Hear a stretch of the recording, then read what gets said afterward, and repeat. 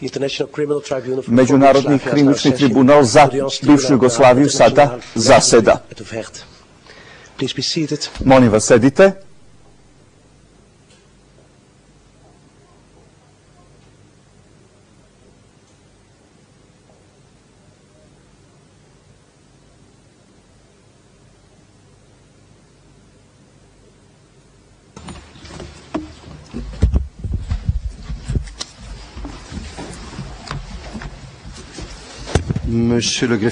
Gospodine sekretaru, molim vas kažite nam broj predmeta.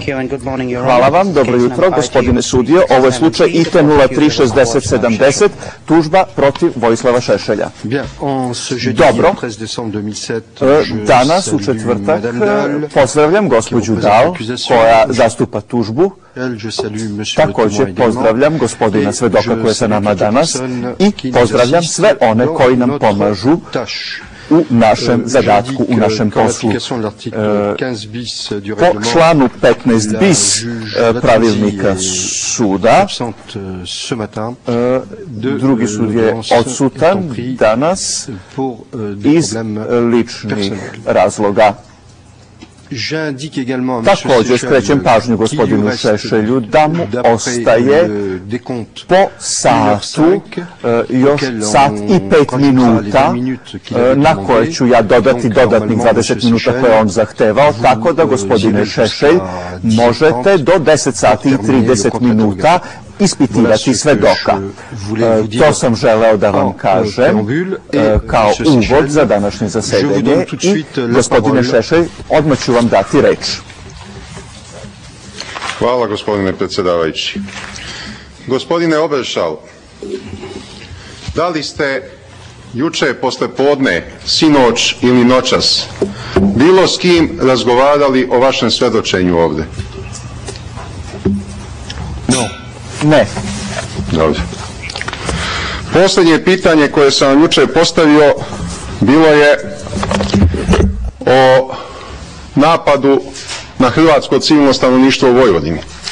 Vi ste, da vas podsjetim, prethodno rekli da ste dosta informisani, da ste proučavali taj problem, a onda ste u odgovoru pomenuli izveštaj Tadeuša Mazovjeckog.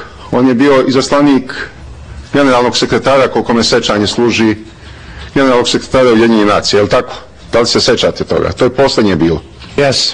Da, I remember. Da li je vama, gospodine Obešal, poznato da sam ja u više navrata napadao javno Tadeuša Mazovjeckog kao lažova i prevaranta?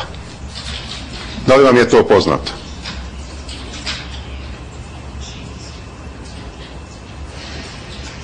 I'm not surprised. Ja nisam iznenađen. Dobro, nije ni on bio iznenađen, pošto on bolje od mene znao da je lažov. Nije to bitno. Da li vam je poznato da je Tadeuš Mazovjetski tada... Primedba, gospodine sudio. Da, izvolite, gospođo Dao.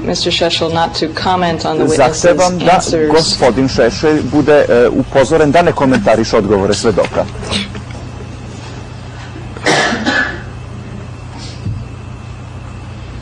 Ja imam pravo da komentarišem odgovore svedoka i istoga slijedi novo pitanje.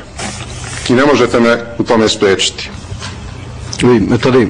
Čekajte, čekajte. La, la réponse du témoin, c'était je n'ai pas été surpris. Je suis posé la question, surpris parce que M. Mazowski est menteur, ou surpris parce que c'est M. Seychelles euh, qui le disait. Donc il y avait une ambiguïté. Gospodine svedoč, gospodine svedoče, da li činjenica da vas nije iznenadila ova primjeda gospodina Šešelja, šta to znači?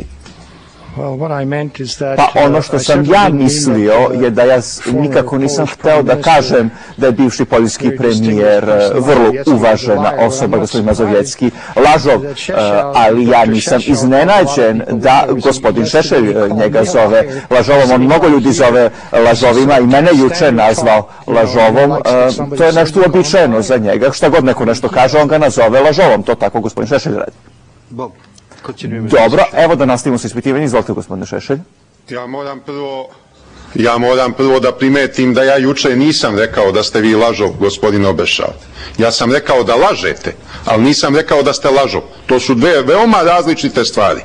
Jer ako bih rekao da ste lažov, onda biste imali pravo da se naljutite zbog uvrede. Ali ako kažem da konkretno lažete, e tu nemate pravo da se naljutite, ja imam pravo da to ovde konstatujem. To su dve veoma različite stvari. Primedba.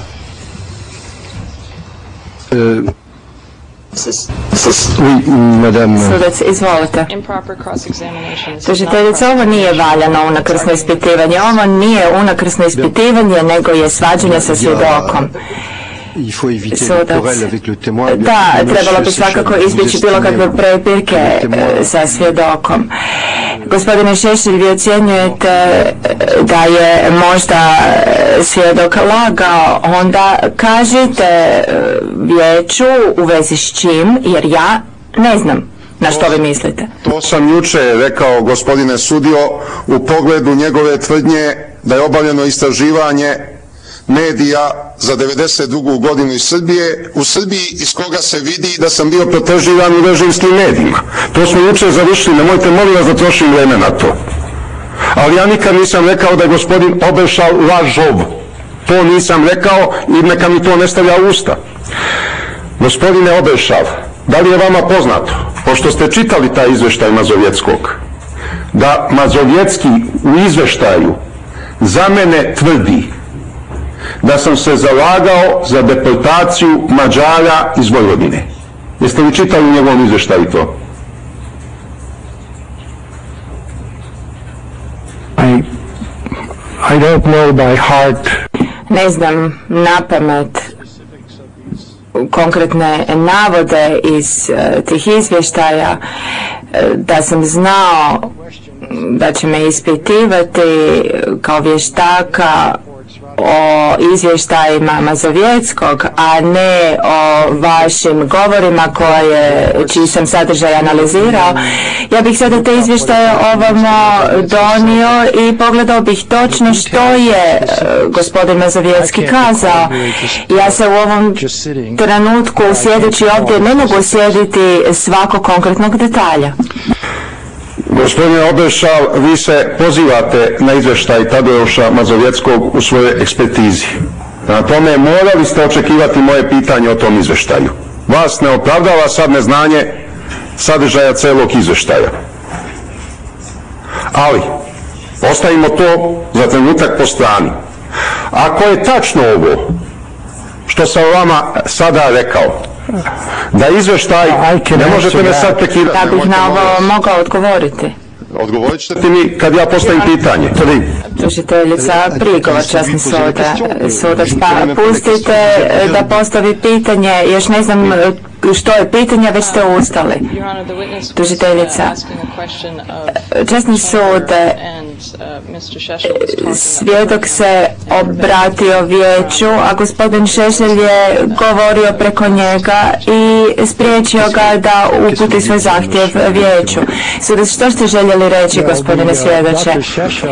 Svjedok, doktor Šešelj tvrdi Uh, da nisam uh, koristio materijale Mazovjetskog u svojem izvještaju vještaka, ali ja sam to učinio. Mazovjetski je napisao jedan izvještaj samo o medijima u tom razdoblju 1992. 1993. i tako dalje. I on je, njegovo osoblje i on analizirali su sadržaj e, medija kao i ja, sudac u redu, ali ono što mene zanima, a čini se da je to zanima i svjedo svjedoka. Jeste li vi kao vještak pročitali taj izvještaj? Vaš odgovor je potvrdan. Svjedok da. Sudac u redu. Gospodine predsjedavajući, ja uvijek opet moram da konstatujem da izgleda prevod katastrofalno loš. Ja sam rekao da se gospodin Obešal služio izveštajem Mazovjetskog pišući svoju ekspertizu, a njemu su preveli da sam rekao da se nije služio. Gospodine Obešal, ako je tačno da u izveštaju Mazovjeckog stoji tvrdnja da sam se ja javno preko medija zalagao za deportaciju Mađara iz Vojvodine. A ja to nikad nisam uradio. Da li sam u tom slučaju s punim pravom Mazovjeckog nazvao lažovom?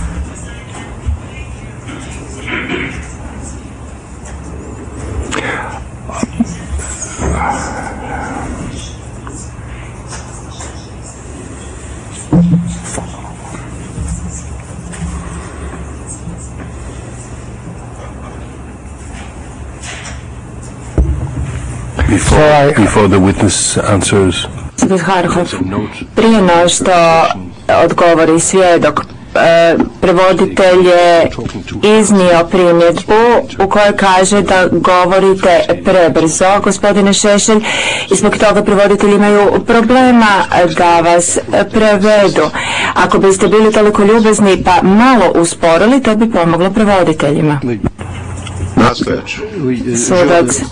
Da, gospodine Šešelj, jer više puta se dogodilo da postoje problemi s prijevodom i to je najvjerojatnije rezultat velike brzine.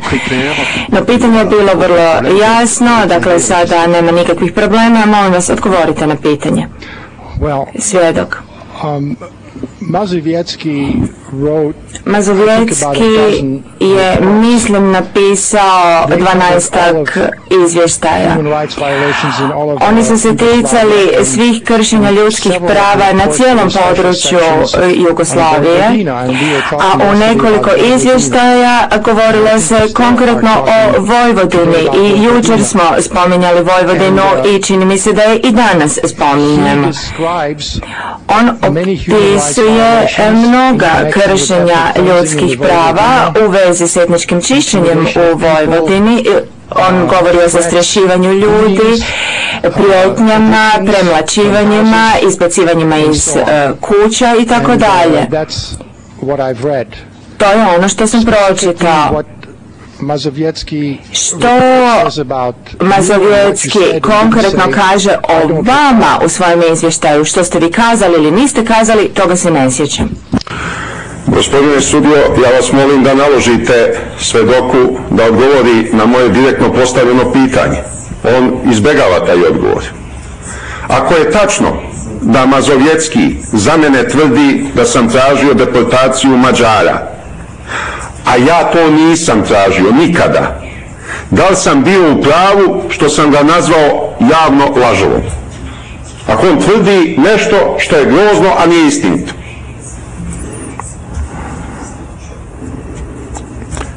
Well, it's a, it's a hypothetical. How do I know to je hipotetički postavljeno. Kako da znam da ono što vi kažete da je Mazovjetski o vama kazao jest istina ili nije? Ako bih pronašao neku pismenu izjavu koju niste vi napisali o tome što je Mazovjetski kazao, onda bih mogao na to odgovoriti. Ali na ovako hipotetsko pitanje ja ne mogu dati jasan odgovor. Sudac, gospodine sljedeće, posljedica svega ovoga za sudce jest sljedeća. Vi ste u svojem izvještaju iznijeli zaključke. Na, osnovu, na osnovi onoga što ste vjerojatno pročitali u izvještaju Mazovjetskog.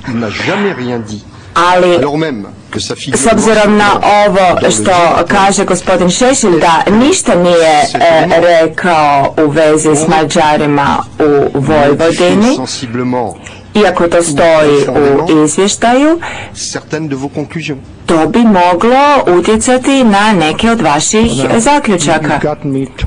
Slijedok. Sada ste me potpuno zbunili o tome i to u vezi s time što je zapravo pitanje i o čemu je riječ. Ja to jednostavno sada više ne razumijem. Sudac, pa ako ne razumijete, ja ću pojasniti. U tom izvještaju se tvrdi da je gospodin Šešelj u svojim govorima navodno kazao da Mađare iz Vojvodine treba protjerati. Prema onome što kaže gospodin Šešelj, to stoji u tom izvještaju. I gospodin Šešelj kaže da nikada ništa s tim u vezi nije izjavio. Et dans l'hypothèse où cet élément figure dans le rapport, ako to stoji u izvještaju, odnosno da je svjedok nešto tako kazao, a to nije točno zato jer on to nije kazao, da li bi to moglo utjecati na vaše zaključke? u relativnom smislu ili u temeljnom smislu? Jer ako neki elementi na kojima vi temeljite svoje zaključke nisu točni, da li bi to imalo nekih posljedica za vaš izvještaj? Dakle, mislim da je ovo sada jasno pitanje svjedok. Ne doista, jer ja nisam analizirao sadržaj izvještaja Mazovjetskog o zloupotrebi masovnih medija, nego sam analizirao sadržaj izjava gospodina Šešila, njegovih govora, njegovih nastupa na televiziji. Dakle, ja izvještaj Mazovjetskog nisam koristio za svoje zaključke o gospodinu Šešelju. Ja sam za te zaključke e, koristio samo diskurs gospodina Šešelja. Gospodine Obešav, vi ste potvrdili da je u Vojvodini bio napad na hrvatsko civilno stanovništvo, je li tako?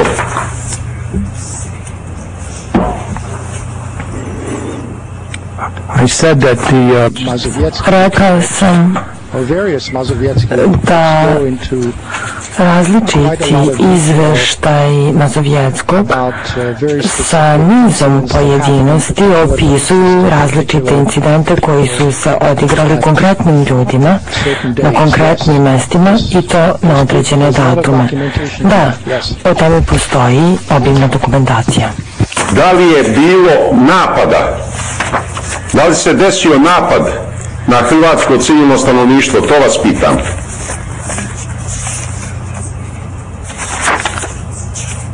Da, ti napadi su opisani u pomenutim izvrštajima. Gde se desio napad na hrvatsko civilno stanovništvo u Vojvodini?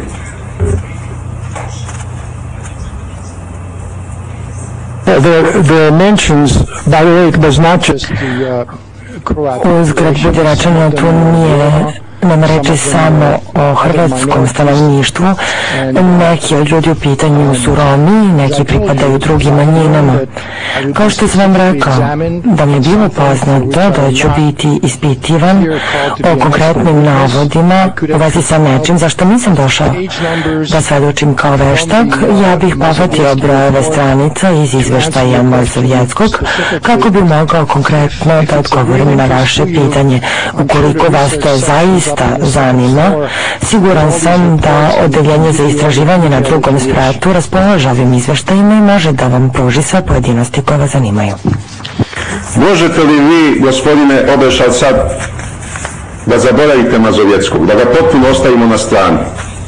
Ja vas pitam, kad se, gde i kako desio napad na hrvatsko civilno stanovništvo u Vojvodini. Jer ja tvrdim da nikad nikakvog napada nije bilo na hrvatsko civilno stanovništvo. Vi tvrdite da jeste, molim vas kažite kad je bio taj napad, kako je izgledao, gde se desio, koliko je dugo trajao. To me interesuje. Vi ste ta, takvu izjavu ovdje dali i morate sada dokažete istinito svojih reči. Well, as I told you, um, kao što sam vam već rekao, uh, if, if you really want to know, ukoliko že zaista želite to da saznate, what I have said is based on these reports, ono što sam ja rekao je zasnovano je na izveštajima o kojima smo do sada govorili. What happened in the Vojvodina in these years, ono što se odigralo u Vojvodini tokom ovih godina, uh, posebne tehnike etničkog čišćenja i napadi nije predstavljao sastavni deo onog u vezi sa čim je ja trebalo sudu da pružim sva mišljenja u svojstvu veštaka. Međutim, ja jesam pročitao ove izveštaje i ukoliko želite da znate neke konkretne pojedinosti, dovoljno bi bilo sat vremena da se obezbede ovi izveštaji, da se nađu odgovarajuće stranice i mogao bih da vam pročitam različita naziva različitih mesta, u kojim prilikama je dolazi od etničkog čišćenja Vojvodini i koje su bile mete toga. Tužilac, časni sud, ako mogu da nešto kažem, ovaj pomenuti izveštaj se nalazi na spisku dokaznih predmeta tužilaštva, broj 1695 po spisku 65 ter, ukoliko gospodin Šešelj želi da ispituje ovog svedoka u vezi sa sadržinom izveštaja ili izjavama koje se tu navode, tražila bih da se svedoku pruži prilika da pogleda dokument i da se sa njim upozna. U protivnom, možda bi gospodin Šešelj mogao da pređe dalje na neko drugo pitanje, jer ovo nije povezano sa izveštajem veštaka. Predsjedavajući sudja, gospodine Šešelj, sve dok ne može da odgovori na vaše pitanje, ustanovio sam da je rekao da je bilo pitanja, vi mu postavljate pitanja, on nije u stanju da odgovori, pretresno neće će iz toga izvući odgovarajuće zaključke. Možete da nastavite. Da. E, sve dok nije bio u stanju da odgovori gde, kada i kako izvrše napad na civilno stanovništvo. Ali onda ne može ni da daje tvrdnje da se desio taj napad. Gospodine Oberšal, sada idemo na ovaj vaš glavni izveštaj. Vi naravno tvrdite, i sad će to biti tematika našeg razgovora, naše rasprave, da se ja služim neistinama u svojoj propagandnoj delatnosti. Konstatovali ste da je propagandna delovanje u određenom pravcu, širenjem određenih informacija, bez obzira na njihovu istinitost ili neistinitost, je li tako? I sad tvrdite da sam se ja služio neistinama. Pa ćemo nekoliko tih vaših tvrdnji da analiziramo. U sklopu vašeg izlaganja o mojim tezama o viktimizaciji Srba vi navodite da ja često iznosim podatke o srpskim žrtvama u drugom svetskom ratu, je li tako?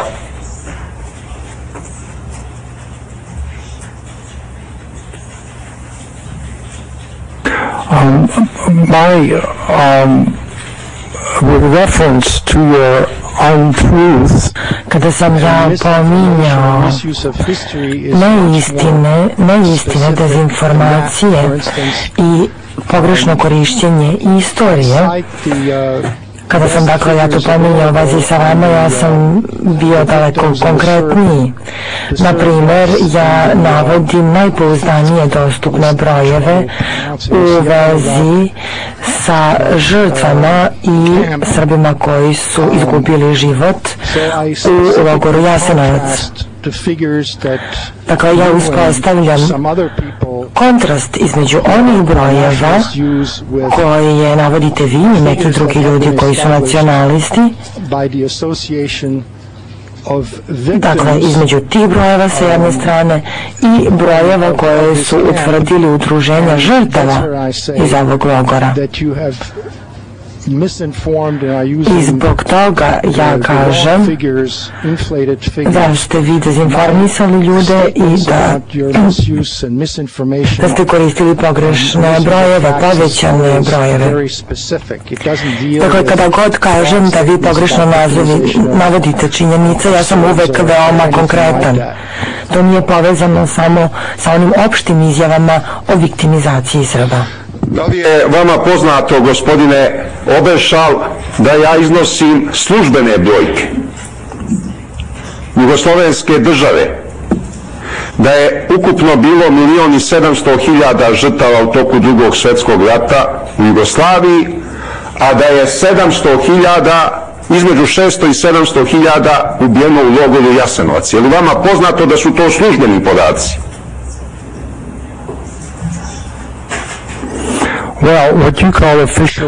Ono što vi nazivate službenim podacima, naime postoje brojni službeni, neslužbeni podaci, postoje Hipotetički podaci postoje i fiktivni ili fikcionalni podaci. E, ja zapravo pominjem istinske podatke koji su zasnovani na istraživanju, bez obzira na to da li su oni zvanični, nezvanični, hipotetični. Znate, mi se bavimo društvenim naukama, e, u toj vrsti pisanja istorije nije reč o tome da se borimo za stvar ove ili one grupe, ja se trudim da se toga klonim i da se služim onim brojevima koji su najpouzdaniji na osnovu izvršenih istraživanja. I za vas je, gospodine Obrešal, najpouzdaniji podatak koji ste našli u tekstu Srđana Bogosavljevića. To je fusnota 68 vašeg izvještaja. I to je jedina fusnota koja se odnosi na ove podatke. Je li tako? Fusnota 68. I, I have to check this. Rabite da proverim.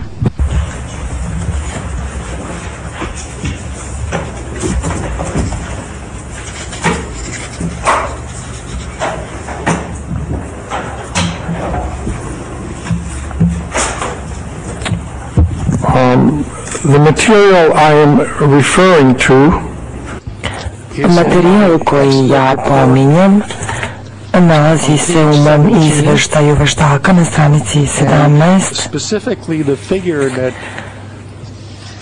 A konkretno broj koji ja navodim jeste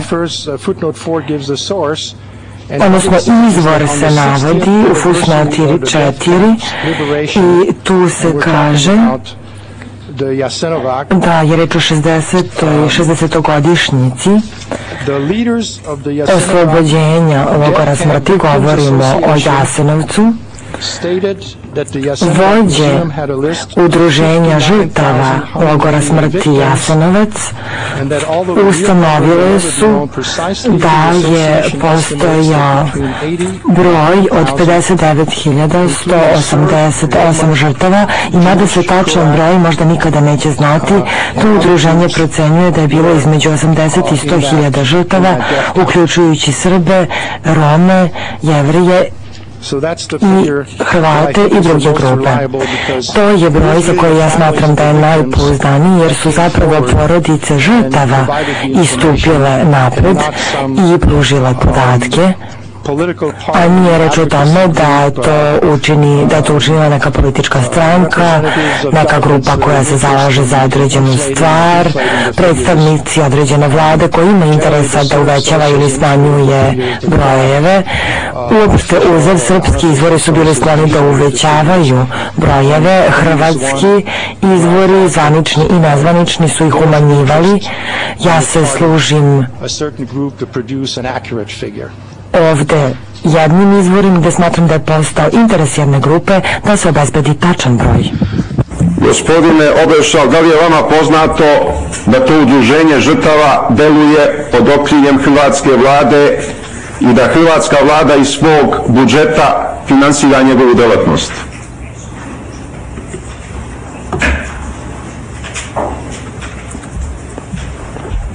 Um,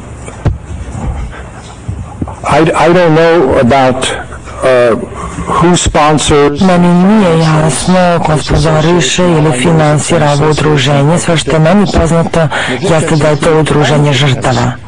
Žrtve obuhvataju sve žrtve. Srpske žrtve, hrvatske žrtve, romske, jevreje i pripadnike ostalih grupa. Nije dakle reč o samo jednoj grupi koja bi bila zastupljena u ovom udruženju. Gospodin Obešal, da li vi znate jednog Roma koji je bio u Jasenovcu i živ izašao iz Jasenovca? Vam poznato to? No, I don't know personally. Ne, ja lično ne poznajem ni jednu osobu koja je tamo preminula. Ja sam već u panici zbog ovog vremena, molim vas što kraće odgovore da mi dajete. Da li znate da je jedan Srbin izvukao živu glavu iz Jasenovca. No, I don't. Bilo ih je ne, to mi nije poznato. 10 ili 20 svega. Znate li, gospodine Obešal, ko je jedini mogao da izvuče živu glavu iz Jasenovca.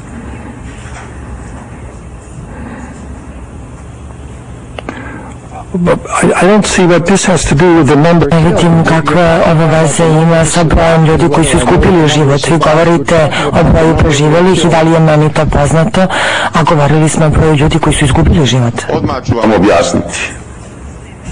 Udruženje žrtava je udruženje ljudi koji su bili u Jasenovcu pa izašli živi iz Jasenovca. Je tako? Iz Jasenovca su živi mogli da izađu samo Hrvati i nekoliko bogatih jevreja. Na prste bi se mogli izbrojati. I mi imamo svjedočanstvo, ogromna knjiga u tri toma, Hrvata, pukovnika Antuna Miletića, o logoru Jasenovac, koji je ustanovio da su ustaške hrvatske vlasti vodile evidenciju samo logoraša Hrvata i nešto bogatih jevreja. Srbi, masa jevreja i svi Romi samo su uvođeni u Jasenovac likvidirani bez ikakve evidencije. Da li vam je to poznato? Well, what you're saying is not true. Ono što vi kažete nije tačno. Naime, udruženje ne obuhvata samo ona lica koje su fizički preživela, već su tu također članovi porodice ljudi koji su preminuli. Shodno tome, ono što vi govorite sudu ovdje za mene zapravo nema nikakvog smisla. Očigledno je da udruženje žrtava ne može biti udruženje ljudi koji su poginuli. To je očigledno. Dakle, mora biti reći o preživjelima, ali i o porodicama preživjelih, a ne samo o preživjelima. Gospodine Obešal, postoji ogromna literatura u logoru Jasenovac, a vi je uopšte niste konsultovali, nego svoje zaključke bazirate samo na izveštaju jedne formalno nevladine hrvatske organizacije koja se finansira iz vladinog budžeta. Vratimo se na fusnotu 68 koju pokušavate da izbegnete. Navodite Srđana Bogosavljevića kao autora nekog članka u nemačkoj publikaciji iz 98. godine. Njegov članak je pet strana ja ne znam nemački jezik, vidim da se radi nešto o genocidu, ali ne bih mogao sasvim da to razumem. Vi se pozivate na Srđana Bogosavljevića kao pouzdan izvor da biste umanjili ukupnu, brojku, ukupnu službenu brojku žrtava drugog svjetskog rata u Jugoslaviji, jel tako? Fusnota 68, nemojte izbjegavati.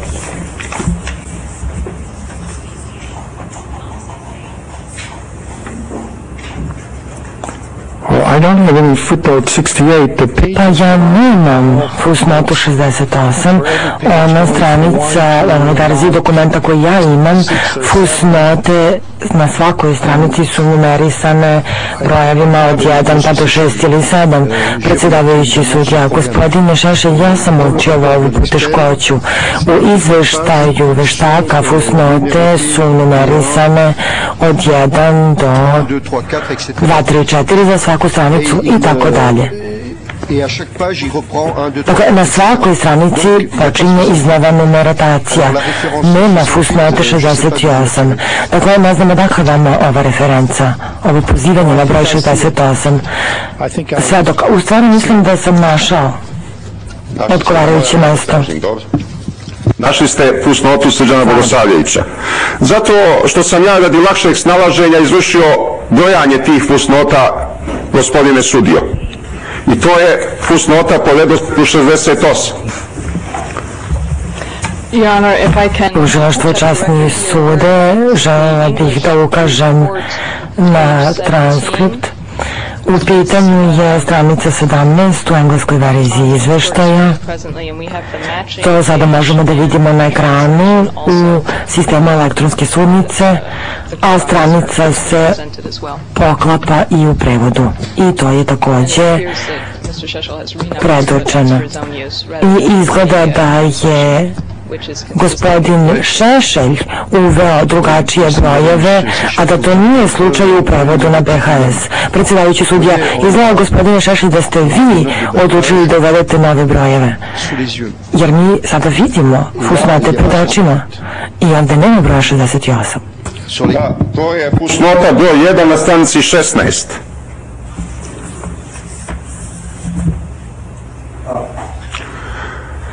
Uh, gospodine sudio. Can I, can I answer the question? Mogu li da odgovorim na pitanje?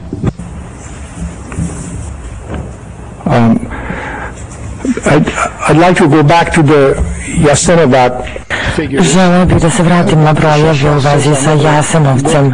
Gospodin Šešelj kaže da nikada nisam pregledao tu temu i sprovodi istraživanje u vezi sa njom. To je netačno. Kada sam bio u Zagrebu 98. godine, ja sam otišao u jedinicu za demografska pitanja u Hrvatskoj statističkoj službi postoji posebna jedinica koja se bavi žrtvama i poginulima u drugom svetskom ratu i potonjem periodu i oni su za mene obezbedili brojeve i objasnili su mi kojom su metodom došli do tih brojeva. Ja sam zaključio da je metodologija neprimjerena i da oni uvećavaju svoje brojeve i jednostavno se nisam služio brojevima koje su oni naveli jer nisu bili pouzdani. I to je razlog zbog kojih se ne pozivam na te brojeve. Predsjedavajući sudja u redu. Ono što jedino zanima pretresno veće jeste da sazna sledeće. Vi iznosite procenu da je bilo reči o otprilike 60.000 žrtava, a na koja je procena gospodina Šešelja kada je reč o broju žrtava? Da to uđe u zapisnik. Gospodine sudio, službeni je podatak između 600 i 700 hiljada žrtava. To je službeni državni podatak Jugoslavije. Bo, Predsjedavajući sudio u redu. I na Ninbeškom procesu. Ali sad ne govorimo o Jasenovcu. Stalno mi gospodin Obešal izbjegava Srđana Bogosavljevića. Riječ je sad o ukupnom broju žrtava. Službena cifra je milijon i sedamsto. Vi kažete da je to manje od milijon i sedamsto, kažete da je to najmanje 896.000, a najviše milijon i 200.000 žrtava. To kažete na strani 16, je li tako?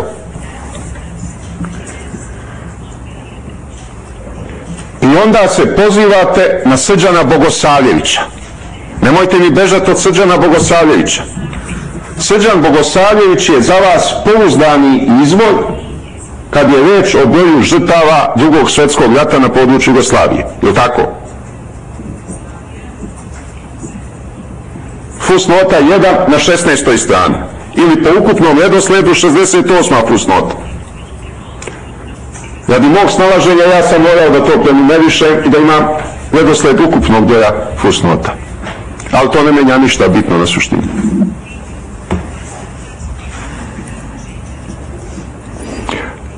It's, absolutely true. Um, to je potpuno točno. Konkretna knjiga na koju vi sada referirate, a koja je na njemačkom jeziku, sadrži određeni broj analiza o broju smrtnih slučajeva na području bivše Jugoslavije i nekoliko demografa uspoređivalo je te brojke. Dr. Bogosavljević je pregledao i uh, usporedio sve te brojke i on je sam ekspert za ta pitanja i njegove brojke, njegovi rezultati e, bili su po mojem mišljenju s obzirom na nesigurnost podataka e, točni odraz broja žrtava e, iz perspektive sociologije kao znanosti. I da, to je ono što ovdje stoji na stranici 17. Gospodin Obešal, vi ste rekli da je Srđan Bogosavljević stručan za tu vrstu demografskih istraživanja. Po čemu je on stručan? Koji je dokaz njegove stručnosti?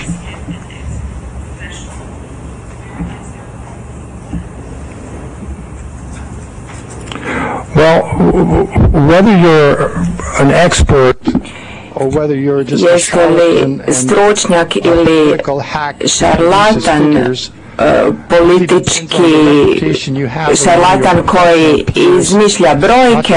To ovisi o reputaciji koju uživate među svojim kolegama i ne samo u vlastitoj zemlji, nego i na međunarodnom planu. Dr. Bogosavljević is not an expert ako mislite da dr. Bogosavljević e, nije e, stručnjak na tom polju, onda samo stavite njegovo ime na internetu u e, pretraživač Google i onda ćete vidjeti kakve ćete rezultate dobiti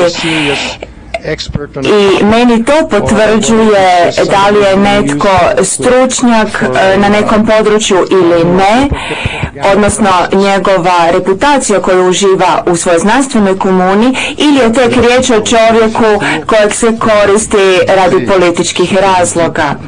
Sudac. Prema onome što vi kažete u vezi s ovim e, stručnjakom kojeg se navodi u izvještaju, broj srpskih žrtava i u drugom svjetskom ratu kreće se oko 500 tisuća. E, pa prema gospodinu Šešelju, možete li nam vi kazati gospodine Šešelj e, Možete li osporiti ovog e, stručnjaka prema vama koliki je broj tih žrtava? Gospodine sudio, Srđan Bogosavljević se uopšte nije ozbiljno bavio ovim pitanjem. I on nije nikakav naučnik koji iživa renome u srpskim akademskim krugovima. On je vlasnik privatne agencije Strategic Marketing za istraživanje javnog mnenja i bavi se prognozama izbornih rezultata i ratingom političkih partija i svaki put je do sad omanuo u svojim prognozama. Jer njegove prognoze zavise od toga komu naruči posao i dobro plati, a ne od stvarnog istraživanja raspoloženja javnog mnenja. On nikada ništa ozbiljno nije napisao o žrtvama drugog svjetskog rata. A u ovom članku koristi podatke trojice autora. Samo su trojica autora ozbiljno pokušala da ospore zvanične rezultate o srpskim žrtvama u drugom svjetskom ratu. To je Bogoljub Kočević koji je objavio knjigu na tu temu u Londonu 70. godina u izdanju emigrantske organizacije Savez oslobođenja, čiji je lider bio kasniji potpredsjednik demokratske stranke e, Tošić. Vesimir Tošić. Zatim, inženjer Vladimir Žerjavec iz Zagreba i Franjo Tuđman. Nijedan od njih trojice nije stručnjak za demokratska istraživanja. Jedan je inženjer, drugi je bio samostalni publicista, a vi znate, Franjo Tužman, jedna vrsta istoričara. Ja ne osporavam da je nešto i postigao u toj nauci, ali nije demograf. To su jedine tri ozbiljnije studije. I sad hoću da skrenem pažnju gospodinu Obešalu u čemu se sastoji falsifikat, pa da mi on da onda svoje, svoj stav o tome. Falsifikat je napravljen Monsieur Seychelles. Sudac, gospodine Šešelj, kažete da postoje ova, ove tri osobe koje su o tome pisale. No, kada se raspravlja o tome da li je bilo 500 tisuća žrtava, milijun žrtava, dva milijuna žrtava, što je vaše mišljenje? Koja je realna brojka? Jer ja o tome ne znam ništa. Gospodine sudio, ja se nisam bavio tim istraživanjem, ja imam zvanične podatke, ali sam ustanovio kako su ova tri autora falsifikovala rezultate istraživanja. I to bih hteo da izložim gospodinu Obešalu i da on iznese svoje stanovište o tome. Oni su radili na osnovu popisa stanovništva u Kraljevini Jugoslaviji pre drugog svjetskog rata i u komunističkoj Jugoslaviji posle drugog svjetskog rata i izvukli zaključak da je preuveličana brojka srpskih žrtava, a smanjena brojka muslimanskih i hrvatskih žrtava. Pa su oni izneli nove podatke sa manje srpskih žrtava, a sa mnogo više muslimanskih i hrvatskih, pozivajući se na statističke podatke popisa stanovništva. Podvala je bila u sljedećem. U Kraljevini Jugoslaviji stanovništvo je popisivano samo po vero ispovesti, a ne po nacionalnosti. jer je Kraljevina Jugoslavija vodila unitarističku politiku stvaranja jugoslovenske nacije. A komunisti su vodili popise stanovništva samo po nacionalnosti, a nisu imali rubriku verska pripadnost. Pa imamo prije drugog svjetskog rata mnogo veći broj muslimana nego posle drugog svjetskog rata. Jer posle drugog svjetskog rata kad se popisivale nacionalnosti, veliki broj muslimana se izjasnio da pripada srpskoj, a priličan broj i hrvatskoj naciji. To je ta podvala. Je vam jasna ova podvala gospodine Obrešav? A u statistici, u statistici se te stvari ne mogu porediti. Morate imati isti kategorijalni aparat za razna istraživanja da biste izveli istovan zaključak.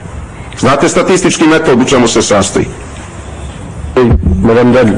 Budas gospođe Dali, izvolite. Tužiteljica. Zamolila bih da se e, svjedoku da mogućnost da odgovori na ovo pitanje koje je gospodin Šešelj postavio, sudac. Pa čuli ste ovo, izvolite, svjedok. Pa ja se jesam bavio demografijom i demografskim metodama. Doktor Šešelj je sada upravo rekao da to nije ono čime se on bavio i meni je prilično jasno da se time nije bavio na temelju svega ovoga što je upravo kazao. Dopustite da kažem sljedeće.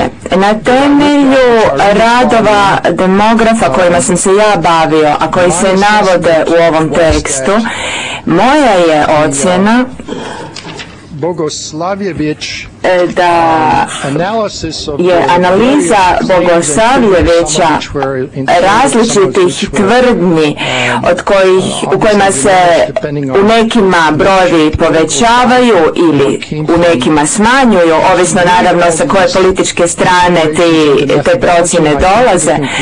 I s obzirom na metodologiju koju je on koristio, ja sam došao do zaključka da je on e, došao do vrlo dobrog broja od 460 tisuća do 590 tisuća Srba i Crnogoraca te do brojke 190 do 270 tisuća Hrvata i meni se činilo da su te procjene vrlo realistične s obzirom na način na koji se on bavio činjeničnim dokazima. Sudac, u redu, molim gospodine Šešred da nastavite. Mene već hvata panika da mi je suviše mnogo vremena samo jedno pitanje odnelo. Imate u sljedećem pasusu na istoj strani. Napisali ste. U razgovoru s autorom ovog izveštaja, jedan student univerziteta u Beogradu seća se da je jedan srpski pisac 1990. u klubu, u klubu studenata tvrdio sljedeće. Pa onda se navodi citat, nije uopšte za mene važno šta je rekao taj student. Kako se zvao taj student koji vam je to rekao u Beogradu, gospodin Obršav? Um, I don't recall I have him, of course, recorded in my... Ne sjećam se, naravno ja njegovo ime imam pribilježeno u svojim bilješkama, ali ne vidim zašto je to važno. U, u fusnoti ste naveli fusnota 5, da se to desilo, taj razgovor 27. maja 98. je tako? To vam je referenca. That's right. A kako se zove taj srpski pisac koji je u klubu studenta nešto tvrdio 90. godine? Da li to znate?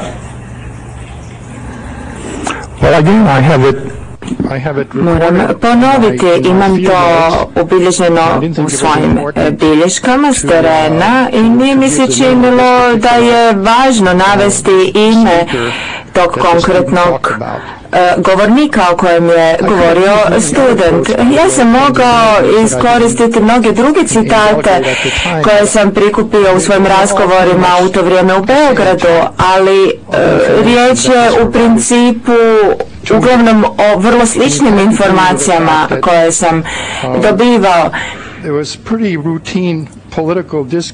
I činjenica je da je da su srpski intelektualci i uh, mediji koristili jedan uobičajeni diskurs o silovanjima, zlostavljanjima, teorijama urota i tako dalje. I ja sam jednostavno radi ilustracije naveo ovaj citat tog studenta, a mogao sam navesti mnogo drugih citata.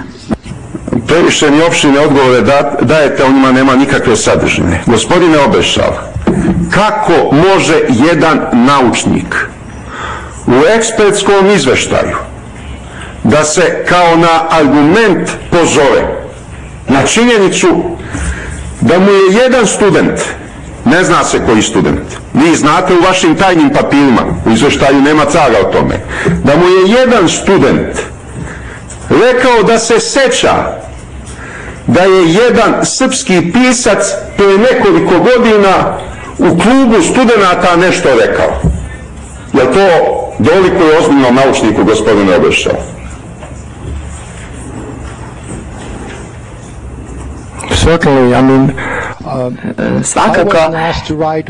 Od mene nije zatraženo da napišem knjigu od 300 stranica o svemu što bi se moglo napisati o masovnoj propagandi, vašim izjavama i srpskim e, medijima.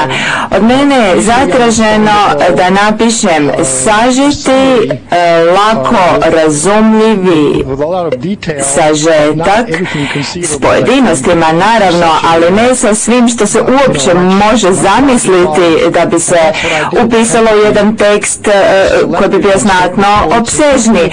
I zbog toga se mora biti selektivan e, u vezi s citatima, uključujući i citate iz analiza sadržaja. Ja sam svaki puta mogao navesti svih vaš, vaših 47, na primjer, e, prijetnji kada sam govorio o prijetnjama, ali ja sam uvijek navodio po dvije ili tri, po dva ili tri primjera, a tko želi vidjeti sve primjere može to pogledati u prilogu.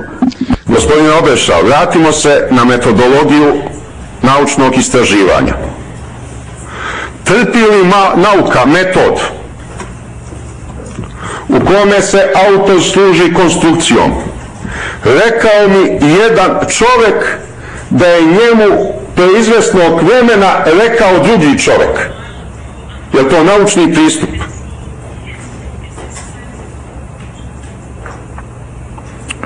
Um,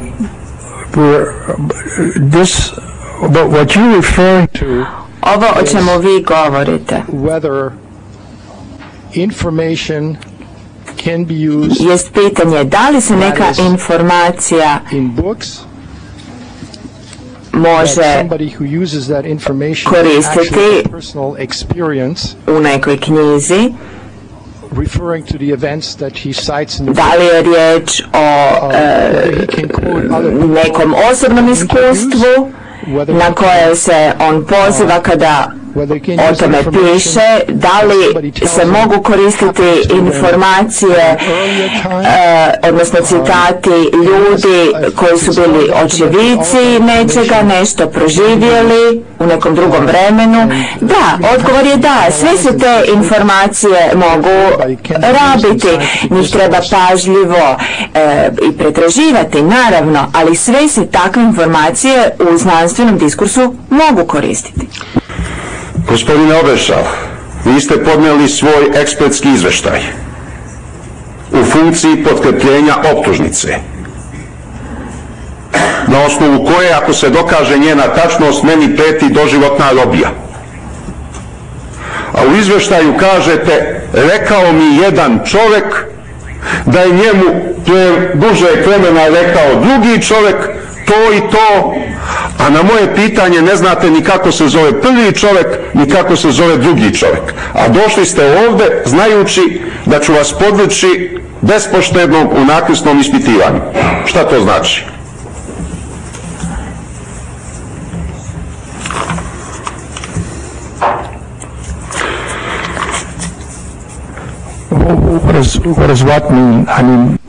Što što znači? E, ne razumijem točno što je pitanje u ovome što ste upravo kazali. Gospodine Obešal, Dragoceno mi je vreme, neću više na ovome da insistiram, vidim da nemate nikakvog odgovora. Da krenemo dalje i da pokušam za ovih još preostali pola sata da postavim još nekoliko pitanja. Tužiteljica. ne troši vreme. Sudac. Izvolite, tužiteljica, ulažem prigovor. Sudac, pa sada oduzimate vrijeme zato što optuženi prelazi na drugo pitanje tužiteljica. Ili će gospodin Šešelj preformulirati pitanje koje nije razumio svjedok ili će ga povući. Ali on ne može jednostavno komentirati da e, svjedok nije odgovorio na pitanje kada svjedok traži da se pitanje preformulira zato jer ga nije razumio. I zato ulažem svoj prigovor. Sudac, molim da pređete na iduće pitanje. Hvala. Gospodin Obešal, vi na strani 17. 17. pri dnu kažete da sam ja uporno upozoravao Srbe na prijetnje panislamizma i muslimanskog fundamentalizma. Jer vi smatrate da te prijetnje nisu bile realne.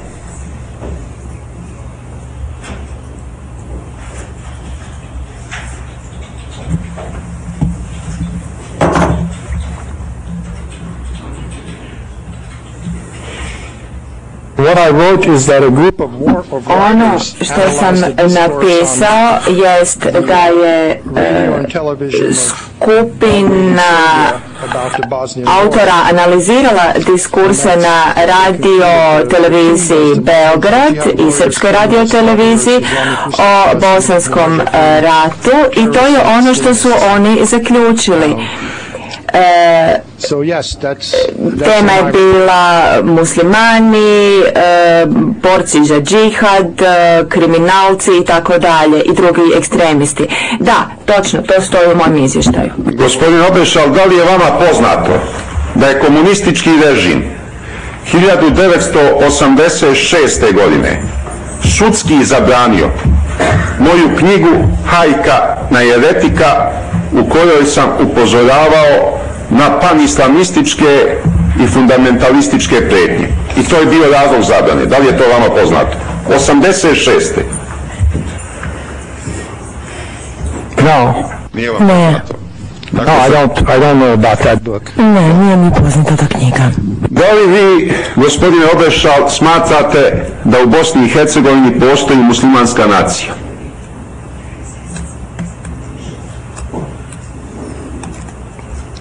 Um, well, there's a people that call themselves Pa postoje ljudi koji sebe nazivaju bošnjacima. Many of them also call themselves Mnogi među njima sebe također nazivaju muslimanima. Da. Gospodine Obešal, otkad se ti nazivaju bošnjacima? Od koje godine?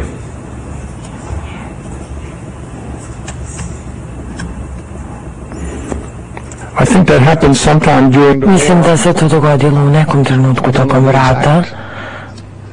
Ne bih mogao da navedem tačan datum od kog dana. Međutim, želeo bih da dodam da to također obuhvata i određene Srbe i Hrvate koji su odlučili da ostanu unutar federacije i da postanu građani u suštini federacije. Dakle, mi ne govorimo samo o muslimanima, već i o izvjesnom broju drugih grupa, mada većina jesu muslimani. U kom trenutku je termin Bošnjak ušao u opštu upotrebu, nisam si, ne znam, ali u nekom trenutku tokom rata kako bi se Republika Srpska razlikovala od ostalih grupa koje su žele da održe jedinstvenu Bosnu kao zemlju naslednika u bivšoj Jugoslaviji, to se dogodilo. Gospodin Obešal, znači to je nacija koja je proklamovana pre nekih 10 do 15 godina, je li tako? Ranije nije postojala. Um, Mr. You have always confused Gospodine Šešelj, vi ste skloni da miješate zanično priznavanje nečega sa jedne strane, a s druge strane samosvest i identitet i način na koji ljudi sami sebe definišu. Ja sam na to ukazao u svom izveštaju veštaka u više navrata. Ne znam šta bih mogao da učinim da vam pomognem da otklonite tu zabunu od koje patite. Ja sam naveo sve izvore.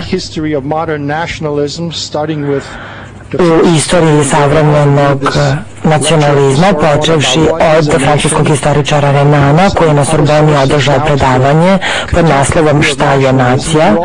Također sam ponudio jedan pregled savremenih radova nacionalizmu, a vi ste uvek odbacivali tu terminologiju koja je prihvaćena u celom svetu, vi govorite o veštačkim narodima ili nacijama, vi koristite svakojake eufemizme u kojima odričete pravo na samodefinisanje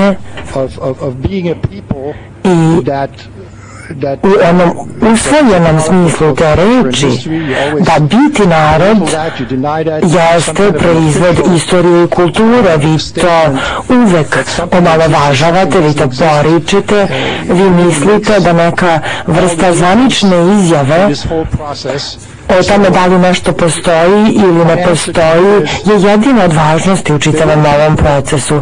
Dakle, moj odgovor za vas glasi, postoje ljudi koji sebe zovu muslimanima ili koji sebe identifikuju kao muslimane, oni postoje u Bosni gotovo od turskih vremena, dakle od 17. veka na ovamo.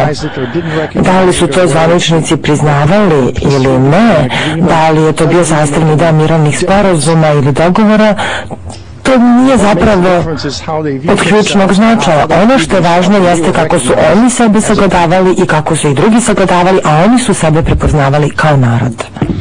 Vi se pozivate na Renana. To je za vas apsolutno uporište. Da li znate ko je bio Schelling? Yes, I did. Znate li da, to mi je poznato. Znate li kakva je Schellingova definicija nacije? I mean the German philosopher? Mislite na njemačkog filozofa? Da, on je dao definiciju nacije. Um, no, I can't quote to you, but ne, ne bih mogao da vam navedem tačno kako glasi njegova definicija nacija. Ja ću vam navesti. Po Šelingu, nacija to je jezik. E sada, gospodin Obešal, da bih opovirao u vašu tezu, od koje i ovu, ovu patnju moju, koju meni pripisujete. Zamislite sada, Francuska je država koja ima 60 miliona stanovnika, između 50 i 60, ako se dobro sećam. Zamislite sada, u jednom delu Francuske, može to biti okolina Marseja, može to biti okolina Pariza, bilo koji deo Francuske. 5 miliona Francuza odluče da pređu na islam. I to je njihovo pravo. Imali smo čuvenog francuskog filozofa Rože Garodija koji je prešao na islam negde 70. godina. Čuli ste za Rože Garodija, nadam se. To je bio filozof marksističke orijentacije, posle se preobratio muslimana, muslimanskog filozofa. Je tako? Da znate ko je Rože Garodija? Zamislite da je taj primjer sledilo 5 miliona Francuza izvojni Francuza, ne doseljenika. Oni kažu prelazimo na islam i od ovog trenutka mi smo muslimanska nacija. Jer bi to za vas bio dovoljan razlog da kažete pa oni zaista jesu muslimanska nacija, jer se tako osjećaju.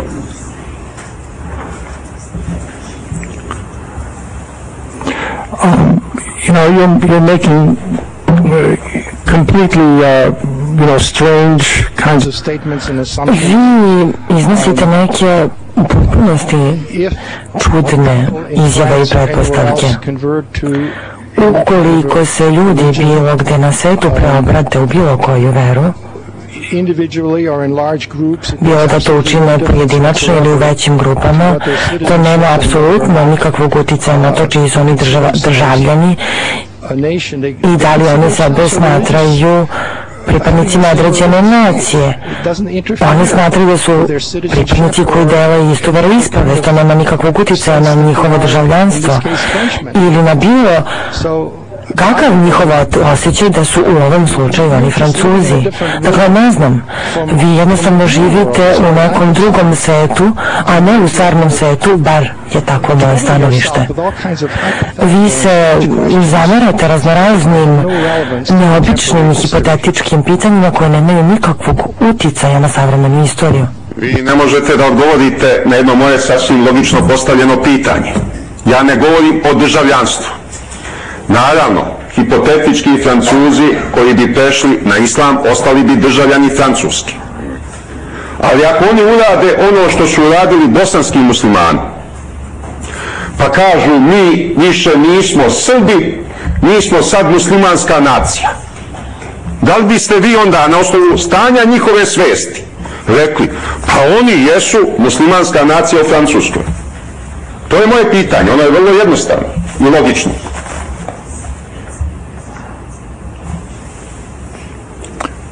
First of all, the Muslims never said that Pre svega, muslimani nikada nisu tvrdili da su Srbi i da su odjednom postali ne Srbi. Oni su sve vreme tvrdili da su muslimani i to su činili još od turskih vremena. Ne znam, ovo je jako zbunjujuće. Vaš način razmišljanja o svemu ovome, tu se nekako mešaju razno razne stvari. Vi možete biti državljanin i pripadnik neke verske manjine možete da govorite jezik kojim govori manjina ljudi u toj državi i, i dalje možete sebe smatrati ne samo građaninom i državljaninom, kao što ja sebe smatram Amerikancem ili kao što bi Francuz sebe smatrao Francuzom. Mi imamo različite identitete having to have some kind of a sovereign state uh, represent Nije uvek neophodno da za svaki od ovih identiteta mi tražimo da nas uh, suverena država zastupa na nekoj datoj teritoriji. Tu su neke osnovne, neki osnovni elementi socijalne psihologije i istorije. Šta da vam kažem? Ja držim predavanje u vezi sa ovim svojim studentima. I šteta je što vi niste slušali predavanja koje sam ja država i temi, jer vi onda ne biste bili tako zbrkani, zbunjeni u svom načinu razmišljanja o ovim temama. Pa evo ovdje će javnost i sudsko veće da procene ko je zbunjen i zbrkan ovdje, gospodine Obešal. Ja sam se samo morao nasmejati na tu vašu tvrdnju. Ovdje je očigledno ko je zbunjen i zbrkan. Gospodine Obešal, ono što se nama Srbima desilo, da kroz nekoliko stotina godina, jedan deo pod turskom okupacijom primi islam i identifikuje se pod okupatora, a drugi deo primi katoličku veru i postepeno počne gubiti srpsku nacionalnu svest. Jer to sad mene sprečava da na osnovu istorijskih činjenica kažem mi smo Srbi pravoslavci, oni su Srbi muslimani, a ovi su Srbi katolici. Jer ja to ne smijem da kažem. Bez obzira kako se oni sada osjećaju. Nas su s polja zavadili i mi smo krvarili u verskom ratu. Međutim, ja i dalje govorim da smo mi jedna nacija.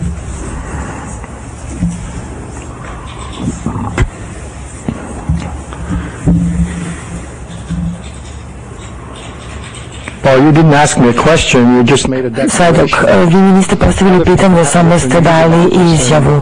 Drugi ljudi imaju drugačije poglede na ovo pitanje, a vi ste sada izrazili svoje. Gospodine Obešal, vi meni spočitavate da negiram makedonsku naciju u vašem izveštaju, tako? I to ste naveli tamo.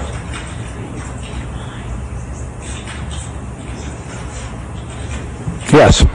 Tako je. E. A zašto Ujedinjene nacije ne priznaju makedonsku naciju?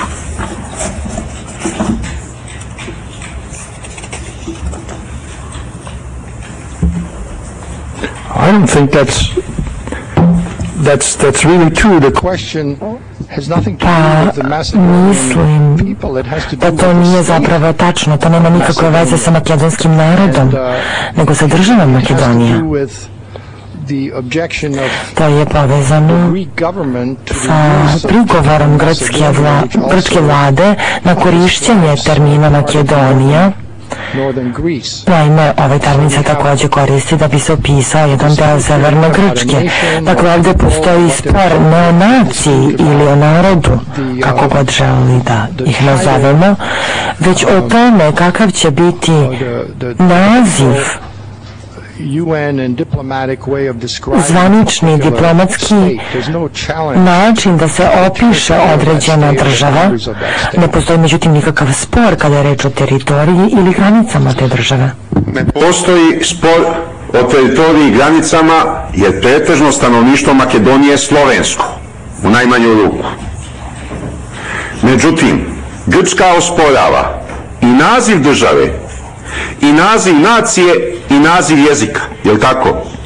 I kaže, ne može se ta država zvati Makedonija, ne može se ta nacija zvati makedonskom i ne može se taj jezik zvati makedonski. Da li je to tačno? To je možda tačno, ali ja nisam proučavao šta tvrdi grčka vlada ili ko među Grcima tako nešto tvrdi. Dobro. A zašto onda Europska unija nije priznala naziv države Makedonije, naziv makedonska nacija i makedonski jezik? Zašto to Europska unija nije priznala? Jer je Makedonija pretendent na članstvo u Europskoj uniji, ali pod privremenim državnim nazivom, bivša Jugoslovenska republika Makedonija, je li tako?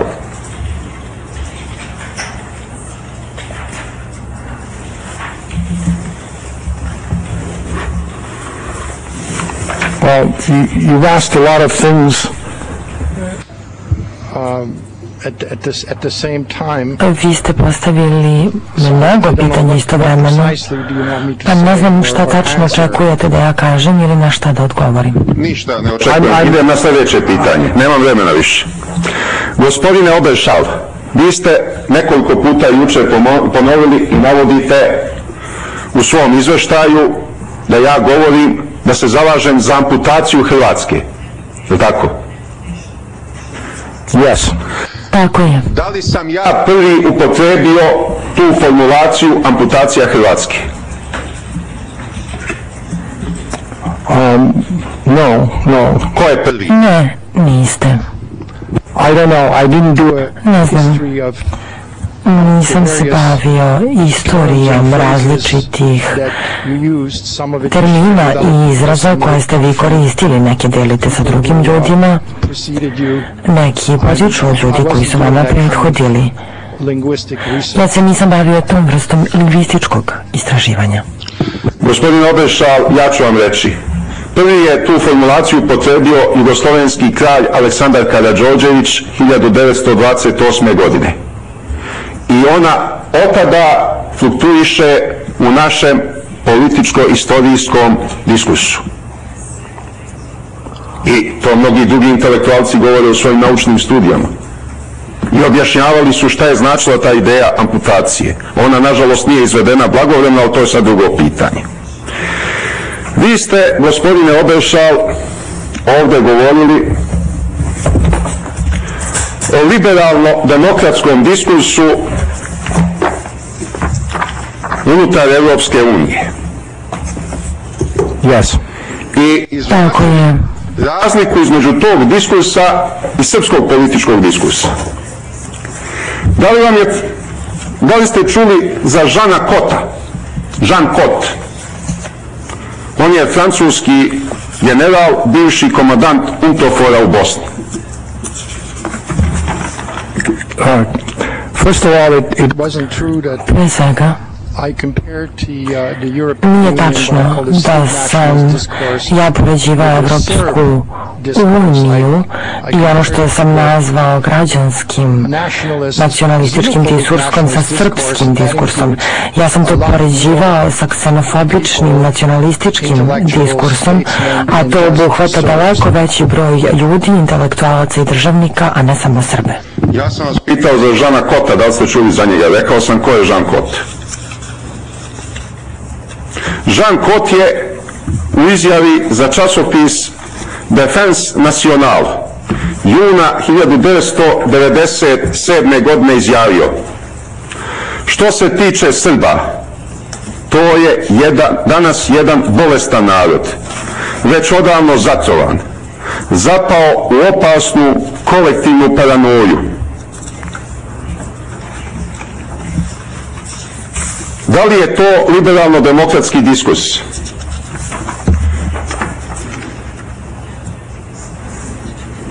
No, actually it's ne, tu je zapravo reč o generalizaciji i o stereotipiziranju. Dobro, hvala. Imam drugo pitanje. Uživaštvo, prigovor časni sude, žele bi da se svedoku dozvoli da završi svoj odgovor. Nije primjereno da se u nakrsnom ispitivanju prekida svedok dok odgovara. Predsjedavajući sudja, tako je, ne, ovdje nedostaje jedan deo, pomenuli ste, to je stereotipizacija, rekli ste i, i onda imamo tri tačke. Svedok, da. Ono što sam ja želeo da dodam je sljedeće. Mada je tačno da je ksenofobični nacionalistički diskurs dominirao u to vreme u Srbiji. To ne znači da su svi srpski intelektualci se time služili šta više, jedan veliki broj izvanrednih srpskih pisaca i političara zapravo su se služili i razmišljali iz perspektive onoga što bih ja nazvao građanskim nacionalističkim diskursom. Dogodilo se to da su oni politički bili gubitnici, ali ja nikada ne bih karakterisao sve Srbe kao da imaju jedinstvenu ideologiju ili zajedničko stanovište nečem što bi bio nacionalizam ili raznim drugim temama. Ja sam razgovarao sa nekim od ovih ljudi i oni u stvari imaju političke stranke koje su osporavale izbore. Dakle, želeo sam da to uđe u zapisnik. Gospodin obešao kao da je mašina za trošenje mog dragocenog vremena. Ja sam imao konkretno pitanje i želim samo konkretne odgovore, a ne njegovo mišljenje na razne teme. Gospodine obešao, slušajte me pažljivo. Bivši francuski predsjednik Jacques Chirac u vrijeme dok je bio predsjednik Francuski na samitu šefova država Europske unije u junu 1995. godine u Parizu prekida izlaganje grčkog premijera Andreasa Papandreua koji je rekao da se u Bosni vodi građanski rat sa mnogim karakteristikama verskog. Pa Jacques Chirac kaže Dozvolite mi da vas prekinem, gospodine predsjedniče. Srbi su narod bez zakona i bez vere to je narod razbojnika i terorista. To je emitovano na TV kanalu Euronews u junu 1995. godine. Moj saradnik Dejan Mirović je to naveo u obaveštenju o posebnoj odbrani koji sam predao pre dve godine tužilaštvu, a inače je objavljeno u knjizi autora Zorana Petrovića Izbrisati srpski virus 2002. godine. Da li je ova izjava Žaka Širaka unutar liberalno-demokratskog diskursa?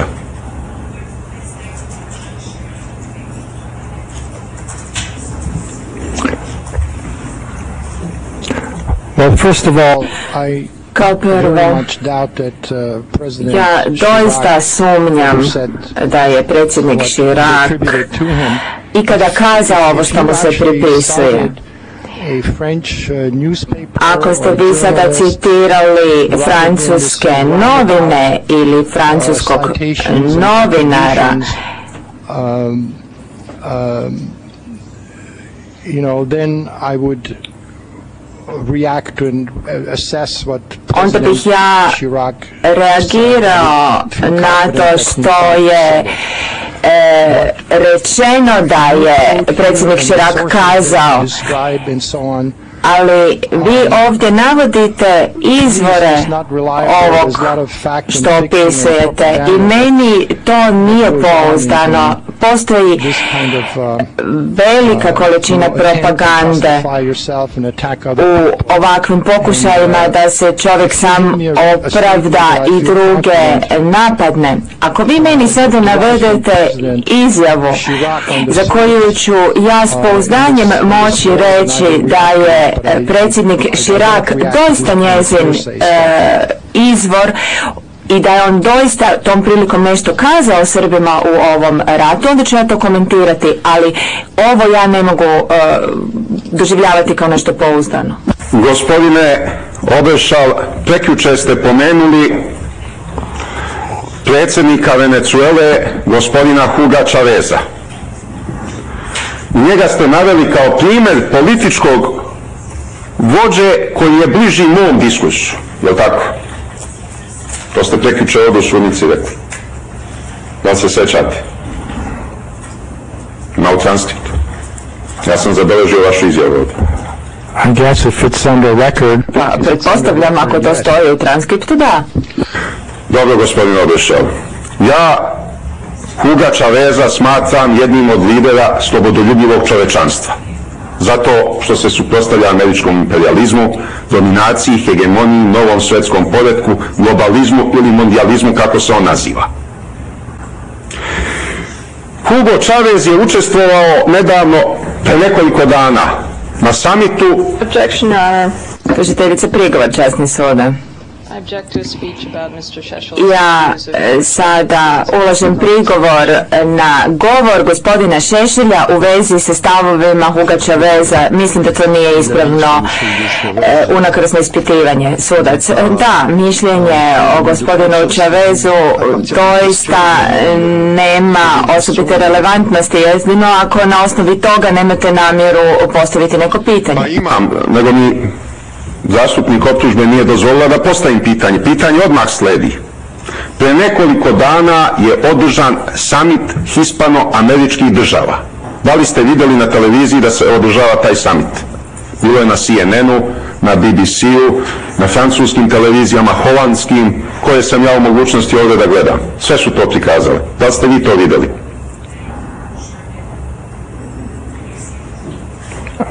Probably, I mean, Najvjerojatnije, da, pratim vijesti, da. Uh, podsjetit ću vas, desio se incident kada je španski kralj Juan Carlos iskočio i počeo da veđa Huga Chaveza.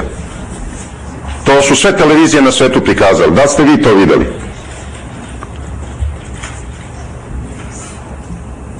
Oh, yes. Da. Da li vi smatrate španskog kralja Juana Carlosa nekim ko zastupa liberalno-demokratski diskurs.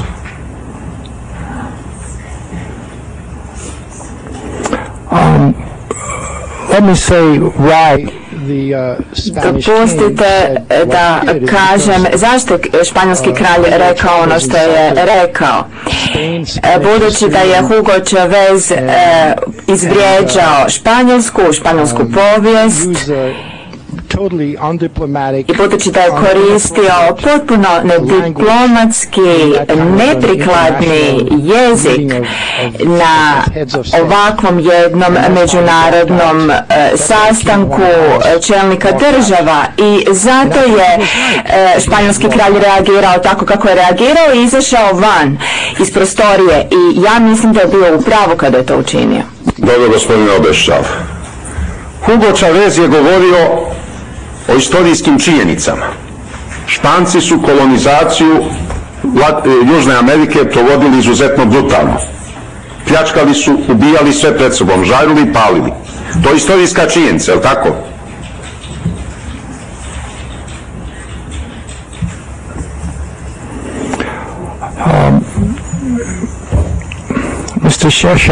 Gospodine Šešelj, želite li vi doista razgovarati o povijesti Španjolske u, na američkom kontinentu tijekom ovog vremena što vam je preostalo, sudac, on vam je postavio pitanje, recite da ili ne, svjedok, da, ja, naravno, ja poznajem tu povijest, da. Da li je predsjednik Venezuele Hugo Chavez izabran na demokratskim izborima voljom svoga naroda?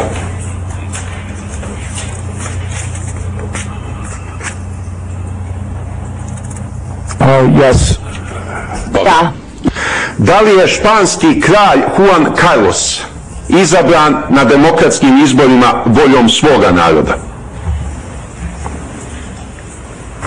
king does not Španjolski kralj se ne bira na izborima. On je on prihvaća ustav te zemlje, ali to nije položaj koji se bira. Vrlo dobro, gospodin Obešav. Znate li ko je postavio španskog kralja Juana Carlosa na obnovljeni španski prestol?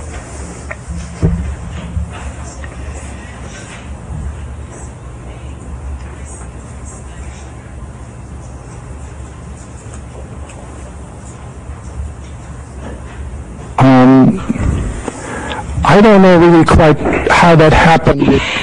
Ne znam sasvim točno kako se to e, dogodilo, no to je svakako bilo u posljednjim godinama Frankovog režima. E, mislim da je riječ o nekakvoj, e, nekakvom načinu ustavnog rješavanja problema, no nisam spreman s ovoliko pojedinosti raspravljati o španjolskoj povijesti. Sudac, gospodine Šešelj, molim vas priječite na pitanje jer vaše vrijeme je praktički isteklo. Postavite svoje pitanje. Ako mi je vrijeme isteklo, postavit ću još jedno pitanje. Španskog kralja Juana Carlosa na presto je postavio svojom ličnom voljom fašistički diktator Francisco Franco.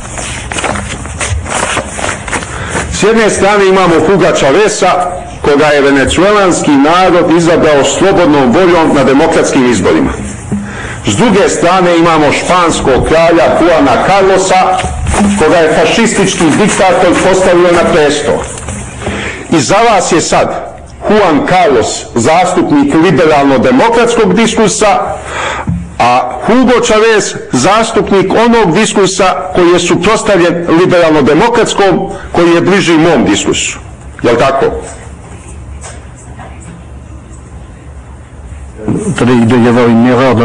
Sudac, oprostite, čini mi se da je tu došlo do greške u transkriptu. Ovdje vidim e, logor Omarska, mora da je došlo do pogreške. Euh, dakle, pitanje je postavljeno, molim vas odgovorite svjedok. A rado bih rekao sljedeće. Prije otprilike tri tjedna na referendumu u Venezueli Hugo Chavez je želio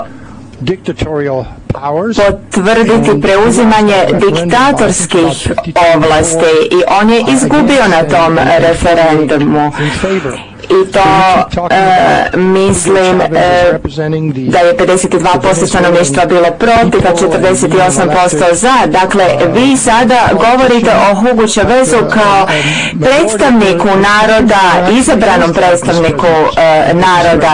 Međutim, činjenica je da u ovom trenutku većina njegovog naroda je protiv njega i to su oni vrlo jasno i pokazali. Vi sad od mene tražite da uspoređujem ustavnog monarha i njegov legitimitet da govori za svoj narod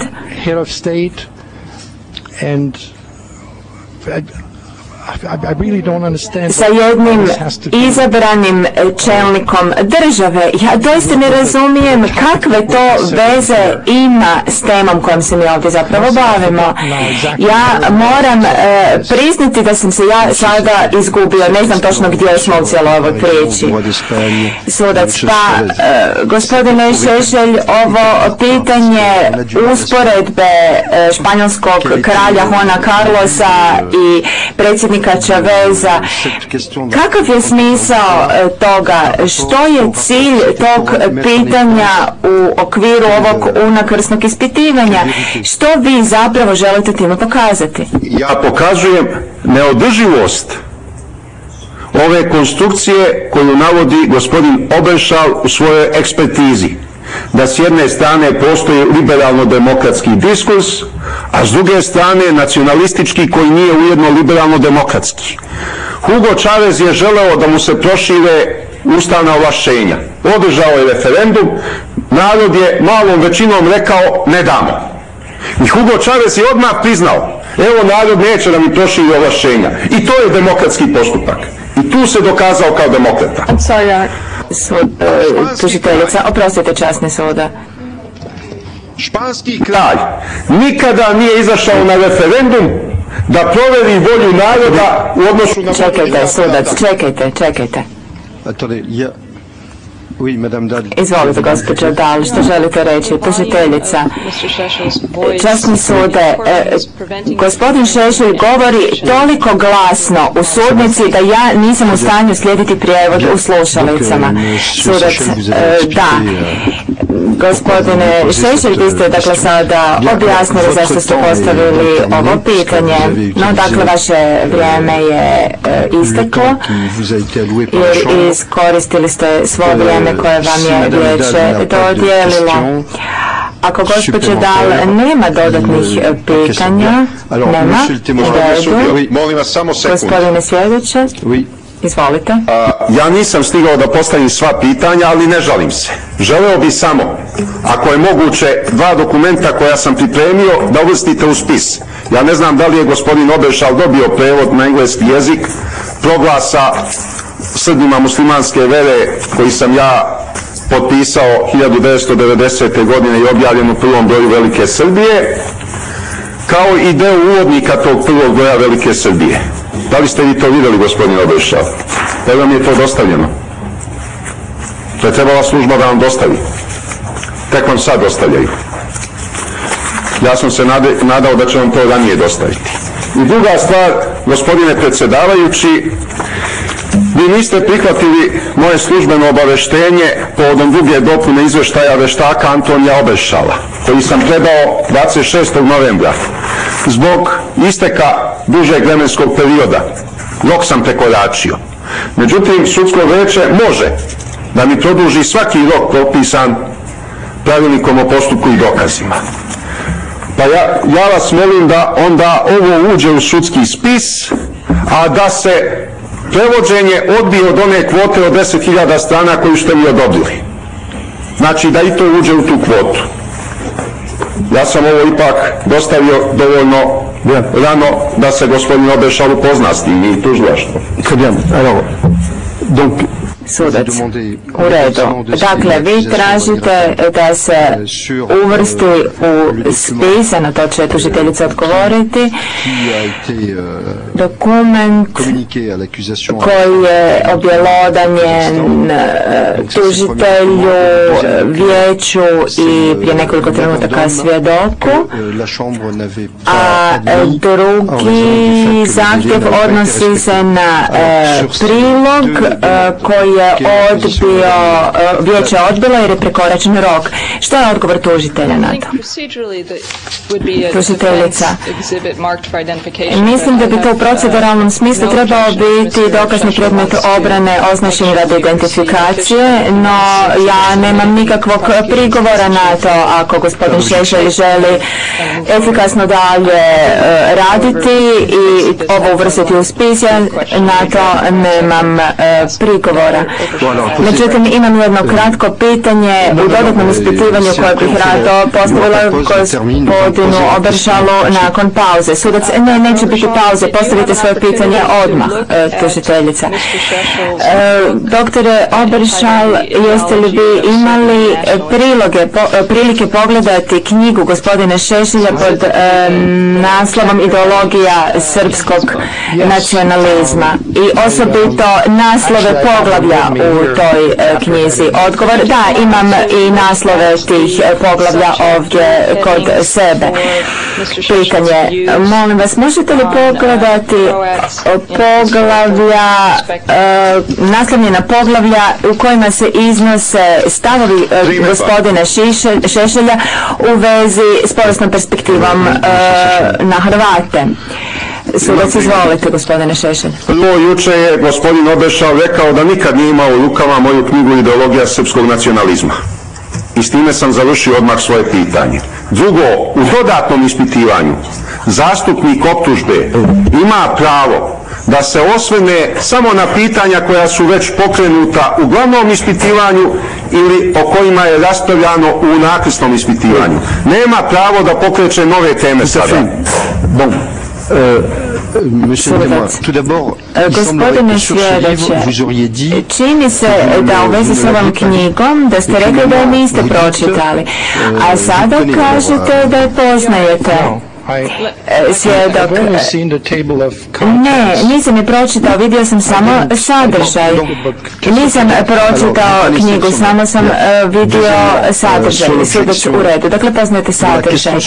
Što se tiče prigovora u vezi s ovim dodatnim pitanjem, na koji način se dodatno pitanje oslanja na pitanja gospodina Šešilja, gospođo Dao, e, tužiteljica? Pa časni sude, nismo pred predočili u elektronskom obliku tekstove koji su se pretraživali. Mi nismo e, dostavljali u fizičkom obliku knjige koje je jučer pokazivao e, gospodin Šešelj.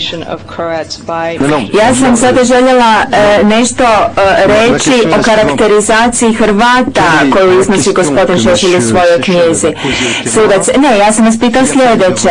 Koje je pitanje koje je postavio gospodin Šešelj na koje koje se oslanja vaše sada dodatno pitanje. Tužiteljica, e, pitanje točnosti, karakterizacije gospodina Šešelja u vezi s Hrvatima tijekom povijesti. Sudac u redu. Hvala. E, molim vas postavite svoje pitanje. Gospodine sudio, kad sam ja o tome govorio juče i prekjuče? O tome nije bilo reći. Ako se sećate, prvo moje pitanje jutros je bilo, gospodinu Obešalu, da li je s nekim juče posle podne, naveče ili noćas razgovarao o predmetu svedočenja? On je rekao da nije. A odjednom se sad pojavljuje sa sadržajem moje knjige. Znači, s nekim je kontaktirao po tom pitanju. Ne dozvolite da se ove stvari dešavaju. Imaće priliku gospođa Dal drugog svedoka da dovede po tom pitanju. sudija. Gospodine Šešelj, nije to pitanje koje se postavlja. Vi ste se u okviru nakrsnog ispitivanja bavili pitanjem Hrvata, hrvatskih žrtava i tako dalje i tako dalje. U pitanju je jedna široka tema koja može da dovede do toga da tužilaštvo izvrši dodatno ispitivanje, tužilaštvo to želi da učini. Sačekajte da saslušamo pitanje. Vi ulažete prikova, a još ne znamo ni kako će glasiti pitanje. Gospodin, daj postavite pitanje. Tužilac. Budite ljubazni pa pročitajte karakterizacije gospodina Šešelja u podpodglavljima i onda iz prokomentarišite kroz analizu i kodiranje koje ste obavili u kojoj kategorije spada ovakav opis Hrvata. Sadok. Ovdje vidimo pod poglavlja koje nose naslove. Evropa zgrožena hrvatskom krvožednošću Hrvati predstavljaju vrhunac okrutnosti, hrvatska okrutnost u narodnim pesmama, hrvatski pokolji, u Hrvatskoj istoriji, Hrvatska istorija prepuna je divljaštva, pljački ubistava, to je crta hrvatskog nacionalnog karaktera. Hrvatska je slepo oružje u rukama Vatikana. Najbolji porivi hrvatskog etničkog bića. Ja ovdje sada nisam pročitao sve podnaslove koji se javljaju u knjizi, ali uglavnom su svi u istom stilu. Pre svega ovdje je reč o izuzetno negativnom, o, o, o veoma ekstremnom obliku govora sa negativnim stereotipama. Nešto od ovoga spada u onu kategoriju kojom se ja nisam služio u svojoj kodifikaciji, reći o dehumanizaciji. Naime, kada se govori o zvijerskim porivima hrvatskog bića, to je kao da se Hrvati porede sa nekim primatima ili nekim drugim životinjama. A naravno sve ovo potpada u kategoriju generalizacije, ovdje govorimo o svim Hrvatima. I tako bih ja to kodirao, tužilac. U tradicionalnim tehnikama propagande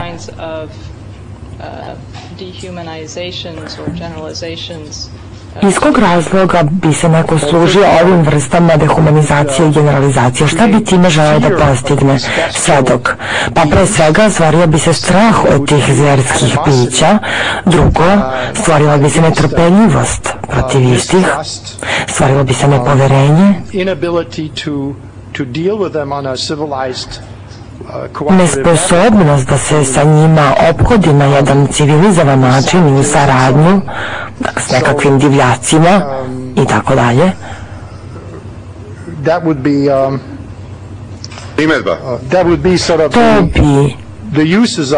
to bi na neki način bio korišćenje propaganda radi stvaranja ove vrste osjećanja i neprijateljskih odnosa. Da. Tužilac da, hvala vam, doktore Oberšal, časni sude, nema više pitanja. Predsjedavajući sude, mislim da moj kolega ima pitanje. A, gospodine Šešelj. Dakle, sad je pročitao ono što ste vi naveli u sadržaju svoje knjige i odgovorio je u smislu tehnika propagande. Šta vi na to želite da dodate? Pa, gospodine sudjo, ja vas pozivam da ne dozvoljavate da se vrši analiza teksta na osnovu sadržaja na kraju knjige, bez pročitanog teksta. Reč je o svedočenjima istorijskih očevidaca i istaknutih europskih istoričara, vojskovođa, čak i velikog nemačkog pesnika Schillera, koji je u svojoj baladi o Valenštaju na taj način opisivao Hrvate. Reč je o čuvenoj Magdeburškoj tragediji, kada su Hrvati u šleskim ratovima pobili celokupno stanovništvo Magdeburga u Njemačkoj, negdje u blizini Dresdena. Ce que vous dites est acté. Davajući sudija. Samo trenutak. Knjige. Bien, mon collègue va poser la question. Moj kolega bi želeo da postavi pitanje. Sudija Harhov, hvala vam. S obzirom na vreme možda bi trebalo da sad odemo na pauzu iz tehničkih razloga. Predsjedavajući sudija, imamo li još malo vremena, ja, ja bih više voleo da završimo sednicu. Gospodine sekretare, koliko nam još vremena ostaje na traci za snimanje, jer bilo bi dosta besmisleno da sad idemo na pauzu 20 minuta, pa da se vraćamo na nekoliko minuta. Bon, il doit nous rester 5 à 10 minutes. Mora biti da nam je ostalo 5 do 10 minuta. 10 minutes, bien. 10 minuta, u redu. Sudja Harhov, u redu. Mr. Obušal, Gospodine Oberšal, ja bih imao nekoliko pitanja koja se odnose na nešto što verujem da nijedna od strana nije pomenula. Mislim naime na metode kojima ste se koristili u svom izveštaju veštaka. Prvo pitanje koje bih želeo da vam postavim odnosi se na ono što ste vi naznačili na prvoj stranici svoga izveštaja because I wanted to know what was the question that was put Ja bih želeo da znam kakvo je pitanje vama postavilo tužilaštvo kako biste vi izradili ovaj izveštaj. I vidim da u vrhu stranice postoji jedno pitanje koje glasi kako propaganda masovnih medija utiče na prihvatanje kolektivnog nasilja od strane običnih ljudi i njihovo učestvovanje u njemu i kako je Šešeljeva nacionalistička propaganda zagovarala i opravdavala prisilu i nasilje Srba protiv nesrba. Moje pitanje glasi, da li je vama tužilaštvo ovo pitanje postavilo, da li je ovako glasio vaš zadatak? Svedok. Koliko se ja sećam, ono što je od mene traženo da uradim jeste da izvršim analizu sadržaja političkog diskursa doktora Šešelja. I to, kada je reč o političkim odnosima između Srba i ne Srba, tokom naznačenog vremenskog perioda od 1991. do 1994. godine. Naravno, u pitanju je bio nacionalistički diskurs.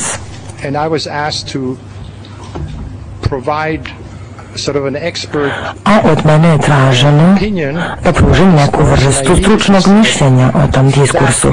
I ja sam s mesta rekao, ukoliko to želite neophodno da izvršim analizu sadržaja, jer to je jedini način, umjesto da se traže one određeni izvodi neophodno je da se izvrši Naime, predsjela je opasnost da se dođe do toga da se uzme određeni izvodi koji pružaju jedinstvenu sliku.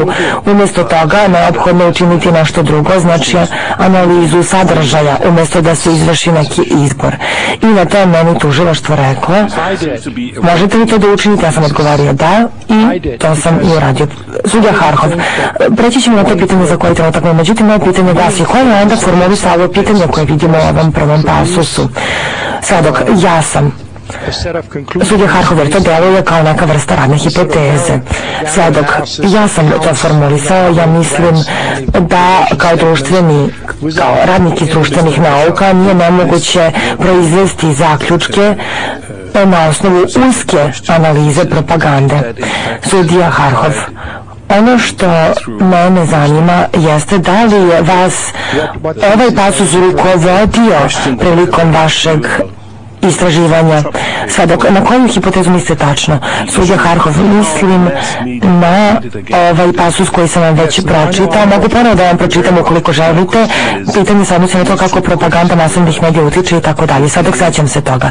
Dakle, moje pitanje glasi, da li su ove riječi koje su navedene u ovom pasusu za vas predstavljala neku vrstu radne hipoteze kada ste se poduhvatili pitanje pisanja svoje studije?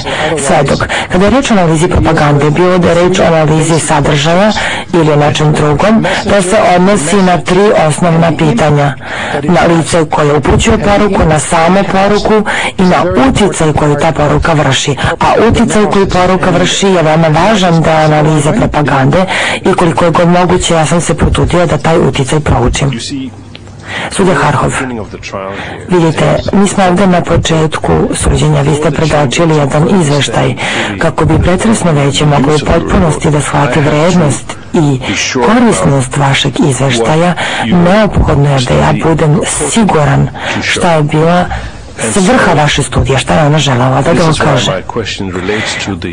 I zato se moje pitanje odnosi na ovu početnu hipotezu, da ste vi željeli da se bavite pitanjem kako propaganda masovnih medija utiče na prihvatanje kolektivnog nasilja od strane običnih ljudi i njihovu i na to kako je Šešeljeva nacionalistička propaganda zagovarala i opravdavala prisilu i nasilje Srba protiv nesrba.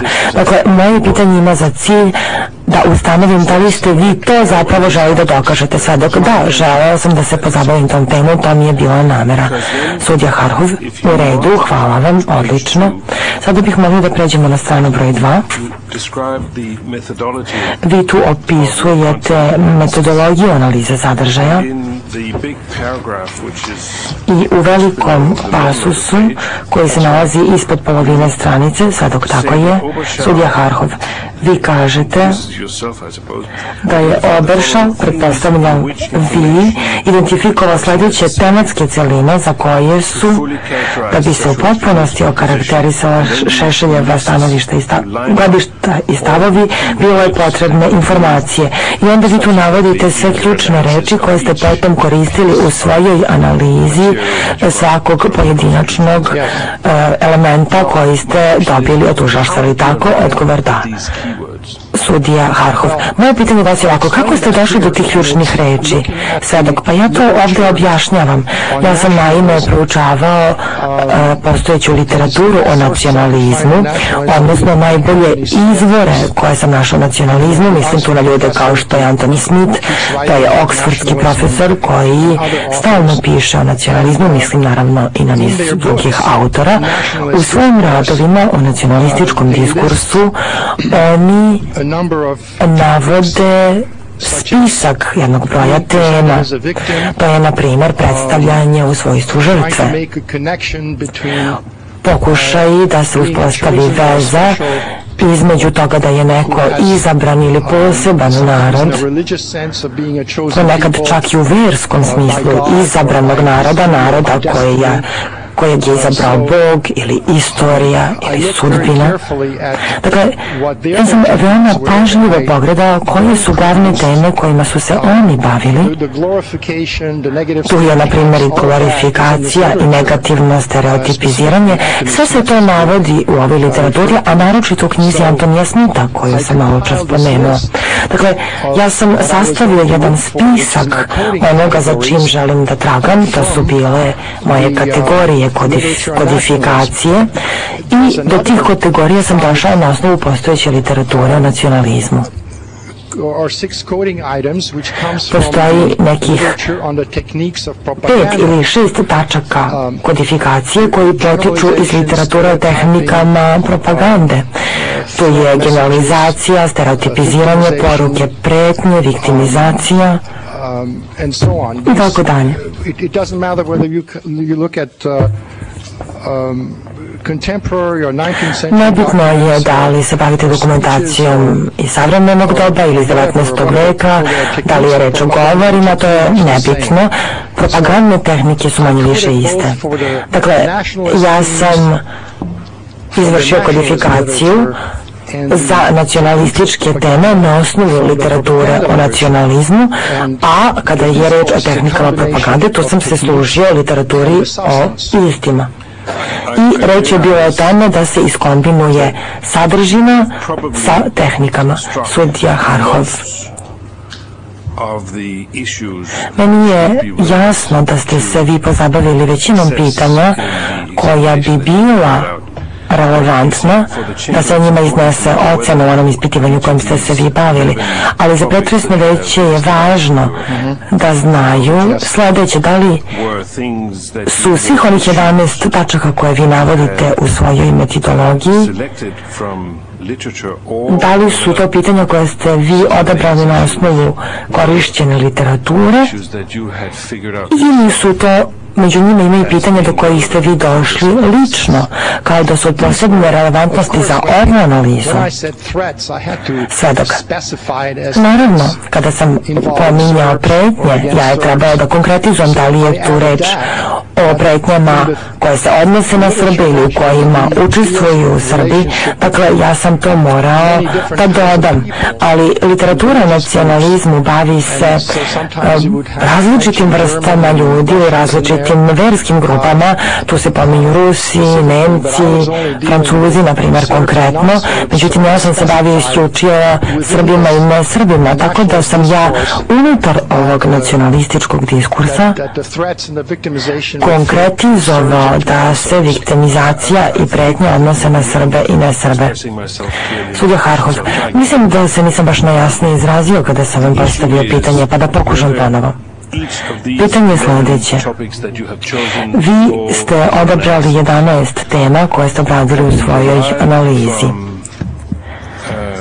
Da li te teme proističu iz naučne literature koju ste vi proučili ili ste vi ove teme razvili lično radi ove analize? Sve dok ne, ja sam ih izveo iz naučne literature međutim ja sam izostavio neke teme koje zaista ne mogu da se primene na ovaj slučaj i nikada se ne javljaju u diskursu doktora Šešelja. U, u nacionalističkoj literaturi često se uspostavljaju paralele između nacije i veroispovesti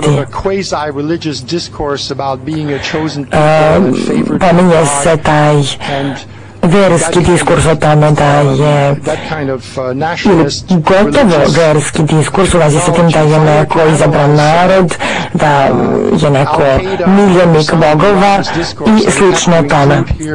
E, na primjer da je trebalo da analiziramo Al-Qaidu ili diskurs o Same Bin Ladena, ja bih morao tu dovedem i stvari koje imaju veze sa religijom. Ali u ovoj vrsti sekularnog nacionalističkog diskursa koji se služi dr. Šešelj, tako se nešto nikad ne zna, pa sam ja to jednostavno izostavio. Mada je to u nacionalističkoj literaturi. Sudja Harkov, dakle vi ste ovih 11 tema izabrali kao najrelevantnije, a neki druge teme teme iz literature ste izostavili. Pitanje zbog kojeg vam postavljam ovo pitanje jeste što bih ja pomislio da bi među ovim temama nešto što bi moglo da se karakteriše kao paradigme optuženog ili njegova stanovišta u vezi sa tim kako Srbi treba da se sagledaju u savremenoj istoriju, također bio jedan od relevantnih parametara koje bi trebalo ovdje uključiti. Sadok. Pa zato ja sam učinio u svom izveštaju sudja Harhov, da, ali to se ovdje ne navodi kao jedna od tema koje ste koristili u analizi. Sada, da, ja sam imao jedan opšti kod koji se zove nacija i narodi. I ovdje se zapravo bavim diskursom uh, doktora Šešelja o naciji i narodima. I on se zapravo, danas sam ja sam dao nekoliko primjera takve vrste diskursa. A onda se zašlo u podrobno pregled, u, podrobno pregledanje onih stanovišta koje on iznosi u ovim tekstovima u vezi sa tim da su Srbi istinit naroda, da ostali narodi Jugoslavije Jugoslaviji su veštački, veštačke nacije i vezi sa tim šta su nacije i šta je to narod na primjer njegove mišljenje o tome kako makedonski, makedonci nisu narod. Dakle, sve te teme te vrste.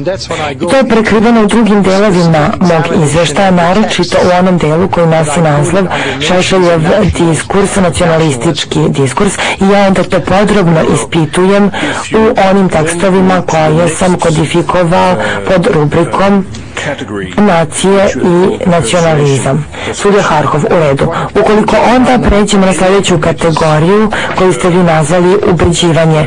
Sada, o kojoj stranici govorimo?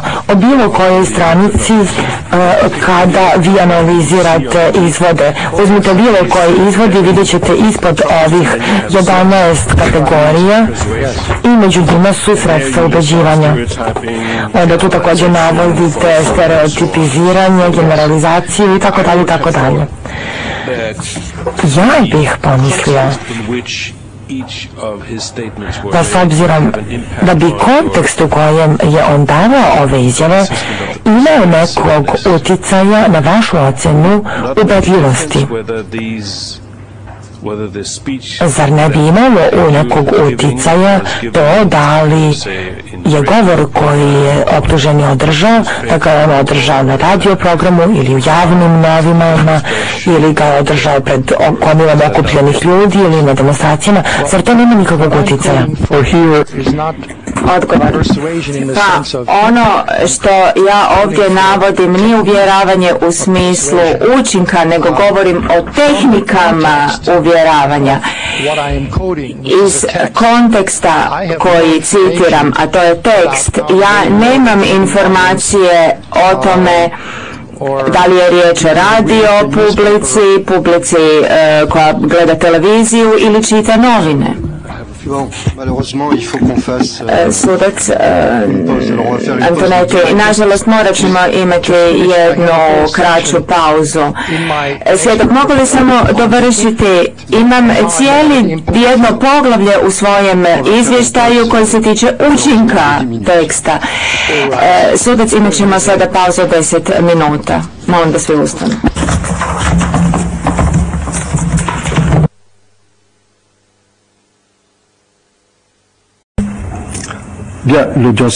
Sudac. U redu, nastavljamo sa zasjedanjem. E, sudac Harhov nastavlja sa svojim pitanjima. Sudac Harhov. Zahvaljujem. So, uh, Uh, dakle, gospodine Oberšal, vi ste mi prije pauze kazali da sedam podnaslova pod naslovom uvjeravanje, dakle nije riječ o samo uvjeravanju, nego o tehnikama uvjeravanja, je li tako? Odgovor da, to je točno. Sudac. Ako se vratimo na onu izvornu radnu hipotezu koju ste iznijeli na prvoj stranici, I would revert to the second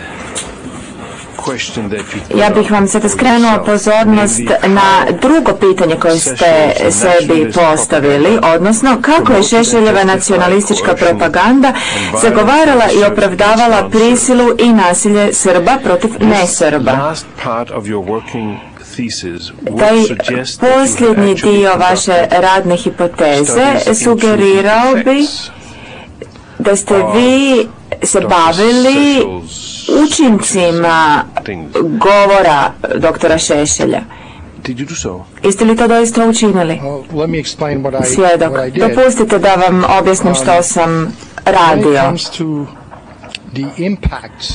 Što se tiče učinka propagandnog diskursa, sve ono o čemu ja govorim o e, porukama prijetnje i slično. sve to proizlazi iz eksperimenata, e, sociološko-psiholoških eksperimenata od kojih su mnogi provedeni na sveučilištu Yale. Dakle, vi uvijek imate e, kontrolnu grupu i eksperimentalnu grupu koja dobiva drugačije poruke. I onda se uspoređuje e, situacija prije i poslije, dakle što ljudi vjeruju, kakve sentimente imaju i tako dalje. Dakle, vi takav eksperimentalni posao ne možete učiniti u e, datoj situaciji. Dakle, postoje drugi načini koji nisu jednako tako dobri, ali postoje kako bi se e, za mjerenje učinka propagande. Media Najvažniji medij je televizija. Jedan od problema za mjerenje učinka televizije uh, jest da je vrlo teško ustvrditi u današnje vrijeme, odnosno pronaći dio populacije koji nije izložen uh, televiziji. Dakle, televizijska publika postoji posvuda, velika većina ljudi gleda televiziju u svakoj zemlji. Dakle, ono što sam uh, pokušao učiniti jest da pronađem mjeru toga što je učinak, a to je glas dat na izborima. I zbog toga sam se pozvao na dvije situacije u kojima je doktor Šešelj imao pristup komunikacijskim medijima. prije izbora i to sam usporedio uh, sa situacijom odmah poslije zbog kada zbog svog rivalstva sa Miloševićevim režimom on nije imao takav pristup ili još i više je zapravo bio negativno uh, prikazivan u komunikacijskim medijima, dakle prvenstveno na televiziji. Pronašao sam dva takva uh, primjera. i potom usporedio glasove koje je dobio kada je držao svoje govore u srpskim medijima i usporedio ih s brojem glasova kada nije imao takvu mogućnost ili je ta mogućnost bila znatno ograničenija.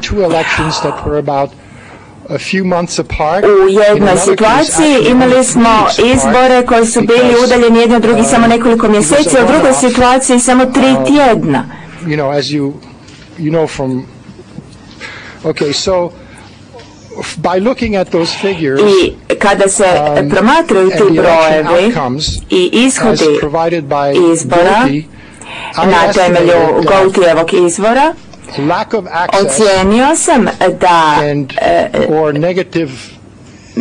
nemogućnost pristupa medijima ili negativno njegovo prikazivanje u medijima je dovelo do toga da je on, odnosno njegova e, stranka, izgubio 20 do 40% glasova na koje je računao, a koje je dobivao kada je imao pristupa televiziji.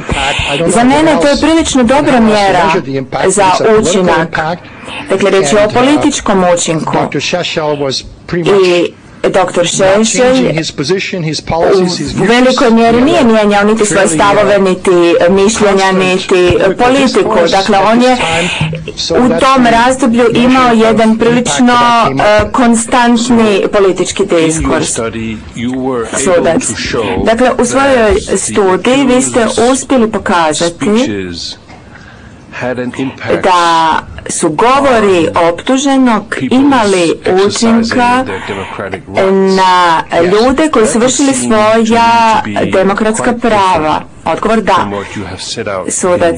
Pa meni se čini da je to znatno, da se to znatno razlikuje od onoga što stoji u vašoj radnoj hipotezi, a vi ste željeli pokazati na koji način je Šešeljeva nacionalistička propaganda zagovarala i opravdavala prisilu protiv i nasilje protiv nesrba. To su dvije različite stvari svjedok. Pa, kao što sam ja e, pokazao u e, analizi sadržaja njegovog diskursa, riječ je o prilično nasilničkom, e, nacionalističkom diskursu koji se zalaže za veliku Srbiju i ekspanzionizam, uključujući i oružani sukob protiv susjednih država. To je nešto za što se on zalagao. Predsjedavajući sudac. Da, gospodine, ali u stvarnosti mediji su ti koji utječu na rezultate kada kandidati imaju pristupa medijima. Rezultati su u vrlo bliskoj vezi e, s medijima. To je ono što vi želite reći, ako sam vas dobro shvatio. Um, Svjedak, pa ne u um, potpunosti.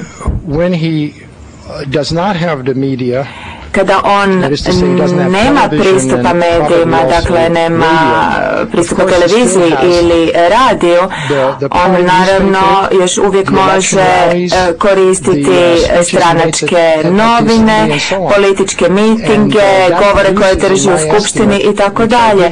I po mojoj procjeni o čemu govorim u svojem izvještaju, to e, za rezultat ima oko 600 tisuća glasova za njegovu stranku na kojoj može računati.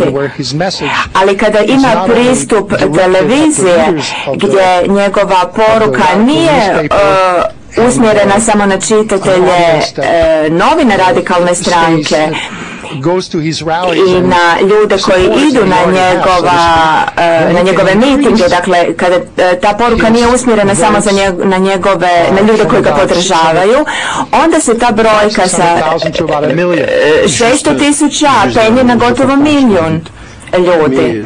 Sudac, pa shvatio sam što ste željeli reći.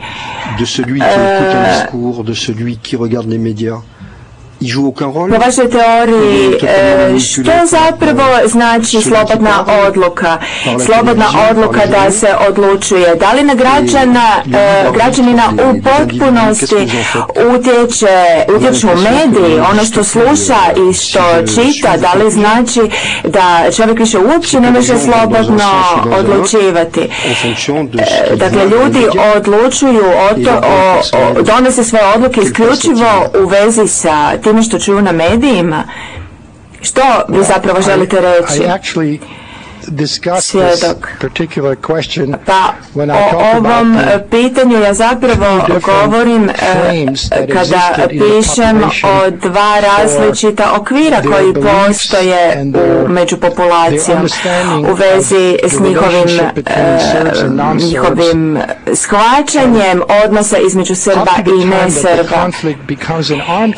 Do trenutka kada je taj sukob postao oružani sukob ili do izbora 1990. kada je nacionalistička propaganda doista postala raširena među političarima u zemlji. E, ljudi u Jugoslaviji, ako izuzmemo Kosovo, i ovdje citiram istraživanja, velika istraživanja koja su se radila u to vrijeme u Jugoslaviji, iz njih e, slijedi da je većina ljudi vjerovala kako odnosi između različitih e, skupina u njihovom osobnom životu, u susjedstvima, u e, njihovom radnom okruženju su dobri i zadovoljavajući. Dakle, to su bile početne, početna vjerovanja, a onda se uspostavlja taj krizni diskurs koji se temeljio na stvarnosti, dakle na stvarnosti drugog svjetskog rata, prvog svjetskog rata, balkanskih ratova. I u tom diskursu Ljudi su uplašeni, zastrašeni, viktimizirani i na taj način interpretiraju političke događaje u tom okviru. Predsjedavajući sudac, ja bih ovo završio jednim e, primjerom, jer inače možemo beskonačno debatirati. Ona video snimka na kojoj smo vidjeli mladu ženu koja čini se ide u borbu. Ta mlada žena. S obzirom na njezino obrazovanje, na sve ono što je do tada naučila, ona je dakle čula da je 700 tisuća Srba ili milijun Srba ubijeno u drugom svjetskom ratu. Dakle, ona se oslanja na te brojke. Ona ide u borbu, čini se, da bi spriječila da se to ponovi. Quelle est la part d'un homme politique u njezinoj, o njezinom osobnom mišljenju na koji način e, djeluje e, diskurs nekog političara, na primjer e, gospodina Šešelja. Na koji način to utječe na njezino osobno razmišljanje?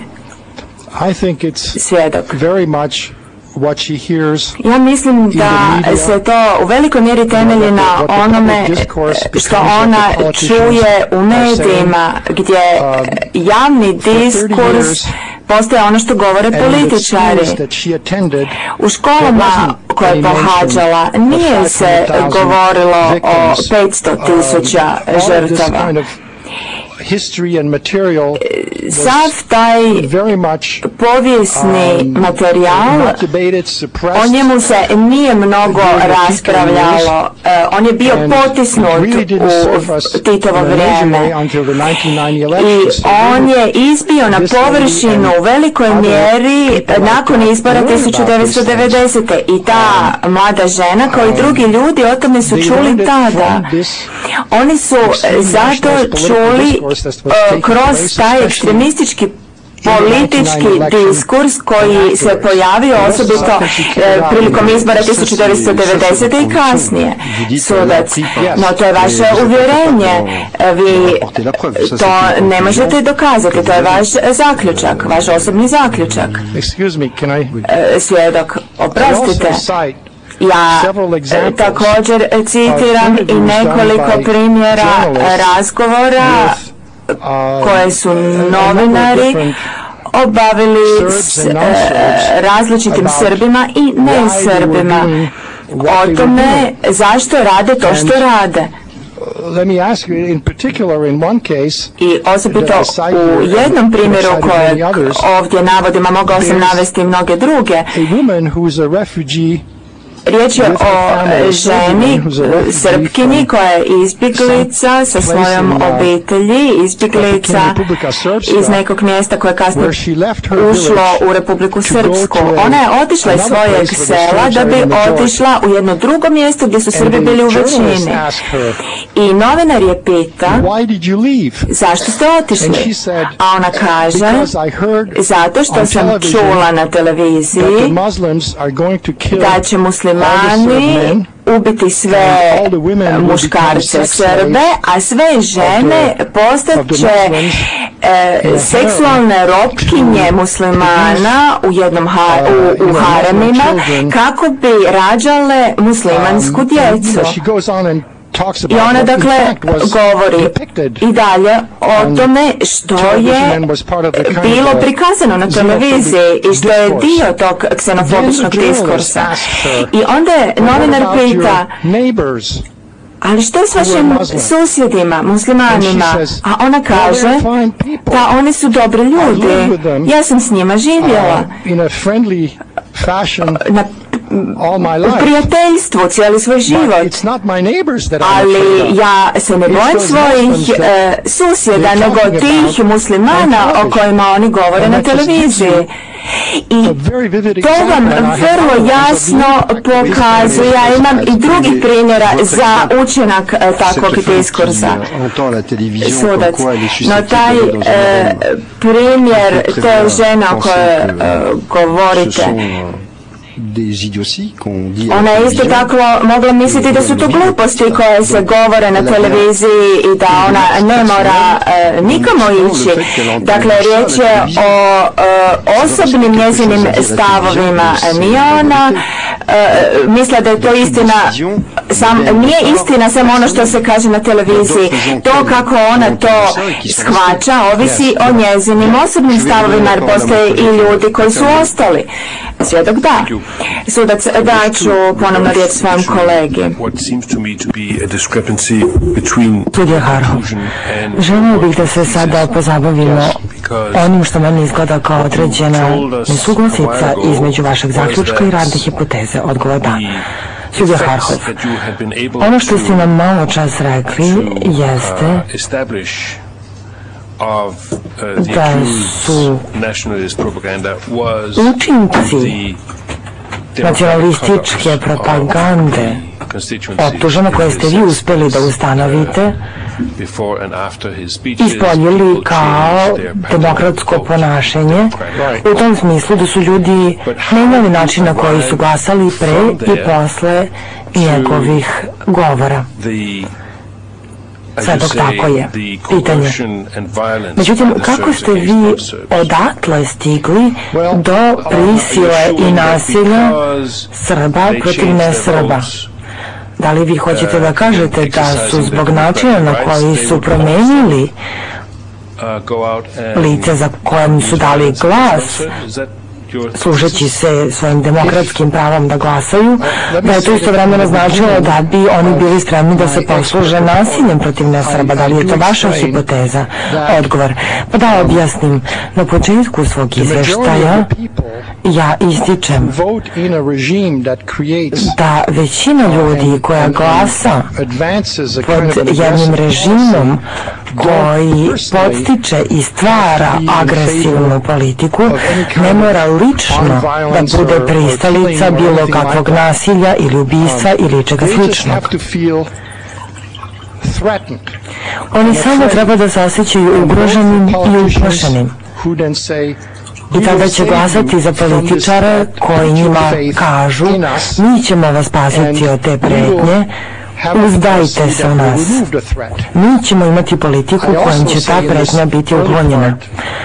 Ja također navodim na početku svoga izvještaja, mislim da je pitanje stranica 3 ili 4, da za vršenje ovakve agresivne politike sve što je vama potrebno jeste sazmržne mali broj ljudi, možda 5 do 10 odsto stanovništva, obično su to mlađi muškarci koji su ili u vojsci ili su se pridružili nekim paravojnim formacijama ili možda kriminalističkim bandama.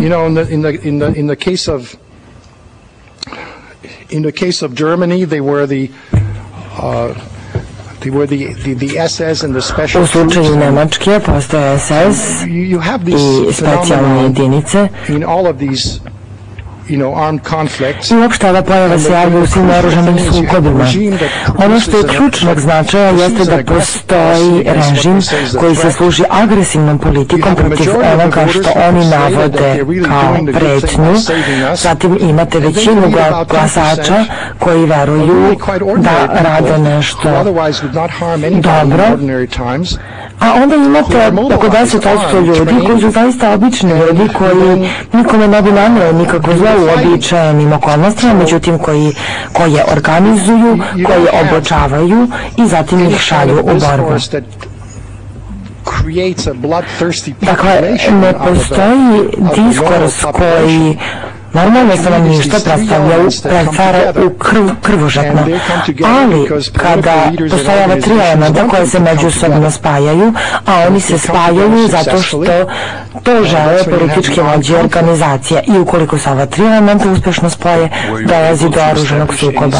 Pitanje, ali da li ste vi bili u stanju da uspostavite postojanje bilo kakva veza između govora optuženog sa jedne strane i Well, coercion and violence? No, I was, da um, i. What you have to do, Odgovor, ne. You try to do it Ono što čovjek mora da učini, i mi smo to pokušali da učinimo, odnosno gospođa tuživac je to pokušala da učini, tako što je pokazala određene video snimke. Vidjeli smo, na primjer, tu ženu u uniformi koja se ukrcavala u autobus i koja je rekla da je nju uznemirila ono što je videla na televiziji o opasnosti u kojoj se nalaze Srbi u Vukovaru.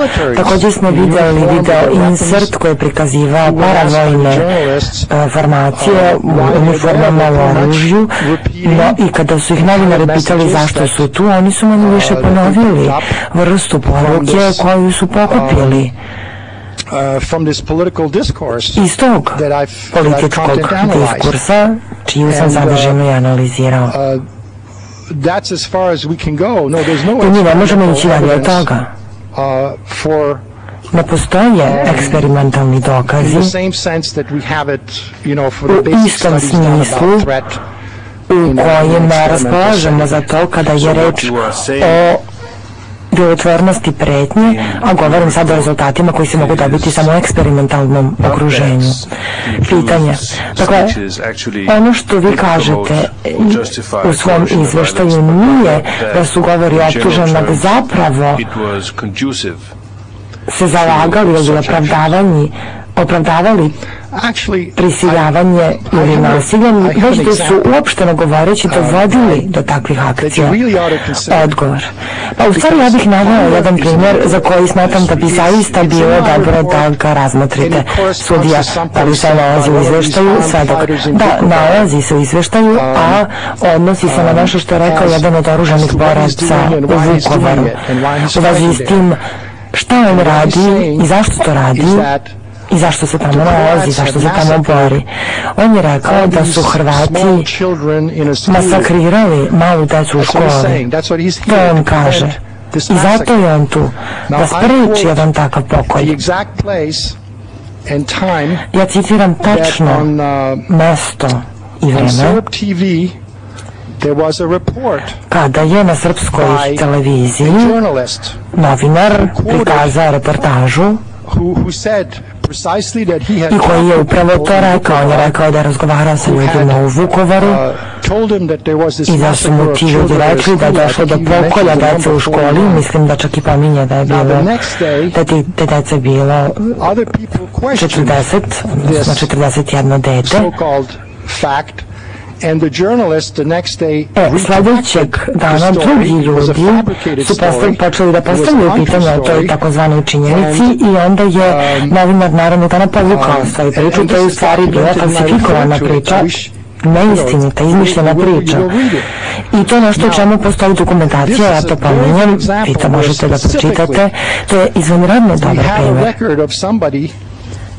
mi imamo zabilašku pisani zapis o nekome koji je naoružan i koji tvrdi da došao tu zbog masakra dece a mi vidimo da je na televiziji pre nego što je došao prikazana u vestima ta priča o masakru koja je potpuni falsifikat, što je potom sam novinar i priznao. I to nam pruža jednu predstavu u vezi sa tim šta se ovdje događalo. Naravno, taj vojnik koji je bio na terenu, on nije znao da potom ta priča povučena, a uopšte govoreći veliki broj takvih falsifikovanih priča uopšte i nije povučen. Pitanje, siguran sam da se može u nauci pomenuti veliki broj ovakvih primjera, ali naravno ovaj konkretan primjer koji vi navodite nima nikakve veze sa optuženim, zar ne? Odgovor, ne, nekoliko je meni poznato. Pitanje. Postavio bih vam svoje poslednje pitanje. Kažete da ste se služili onim što nazivate analizom sadržaja. Odgovor da. Pitanje. Koliko shvatam, to je jedna metoda analize. Yes, it's Svedok. Tako je. Content analysis as to je analiza sadržaja.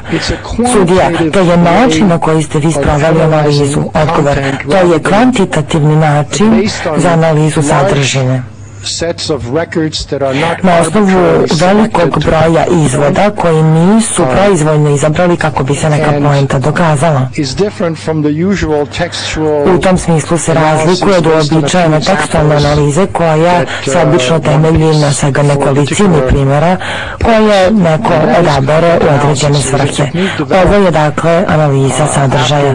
To je tehnika koja je razvijena posle Prvog svjetskog rata, a naročito posle Drugog svjetskog rata kako bi se sprovela analiza propagande kako saveznika, tako i nacista. Pitanje, kojim ste drugim metodama mogli da se poslužite? ukoliko ih uopšte ima. Odgovor, jedino što sam mogao da preduzmem i da dodam uzgled, ja bih odbio da se toga poduhvatim, mogao sam da nasumice biram pojedine izjave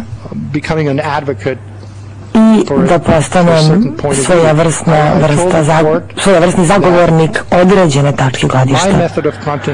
Ja sam rekao pretresno veću da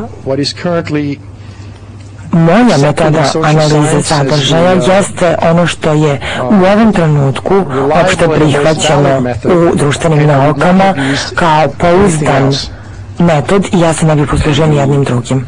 Pitanje, a da li biste vi nas uverili da to nije kvalitativni metod, već isključivo kvantitativni? Odgovor, pa, časni sude.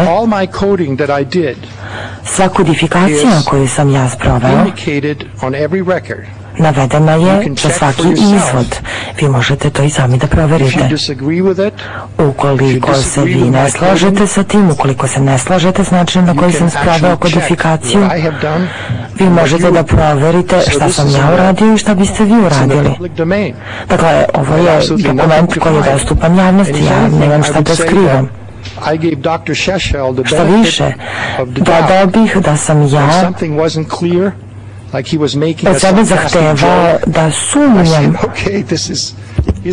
da dopustim određenu sumnju kada je reč o smislu reči doktora Šešelja. Ukoliko nešto nije bilo jasno i delovalo je kao da on pravi neku sarkastičku šalu, ja sam onda smatrao da je to način na koji se on obraća publici i nisam to neophodno kodirao. Pitanje. Gospodin Oberšal, ja sam samo želeo da proverim da li ste vi prema svom vlastitom mišljenju izvedno iznosili kvalitativne ocene u svom izveštaju Dakle, da li ste se služili kvalitativnim tehnikama ili isključivo kvantitativnim? Odgovor. Pa ja sam morao da donesem odluku u vezi sa tim šta je viktimizacija, a šta nije. I ukoliko neko kaže da je protiv nas počinjen genocid u drugom svetskom ratu, to jeste viktimizacija.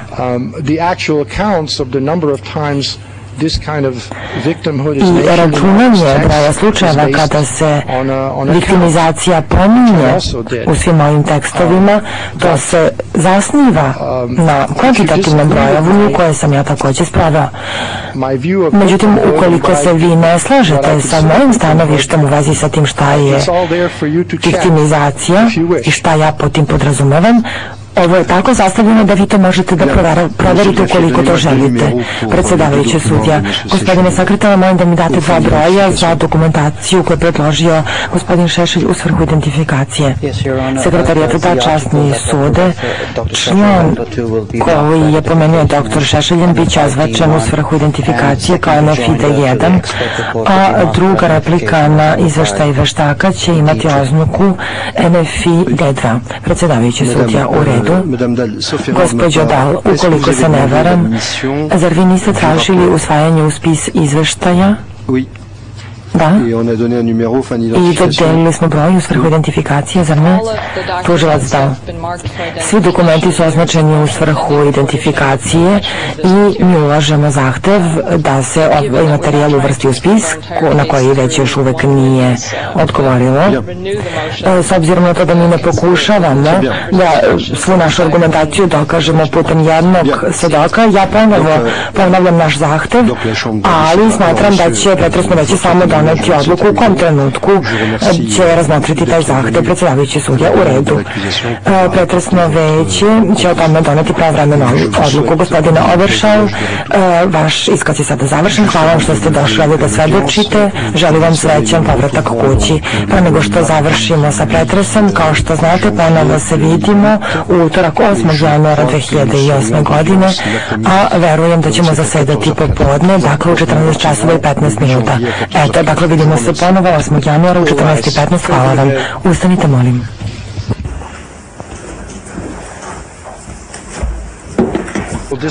Političkog diskursa doktora Šešelja.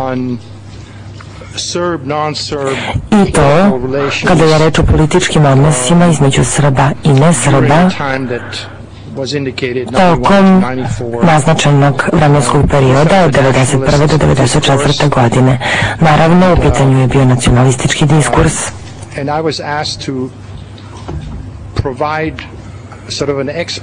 A od mene je traženo da pružim neku vrstu stručnog mišljenja o tom diskursu. I ja sam s mesta rekao, ukoliko to želite neophodno da izvršim analizu sadržaja, jer to je jedini način umjesto da se traže one određeni izvodi neophodno je da se izvrši Naime, predstavlja je opasnost da se dođe do toga da se uzme određeni izvodi koji pružaju jedinstvenu sliku.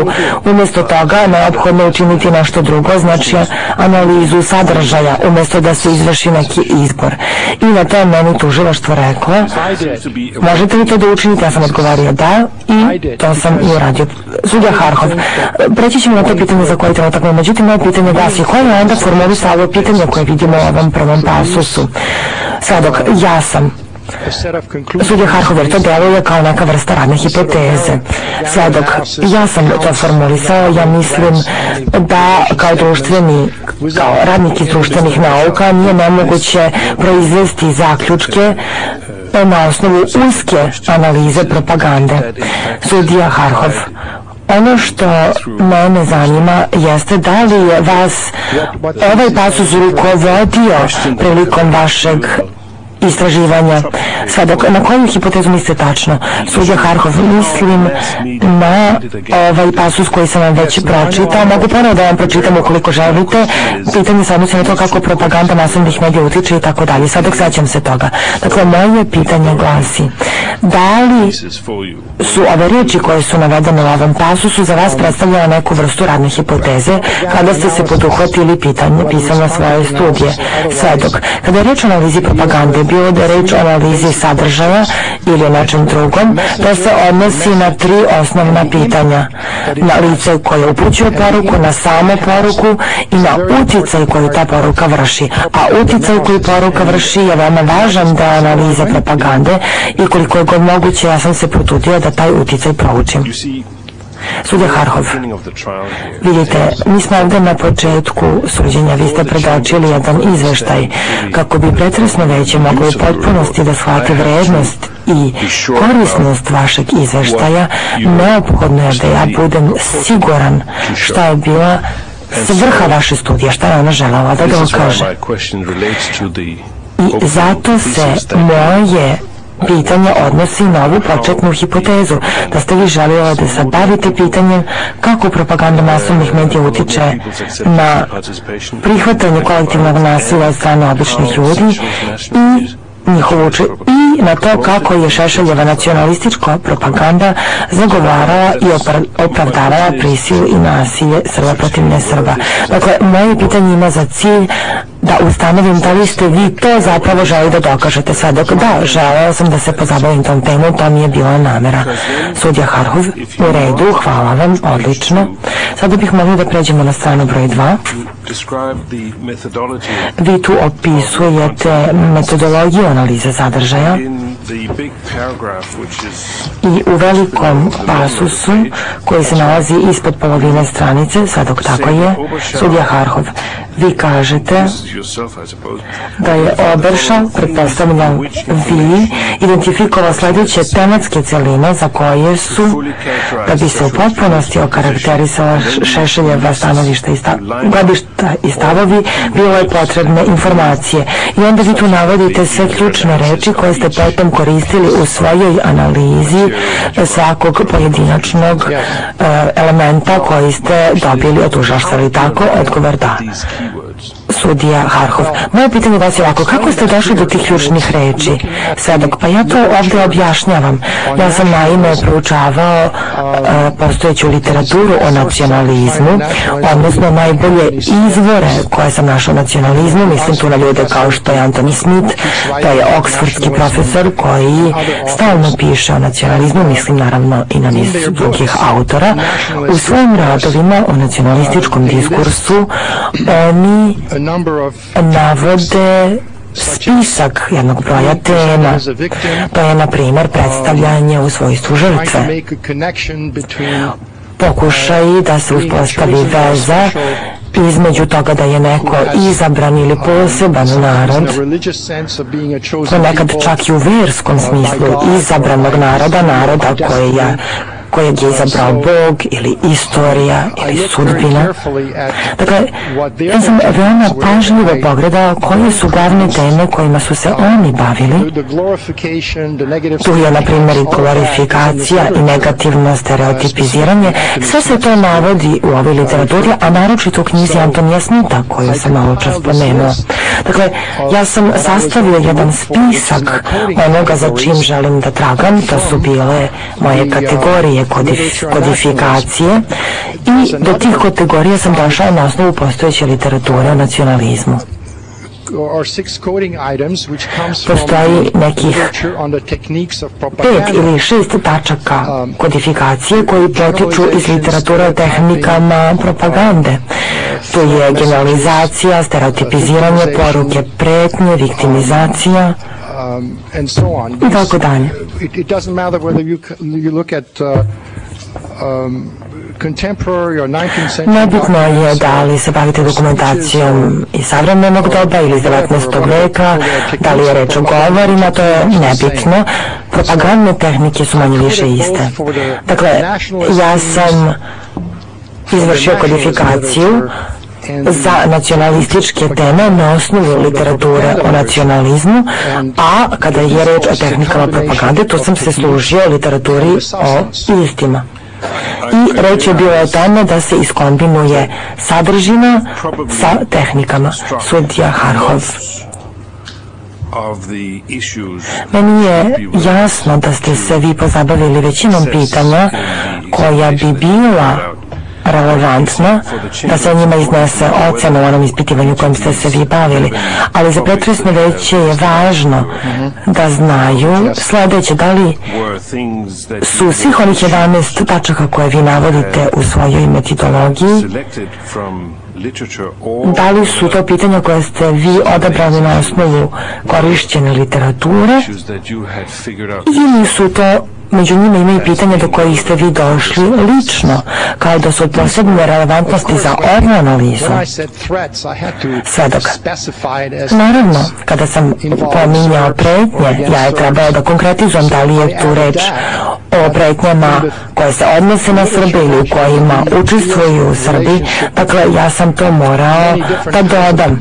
Ali literatura nacionalizmu bavi se različitim vrstama ljudi u različitim verskim grupama. Tu se pominju Rusi, Nemci, Francuzi, na primjer, konkretno. Međutim, ja sam se bavio isključio Srbima i ne Srbima, tako da sam ja unutar ovog nacionalističkog diskursa konkretizovao da se viktimizacija i pretnje odnose na Srbe i ne Srbe. Sudja Harhov, mislim da se nisam baš najjasnije izrazio kada sam vam postavio pitanje, pa da pokušam ponovo. Pitanje je sljedeće. Vi ste odabrali 11 tema koje ste obradili u svojoj analizi.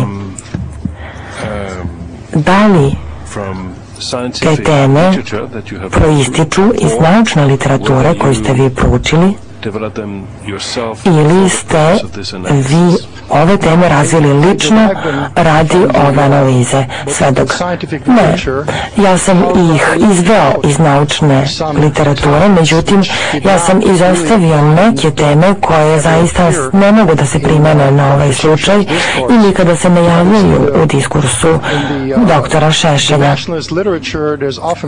u, u nacionalističkoj literaturi često se uspostavljaju paralele između nacije i veroispovesti. Pominje se taj verski diskurs o tome da je ili gotovo verski diskurs ulazi sa tim da je neko izabran narod, da je neko miljenik bogova i slično tome. E, na primjer da je trebalo da analiziram Al-Qaidu ili diskurs o same Bin Ladena, ja bih morao tu dovedem i stvari koje imaju veze sa religijom. Ali u ovoj vrsti sekularnog nacionalističkog diskursa koji se služi doktor Šešelj, tako se nešto nikad ne zna, pa sam ja to jednostavno izostavio. Mada je to u nacionalističkoj literaturi. Sudja Harhov, dakle vi ste ovih 11 tema izabrali kao najrelevantnije, a neki druge teme iz literature ste izostavili. Pitanje zbog kojeg postavljam ovo pitanje jeste što bih ja pomislio da bi među ovim temama nešto što bi moglo da se karakteriše kao paradigme optuženog ili njegova stanovišta u vezi sa tim kako Srbi treba da se sagledaju u savremenoj istoriju također bio jedan od relevantnih parametara koje bi trebalo ovdje uključiti. Sadok. Pa zato ja sam učinio u svom izveštaju sudja Harhov, da, ali to se ovdje ne navodi kao jedna od tema koje ste koristili u analizi. Sada, da, ja sam imao jedan opšti kod koji se zove nacija i narodi. I ovdje se zapravo bavim diskursom uh, doktora Šešelja o naciji i narodima. I on se zapravo, danas sam ja sam dao nekoliko primjera takve vrste diskursa. A onda se zašlo u podrobno pregled, u, podrobno pregledanje onih stanovišta koje on iznosi u ovim tekstovima u vezi sa tim da su Srbi istinit naroda, da ostali narodi Jugoslavije Jugoslaviji su veštački, veštačke nacije i sa tim šta su nacije i šta je to narod na primjer njegova mišljenja o tome kako makedonski, makedonci nisu narod. Dakle, sve te teme te vrste. I to je prekriveno u drugim delovima mog izveštaja, naročito u onom delu koji nosi naslov Šešeljev diskurs, nacionalistički diskurs i ja onda to podrobno ispitujem u onim tekstovima koje sam kodifikovao pod rubrikom nacije i nacionalizam. Sud je Harkov u redu. Ukoliko onda pređemo na sljedeću kategoriju koju ste vi nazvali ubeđivanje. Sada, o kojoj stranici govorimo? O bilo kojoj stranici uh, kada vi analizirate izvode. Uzmite bilo koji izvod i vidjet ćete ispod ovih 11 kategorija i među njima su sredstva ubeđivanja. Onda tu također navodite stereotipiziranje, generalizaciju i tako dalje i tako dalje. Ja bih pomislio da s obzirom da bi kontekst u kojem je on davao ove izjave imao nekog uticaja na vašu ocenu ubedljivosti. Zar ne bi imalo u nekog uticaja to da li je govor koji je optuženi održao, da ga je on održao na radio programu ili u javnim novinama ili ga je održao pred komilom okupljenih ljudi ili na demonstracijama, zar to nema nikakvog uticaja? Odgovor. Pa, ono što ja ovdje navodim nije uvjeravanje u smislu učinka, nego govorim o tehnikama uvjeravanja. Iz konteksta koji citiram, a to je tekst, ja nemam informacije o tome da li je riječ o radio publici, publici e, koja gleda televiziju ili čita novine. Euh, sudac euh, Antoneti, nažalost morat ćemo imati jednu kraću pauzu. Svjedok, mogu li samo dovršiti? Imam cijeli jedno poglavlje u svojem izvještaju koji se tiče učinka teksta. E, sudac, imat ćemo sada pauzu 10 minuta. Molim da svi ustanu.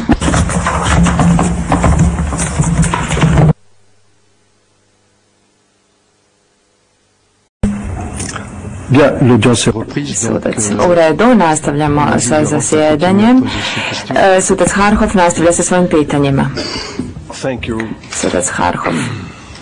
Zahvaljujem. So, uh, Uh, dakle, gospodine Oberšal, vi ste mi prije pauze kazali da sedam podnaslova pod naslovom uvjeravanje, dakle nije riječ o samo uvjeravanju, nego o tehnikama uvjeravanja, je li tako? Odgovor da, to je točno. Sudac. Ako se vratimo na onu izvornu radnu hipotezu koju ste iznijeli na prvoj stranici, I would revert to the second ja bih vam sada skrenuo pozornost na drugo pitanje koje ste sebi postavili, odnosno kako je Šešeljeva nacionalistička propaganda zagovarala i opravdavala prisilu i nasilje Srba protiv nesrba. Taj posljednji dio vaše radne hipoteze sugerirao bi da ste vi se bavili učincima govora doktora Šešelja. Jeste li to doista učinili? Svjedok, dopustite da vam objasnim što sam radio. Što se tiče učinka propagandnog diskursa,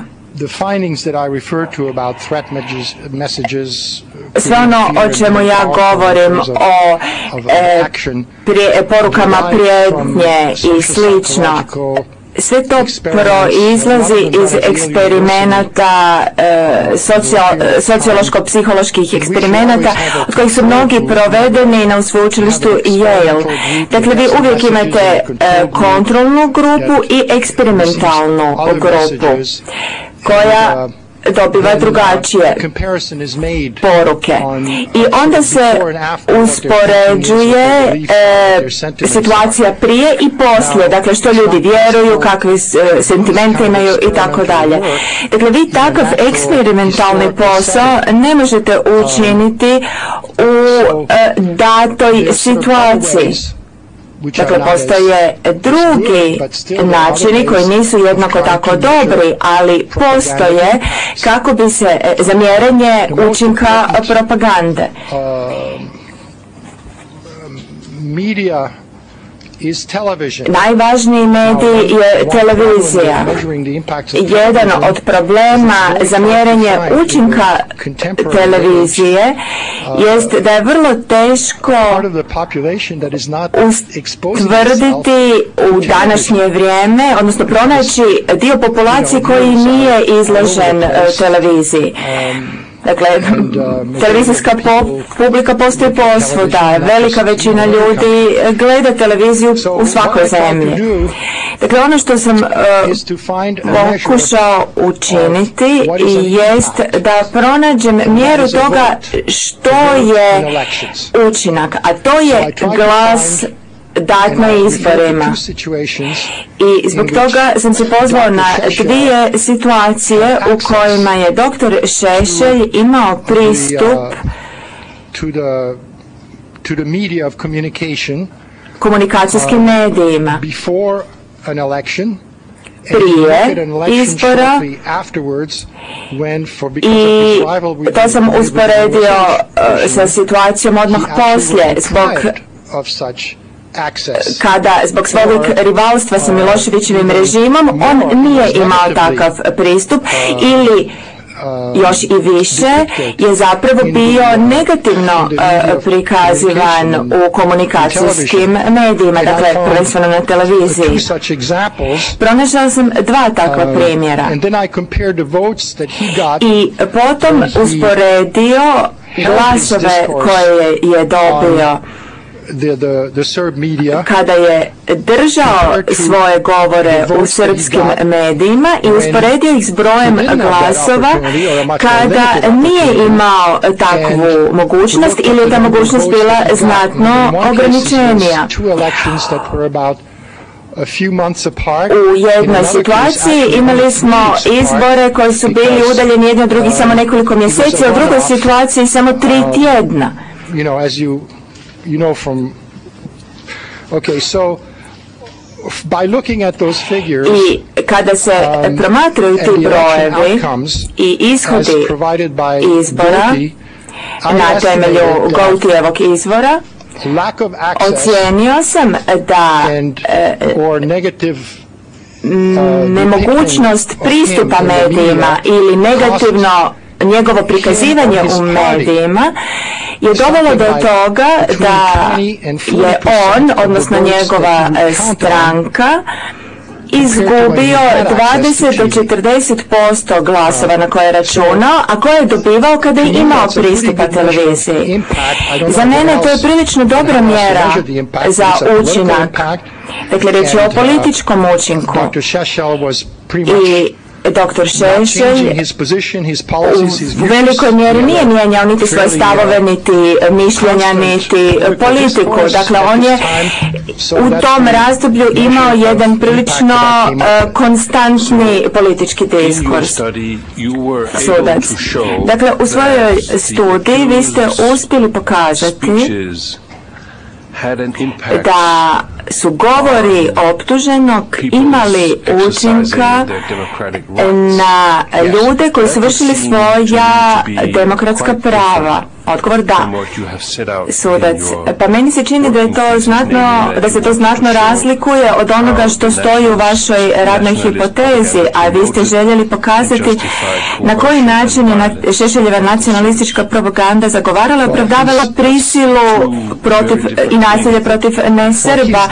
To su dvije različite stvari svjedok. Pa, kao što sam ja e, pokazao u e, analizi sadržaja njegovog diskursa, riječ je o prilično nasilničkom, e, nacionalističkom diskursu koji se zalaže za veliku Srbiju i ekspanzionizam, uključujući i oružani suko protiv susjednih država. To je nešto za što se on zalagao. Predsjedavajući sudac.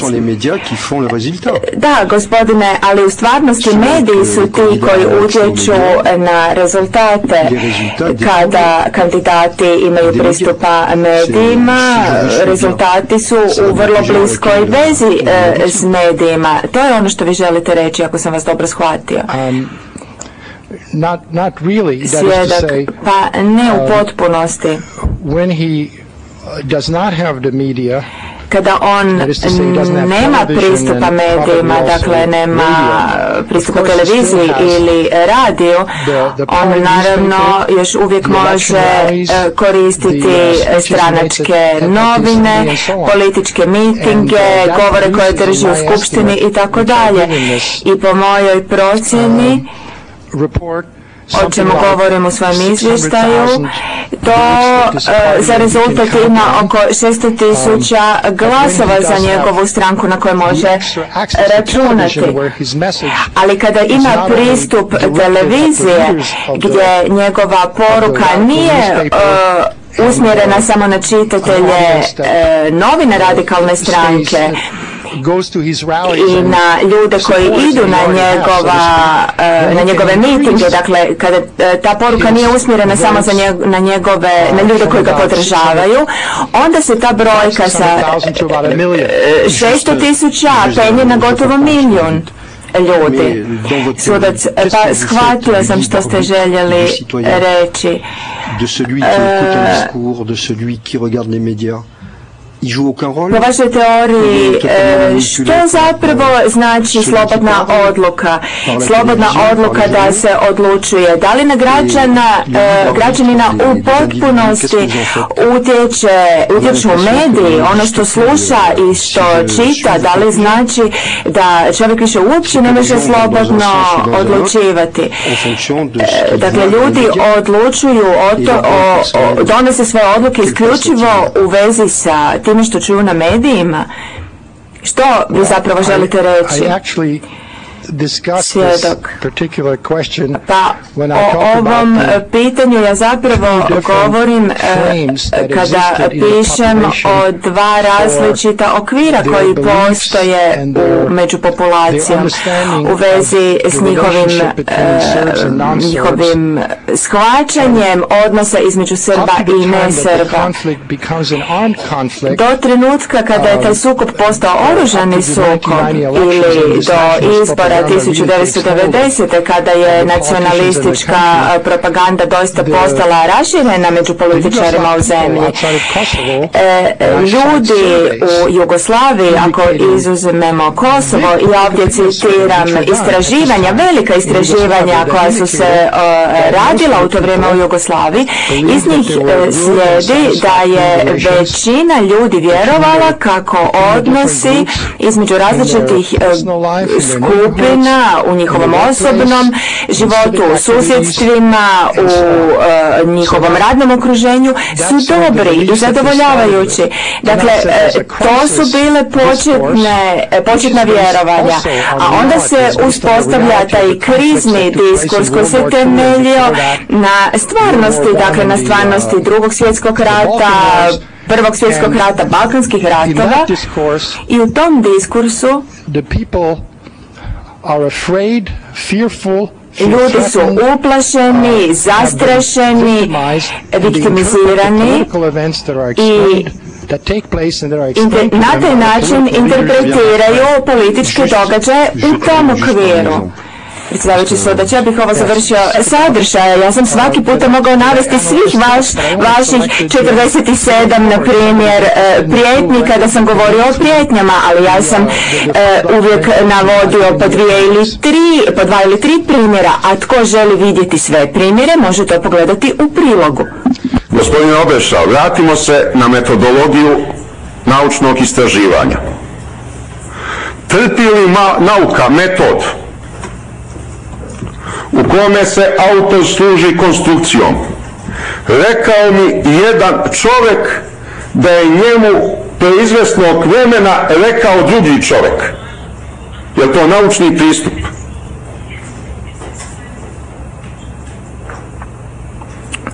Um, this, but what you refer to Ovo o čemu vi govorite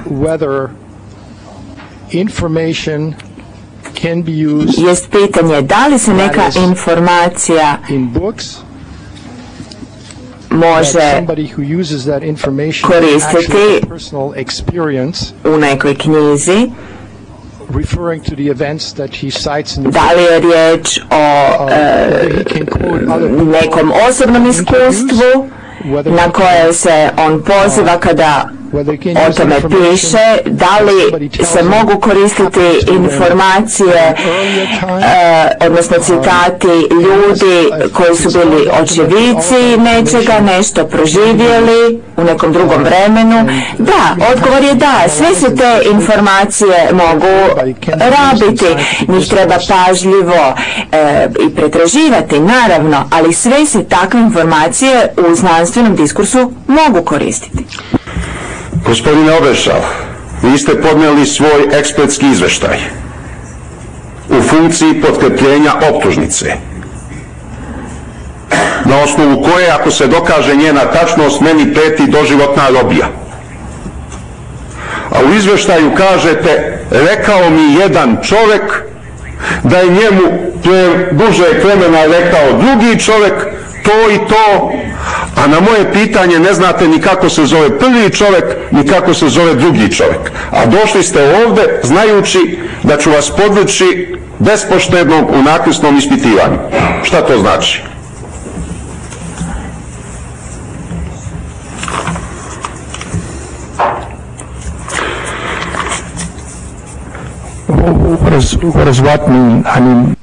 Što što znači?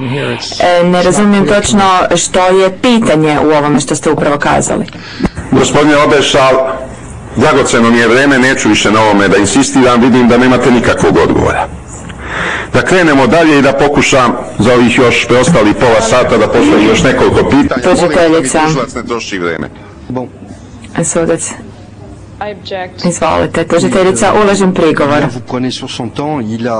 Sudac, pa sada oduzimate vrijeme zato što optuženi prelazi na drugo pitanje tužiteljica. Ili će gospodin Šešelj preformulirati pitanje koje nije razumio svjedok ili će ga povući.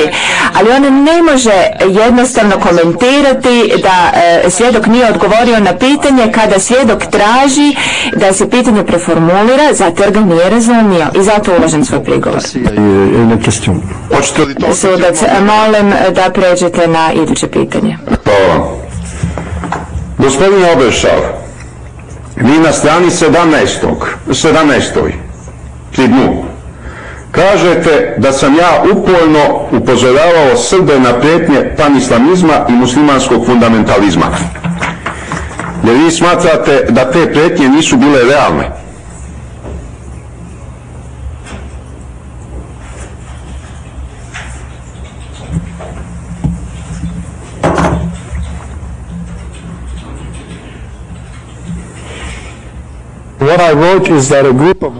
Ono što sam napisao jest da je e, skupina autora analizirala diskurse na radio televiziji Beograd i Srpskoj radio televiziji o bosanskom e, ratu i to je ono što su oni zaključili. E, tema je bila muslimani, e, borci za džihad, e, kriminalci i tako dalje i drugi ekstremisti. Da, točno, to stoji u mom izvještaju. Gospodin Obešal, da li je vama poznato da je komunistički režim 1986. godine sudski zabranio moju knjigu Hajka na jeretika u kojoj sam upozoravao na panislamističke i fundamentalističke prednje. I to je bio razlog zabrane. Da li je to vama poznato? 86. No. Nije vam ne. No, I don't, I don't know about that book. Ne, nije mi poznata ta knjiga.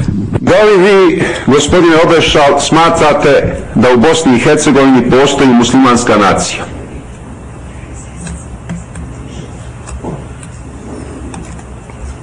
Um, pa postoje ljudi koji sebe nazivaju bošnjacima.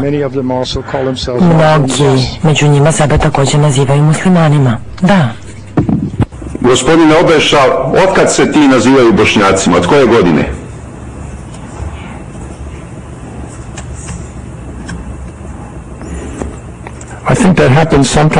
Mislim da se to dogodilo u nekom trenutku tokom rata ne bih mogao da navedem tačan datum od kog dana. Međutim, želeo bih da dodam da to također obuhvata i određene Srbe i Hrvate koji su odlučili da ostanu unutar federacije i da postanu građani u suštini federacije. Dakle, mi ne govorimo samo o muslimanima, već i o izvesnom broju drugih grupa, mada većina jesu muslimani.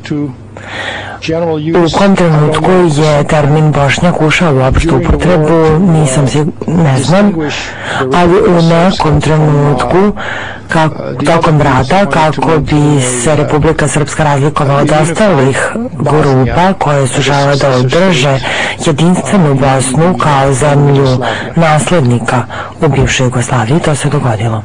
Gospodin Obešal, znači to je nacija koja je proklamovana pre nekih 10 do 15 godina, je li tako?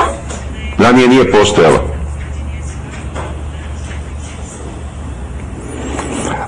Um, Mr. Sheshal, you have always confused Gospodine Šešelj, vi ste skloni da miješate zanično priznavanje nečega sa jedne strane, a s druge strane samosvest i identitet i način na koji ljudi sami sebe definišu. Ja sam na to ukazao u svom izveštaju veštaka u više navrata. Ne znam šta bih mogao da učinim da vam pomognem da otklonite tu zabunu od koje patite. Ja sam naveo sve izvore u istoriji savremenog nacionalizma, počevši od francuskog historičara Renana, koji je na Sorboni održao predavanje pod naslovom Šta je nacija. Također sam ponudio jedan pregled savremenih radova nacionalizmu, a vi ste uvek odbacivali tu terminologiju koja je prihvaćena u cijelom svijetu, vi govorite o veštačkim narodima ili nacijama, vi koristite svako jake eufemizme u kojima odričete pravo na samodefinisanje i u onom usvojenom smislu te reči da biti narod jeste proizvod istorije i kulture. Vi to uvek omalovažavate vi to poričete vi mislite da neka vrsta zvanične izjave o tome da li nešto postoji ili ne postoji je jedina od važnosti u čitavom ovom procesu. Dakle, moj odgovor za vas glasi, postoje ljudi koji sebe zovu muslimanima ili koji sebe identifikuju kao muslimane, oni postoje u Bosni gotovo od turskih vremena, dakle od 17. veka na ovamo.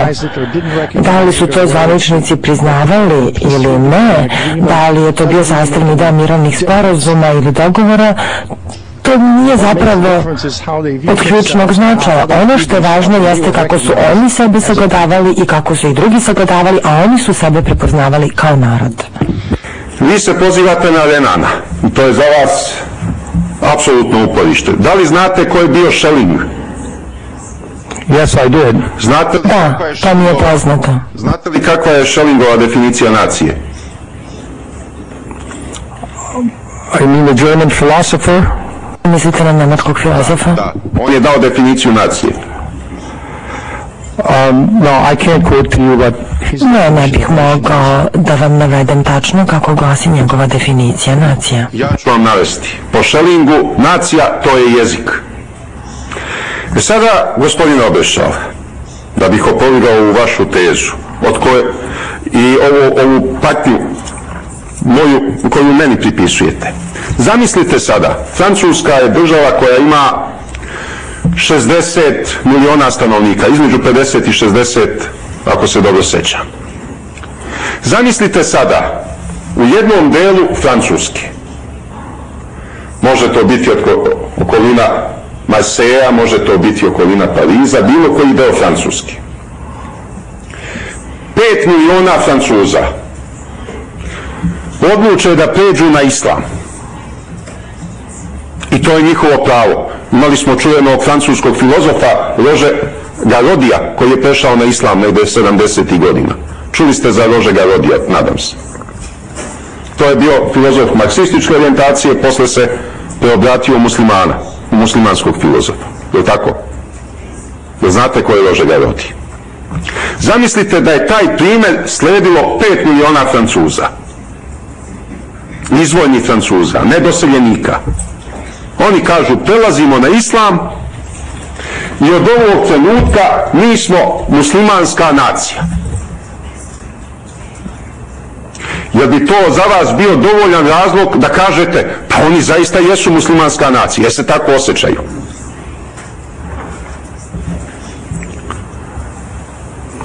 Um, you know, you're, you're making completely uh, you know, strange kinds of statements and assumptions.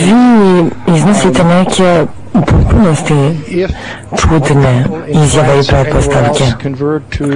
Ukoliko se ljudi bilo gde na svetu preobrate u bilo koju veru, bilo da to učine pojedinačno ili u većim grupama, to nema apsolutno nikakvog utjecaja na to čiji su oni državljani i da li oni sebe smatraju pripadnicima određene nacije. Oni smatraju da su pripadnici koji dele istu veroispovest, to nema nikakvog utjecaja na njihovo državljanstvo ili na bilo kakav njihov osjećaj da su u ovom slučaju oni francuzi. Dakle, ne znam, vi jednostavno živite u nekom drugom svetu, a ne u stvarnom svetu, bar je tako moje stanovište. Vi se zamerate raznoraznim neobičnim i hipotetičkim pitanjima koje nemaju nikakvog uticaja na savremenu istoriju. Vi ne možete da odgovorite na jedno moje sasvim logično postavljeno pitanje. Ja ne govorim o državljanstvu. Naravno, hipotetički Francuzi koji bi prešli na islam ostali bi državljani Francuski. Ali ako oni urade ono što su uradili bosanski muslimani, pa kažu mi više nismo Srbi, mi smo sad muslimanska nacija. Da li biste vi onda na osnovu stanja njihove svesti rekli, pa oni jesu muslimanska nacija u Francuskoj? To je moje pitanje, ono je vrlo jednostavno i logično.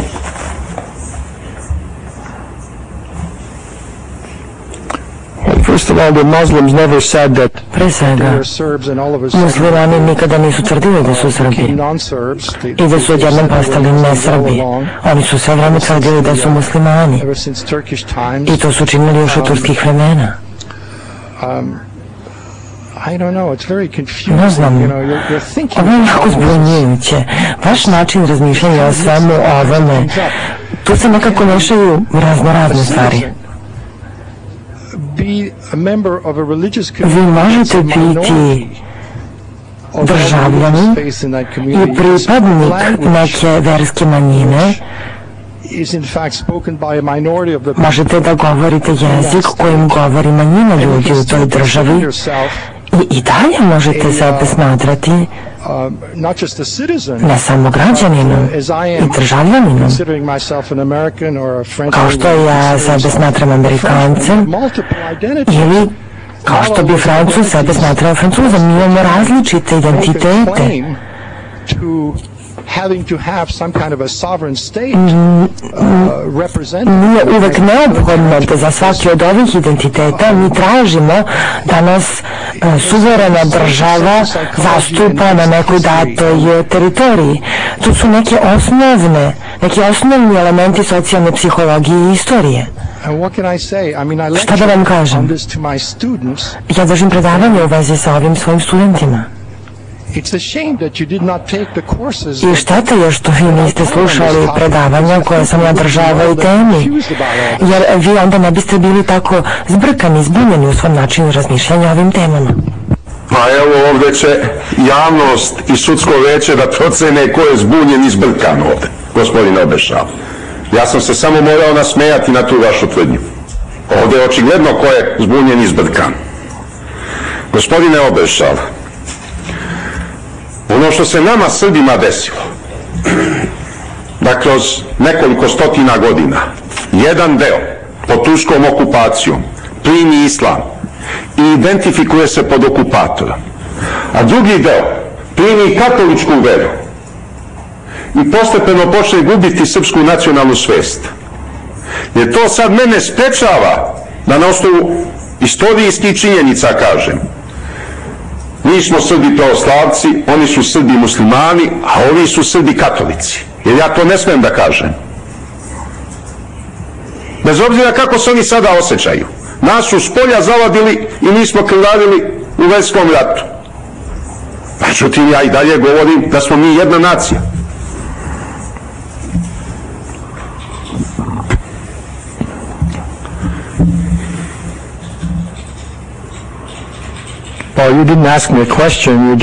Sad dok vi mi niste postavili pitanje, samo ste dali izjavu. Drugi ljudi imaju drugačije poglede na ovo pitanje, a vi ste sada izrazili svoje. Gospodine Obešal,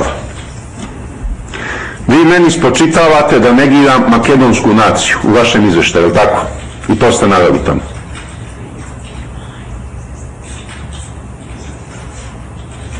Yes. Tako je. E. A zašto Ujedinjene nacije ne priznaju makedonsku naciju?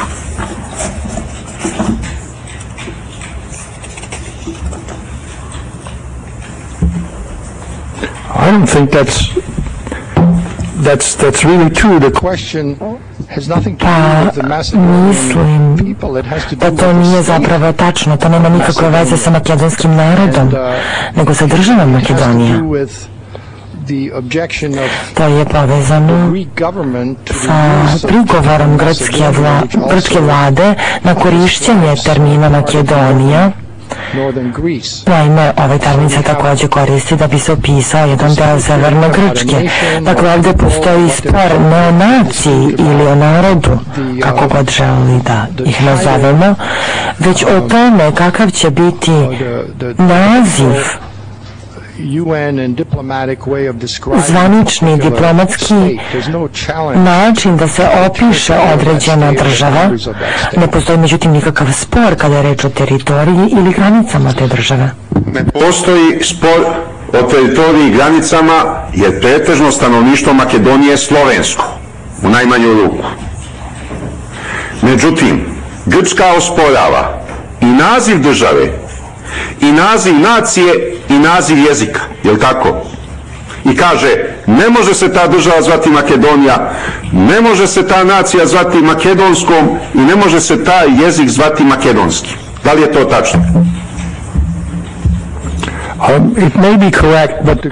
To je možda tačno, ali ja nisam proučavao šta tvrdi grčka vlada ili ko među Grcima tako nešto tvrdi. Dobro. A zašto onda Europska unija nije priznala naziv države Makedonije, naziv makedonska nacija i makedonski jezik? Zašto to Europska unija nije priznala? Jer je Makedonija pretendent i na članstvo u Europskoj uniji, ali pod privremenim državnim nazivom, bivša Jugoslovenska republika Makedonija, je li tako?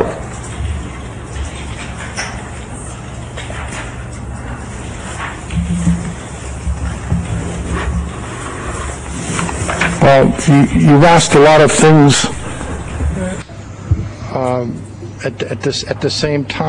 vi ste postavili mnogo pitanja istovremeno, pa ne znam šta tačno očekujete da ja kažem ili na šta da odgovorim. Ništa ne očekujem. Ajde na sljedeće pitanje, nemam vremena više. Gospodine Obešal, vi ste nekoliko puta jučer ponovili i navodite u svom izveštaju da ja govorim da se zalažem za amputaciju Hrvatske. Je tako? Yes. Tako je. Da li sam ja prvi upotrebio tu formulaciju amputacija Hrvatske? Um, no, no. Ko je prvi? Ne, niste. I don't know, I didn't do a ne znam. Nisam se bavio istorijom različitih termina i izraza koje ste vi koristili. Neke delite sa drugim ljudima, neki potiču od ljudi koji su vama prethodili. Ja se nisam bavio tom vrstom lingvističkog istraživanja. Gospodin Obešal, ja ću vam reći. Prvi je tu formulaciju potrebio jugoslovenski kralj Aleksandar Karadžođević 1928. godine. I ona otada fluktuiše u našem političko-istorijskom diskursu. I to mnogi drugi intelektualci govore u svojim naučnim studijama. I objašnjavali su šta je značila ta ideja amputacije. Ona, nažalost, nije izvedena blagovremno, ali to je sad drugo pitanje. Vi ste, gospodine Obešal, ovdje govorili o liberalno-demokratskom diskursu unutar Evropske unije. Yes. I Tako je. razliku između tog diskursa i srpskog političkog diskursa. Da li vam je, da li ste čuli za Žana Kota? Žan Kot. On je francuski general, bivši komandant Untofora u Bosni.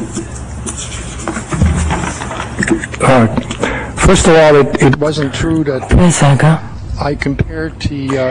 nije tačno da sam ja poređivao Evropsku uniju i ono što sam nazvao građanskim nacionalističkim diskursom sa srpskim diskursom. Ja sam to poređivao sa ksenofobičnim nacionalističkim diskursom, a to obuhvata daleko veći broj ljudi, intelektualaca i državnika, a ne samo Srbe. Ja sam vas pitao za Žana Kota, da li ste čuli za njega? Rekao sam ko je Žan Kot. Jean Kot je u izjavi za časopis Defense National juna 1997. godine izjavio što se tiče Srba to je jedan, danas jedan bolestan narod već odavno zatrovan zapao u opasnu kolektivnu paranoju Da li je to liberalno-demokratski diskurs?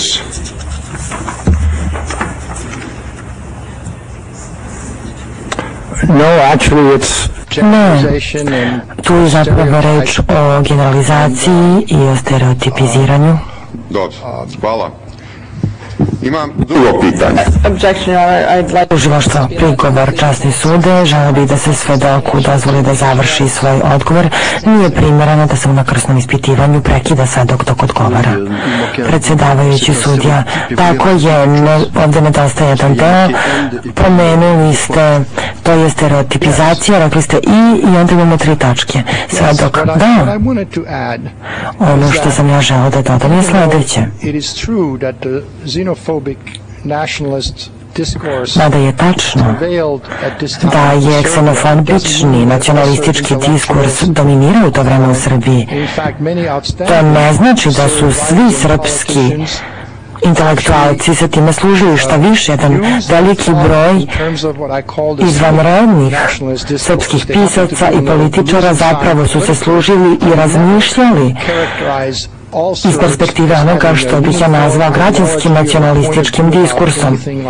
Dogodilo se to da su oni politički bili gubitnici, ali ja nikada ne bi karakterisao sve Srbe kao da imaju jedinstvenu ideologiju ili zajedničko stanovište nečemu što bi bio nacionalizam ili raznim drugim temama. Ja sam razgovarao sa nekim od ovih ljudi i oni u stvari imaju političke stranke koje su osporavale izbore. Dakle, želeo sam da to uđe u zapisnik. Gospodin Obešal kao da je mašina za trošenje mog dragocenog vremena. Ja sam imao konkretno pitanje i želim samo konkretne odgovore, a ne njegovo mišljenje na razne teme. Gospodine Obešal, slušajte me pažljivo.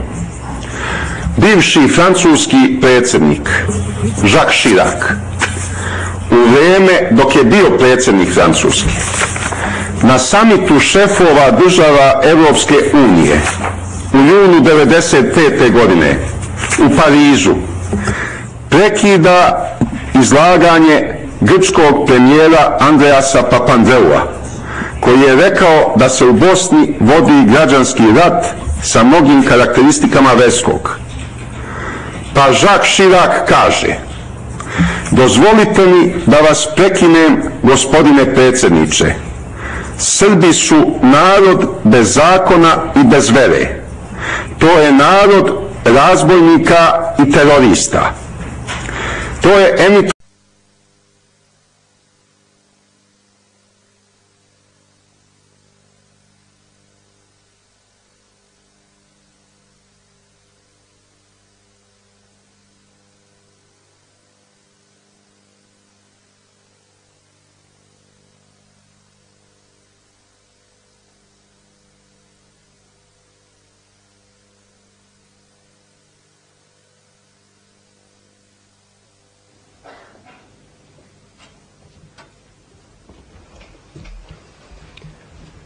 Меѓународни кримични трибунал за бившу Југославију сада заседа.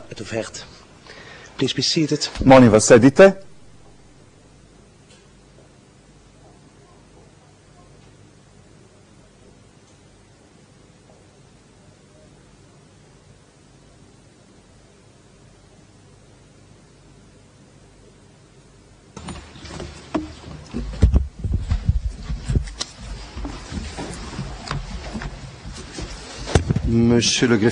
Gospodine sekretaru, molim vas kažite nam broj predmeta.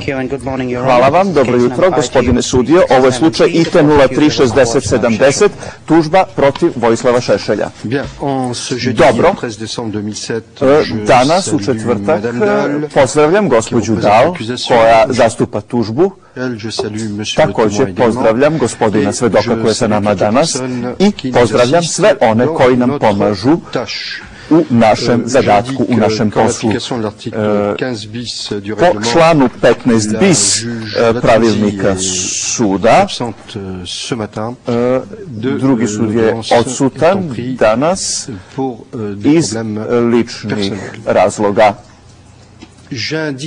Također skrećem pažnju gospodinu Šešelju da mu ostaje po satu još sat i pet minuta na koje ću ja dodati dodatnih 20 minuta koje on zahtevao, tako da gospodine Šešelj možete do 10 sati i 30 minuta ispitivati svedoka. To sam želeo da vam kažem kao uvod za današnje zasedanje i gospodine Šešelj, odmah ću vam dati reč. Hvala gospodine predsjedavajući.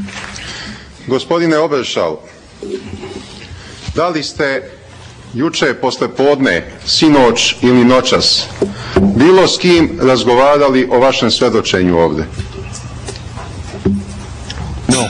Ne. Dobro. Posljednje pitanje koje sam vam jučer postavio bilo je o napadu na hrvatsko civilno stanovništvo u Vojvodini. Vi ste, da vas podsjetim, prethodno rekli da ste dosta informisani, da ste proučavali taj problem, a onda ste u odgovoru pomenuli izveštaj Tadeuša Mazovjeckog. On je bio izaslanik generalnog sekretara, koliko me sećanje služi generalnog sekretara Ujedinjenih nacija, je li tako? Da li se sećate toga? To je posljednje bilo. Yes. Da, Da li je vama, gospodine Obešal, poznato da sam ja u više navrata napadao javno Tadeuša Mazovjeckog kao lažova i prevaranta? Da li vam je to poznato?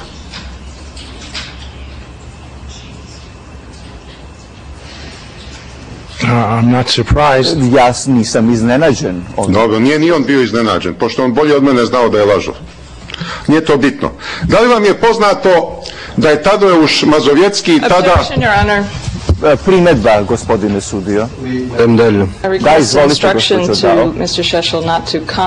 Zahtevam da gospodin Šešelj bude upozoren da ne komentariš odgovore svedoka.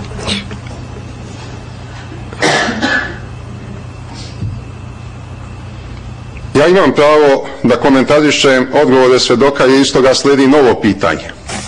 I ne možete me u tome spriječiti. Oui, attendez. Čekajte, čekajte. La, la réponse du témoin, c'était je n'ai pas été surpris. je me suis posé la question, surpris parce que M. Mazowiecki est menteur, ou surpris parce que c'est M. Seychelles euh, qui le disait. Donc il y avait une ambiguïté. kaže, postojala nejasnoća u ovom odgovoru. Gospodine da li činjenica da vas nije iznenadila ova primjena gospodina Šešelja, šta to znači? Pa ono što sam ja mislio je da ja nikako nisam hteo da kažem da je bivši poljski premijer vrlo uvažena osoba, gospodin Mazovjetski, lažov, ali ja nisam iznenađen da gospodin Šešelj njega zove lažovom. On mnogo ljudi zove lažovima i mene juče nazvao lažovom.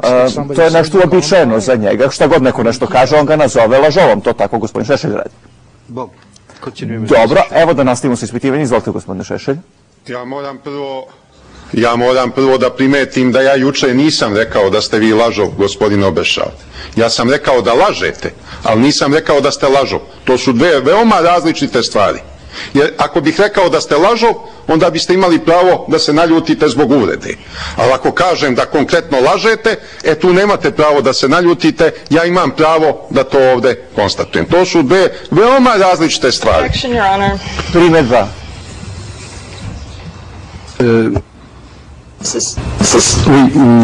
Sudac, izvolite. Tužiteljica, ovo nije valjano unakrsno ispitivanje. Ovo nije unakrsno ispitivanje, nego je svađanje sa svjedokom. Sudac. Da, trebalo bi svakako izbjeći bilo kakve prepirke sa svjedokom. Gospodine Šešelj, vi ocjenjujete e, da je možda e, svjedok lagao, onda kažite vijeću u vezi s čim, jer ja ne znam. Na što vi mislite? To sam juče rekao gospodine sudio u pogledu njegove tvrdnje da je obavljeno istraživanje medija za 92. godinu iz Srbije, u Srbiji iz koga se vidi da sam bio proteživan u režimskim medijima. To smo juče završili, nemojte molim vas da trošim vreme na to. Ali ja nikad nisam rekao da je gospodin Obešal lažov. To nisam rekao i neka mi to ne stavlja usta. Gospodine Obešal, da li je vama poznato, pošto ste čitali taj izveštaj Mazovjetskog, da Mazovjetski u izveštaju za mene tvrdi da sam se zalagao za deportaciju Mađara iz Vojvodine. Jeste li čitali u njegovom izveštaju to? I, I don't know by heart. Ne znam na pamet konkretne navode iz uh, tih izvještaja uh, da sam znao da će me ispitivati kao vještaka o izvještajima Mazovjetskog, a ne o vašim govorima koje, čiji sam sadržaj analizirao, ja bih sada te izvještaje ovamo donio i pogledao bih točno što je e, gospodin Mazovjetski kazao. Ja se u ovom trenutku sjedeći ovdje ne mogu sjediti svakog konkretnog detalja. Gospodine Obešal, vi se pozivate na izveštaj Tadeoša Mazovjetskog u svojoj ekspertizi. Na tome morali ste očekivati moje pitanje o tom izveštaju. Vas ne opravdava sad neznanje sadržaja celog izveštaja. Ali, ostavimo to za trenutak po strani. Ako je tačno ovo što sam vama sada rekao, da izveštaj, ne možete me sad prekidati. Da bih na ovo mogao odgovoriti. Odgovorit ćete mi kad ja postavim pitanje. Tužiteljica Prigova, časni suda, sudac, pa pustite da postavi pitanje, još ne znam što je pitanje, već ste ustali. Tužiteljica, časni sud, svjedok se obratio vijeću, a gospodin Šešelj je govorio preko njega i spriječio ga da uputi svoj zahtjev vijeću. Sudac, što ste željeli reći, gospodine svjedoče? Svjedok, doktor Šešelj tvrdi da nisam koristio materijale Mazovjetskog u svojem izvještaju vještaka, ali ja sam to učinio. Mazovijetski je napisao jedan izvještaj samo o medijima u tom razdoblju 1992. 93. i tako dalje. I on je, njegovo osoblje i on analizirali su sadržaj e, medija kao i ja, sudac u redu, ali ono što mene zanima, a čini se da je to zanima i svjedoka, jeste li vi kao vještak pročitali taj izvještaj, vaš odgovor je potvrdan, svjedok da. Sudac u redu. Gospodine predsjedavajući, ja opet moram da konstatujem da izgleda prevod katastrofalno loš. Ja sam rekao da se gospodin Obešal služio izveštajem Mazovjetskog pišući svoju ekspertizu, a njemu su preveli da sam rekao da se nije služio. Gospodine Obešal, ako je tačno da u izveštaju Mazovjetskog stoji tvrdnja da sam se ja javno preko medija zalagao za deportaciju Mađara iz Vojvodine. A ja to nikad nisam uradio.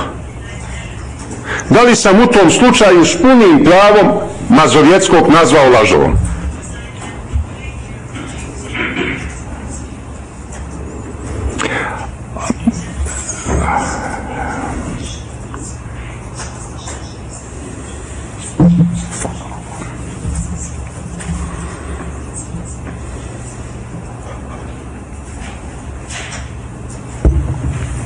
Before, before the witness answers.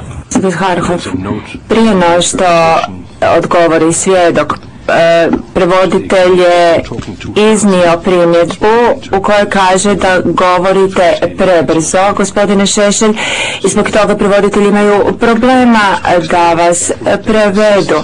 Ako biste bili toliko ljubezni pa malo usporili, to bi pomoglo prevoditeljima. Sudac. Da, gospodine Šešelj, jer više puta se dogodilo da postoje problemi s prijevodom i to je najvjerojatnije rezultat velike brzine. No pitanje je bilo vrlo jasno, dakle sada nema nikakvih problema, molim vas odgovorite na pitanje. Svjedok. Um,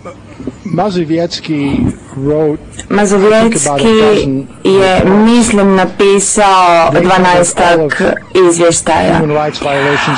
Oni su se ticali svih kršenja ljudskih prava na cijelom području Jugoslavije, a u nekoliko izvještaja govorilo se konkretno o Vojvodini i jučer smo spominjali Vojvodinu i čini mi se da je i danas spominjemo. On opisuje mnoga kršenja ljudskih prava u vezi s etničkim čišćenjem u Vojvodini. On govori o zastrašivanju ljudi, prijetnjama, premlačivanjima, izbacivanjima iz e, kuća i tako dalje. To je ono što sam pročitao. Što Mazovjetski konkretno kaže o vama u svojem izvještaju? Što ste vi kazali ili niste kazali, toga se ne sjećam. Gospodine sudio, ja vas molim da naložite svedoku da odgovori na moje direktno postavljeno pitanje. On izbegava taj odgovor. Ako je tačno da Mazovjetski za mene tvrdi da sam tražio deportaciju Mađara, a ja to nisam tražio nikada. Da li sam bio u pravu što sam ga nazvao javno lažovom? Ako on tvrdi nešto što je grozno, a nije istinito.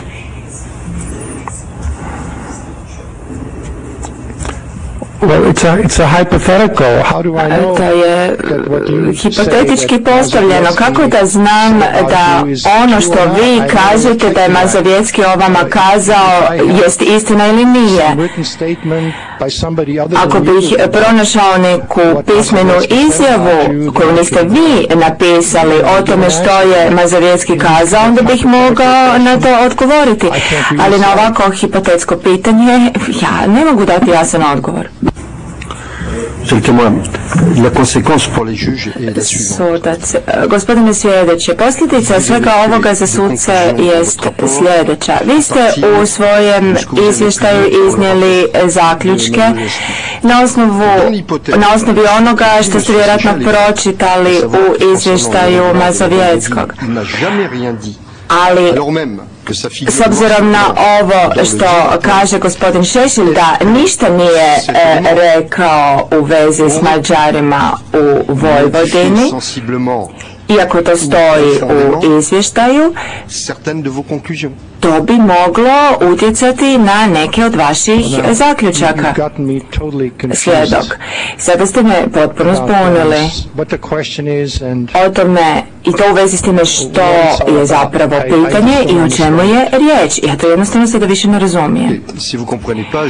Sudac pa, ako ne razumijete, ja ću pojasniti. U tom izvještaju se tvrdi da je gospodin Šešelj u svojim govorima navodno kazao da Mađare iz Vojvodine treba protjerati. Prema onome što kaže gospodin Šešelj, to stoji u tom izvještaju. I gospodin Šešelj kaže da nikada ništa s tim u vezi nije izjavio. Et dans l'hypothèse où cet élément figure dans le rapport, Ako to stoji u izvještaju, odnosno da je svjedok nešto tako kazao, a to nije točno zato on to nije kazao, da li bi to moglo utjecati na vaše zaključke? U relativnom smislu ili u temeljnom smislu? Jer ako neki elementi na kojima vi temeljite svoje zaključke nisu točni, da li bi to imalo nekih posljedica za vaš izvještaj? Dakle, mislim da je ovo sada jasno pitanje. Svjedok. Ne doista, jer ja nisam analizirao sadržaj izvještaja Mazovjetskog o zloupotrebi masovnih medija, nego sam analizirao sadržaj izjava gospodina Šešila, njegovih govora, njegovih nastupa na televiziji. Dakle, ja izvještaj Mazovjetskog nisam koristio za svoje zaključke o gospodinu Šešelju. Ja sam za te zaključke e, koristio samo diskurs gospodina Šešelja. Gospodine Obešav, vi ste potvrdili da je u Vojvodini bio napad na hrvatsko civilno stanovništvo, je li tako?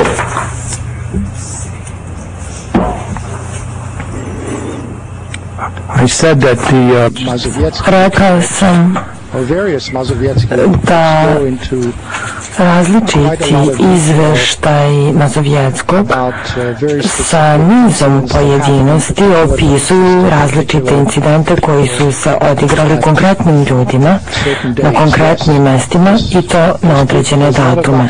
Da, o tome postoji obimna dokumentacija. Da li je bilo napada da li se desio napad na hrvatsko civilno stanovništvo? To vas pitam.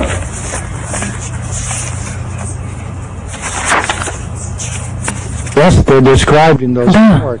ti napadi su opisani u pomenutim izveštajima. Gde se desio napad na hrvatsko civilno stanovništvo u Vojvodini?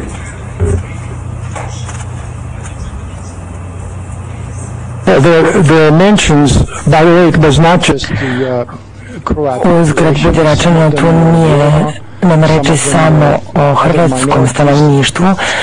Neki od ljudi u pitanju su Romi, neki pripadaju drugim manjinama.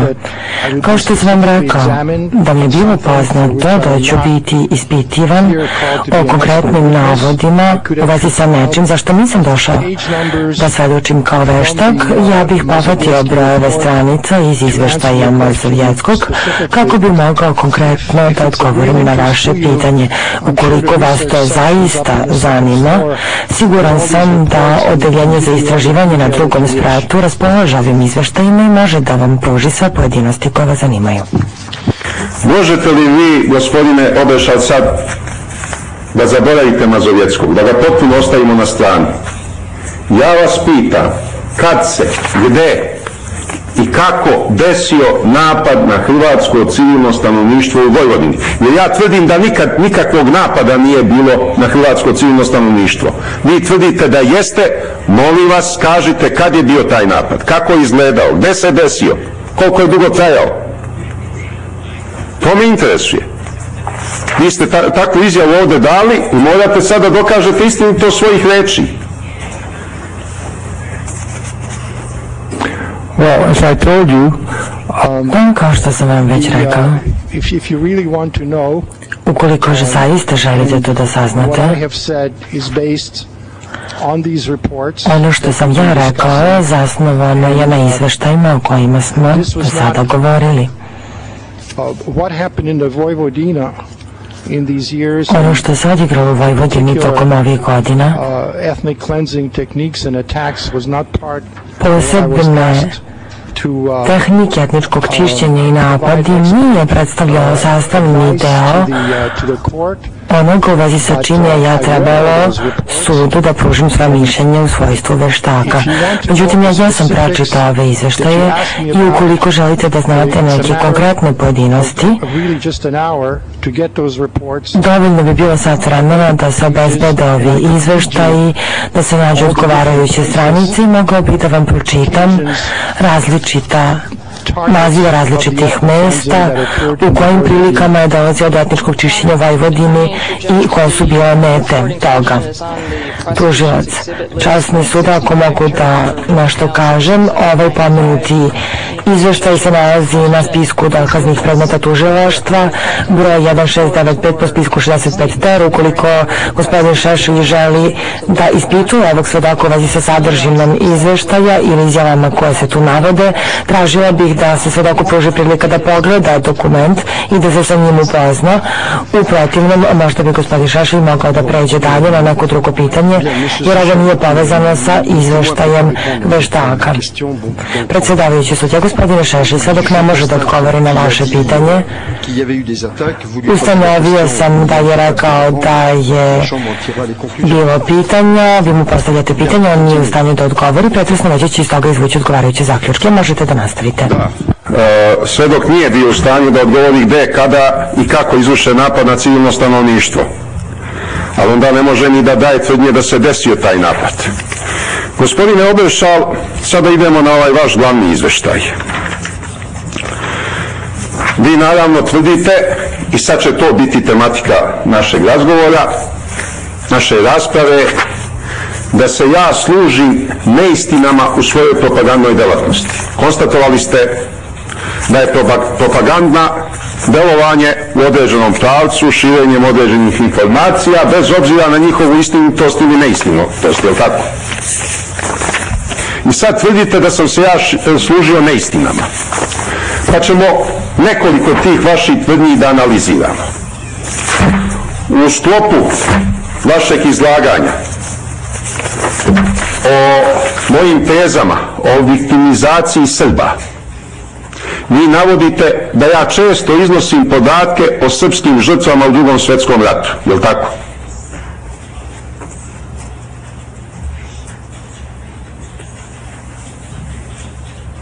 Um, my um, reference to your untruth kada sam ja pominjao neistine, neistine, dezinformacije i pogrešno korišćenje istorije kada sam dakle ja to pominjao u sa vama, ja sam bio daleko konkretniji.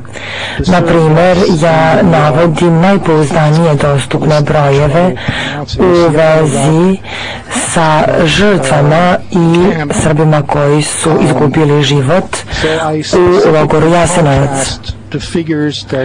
Dakle, ja uspostavljam kontrast između onih brojeva koje navodite vi i neki drugi ljudi koji su nacionalisti Dakle, između tih brojeva sa jedne strane i brojeva koje su utvrdili udruženja žrtava iz ovog logora. I zbog toga ja kažem da ste vi dezinformisali ljude i da, da ste koristili pogrešne brojeve, povećane brojeve. Dakle, kada god kažem da vi pogrešno nazivi, navodite činjenice, ja sam uvek veoma konkretan. To nije povezano samo sa onim opštim izjavama o viktimizaciji Srba. Da li je vama poznato, gospodine Obešal, da ja iznosim službene brojke Jugoslovenske države, da je ukupno bilo milijon i sedamsto hiljada žrtava u toku drugog svjetskog rata u Jugoslaviji, a da je sedamsto hiljada između 600 i 700 hiljada ubijeno u logoru Jasenovac. Je li vama poznato da su to službeni podaci?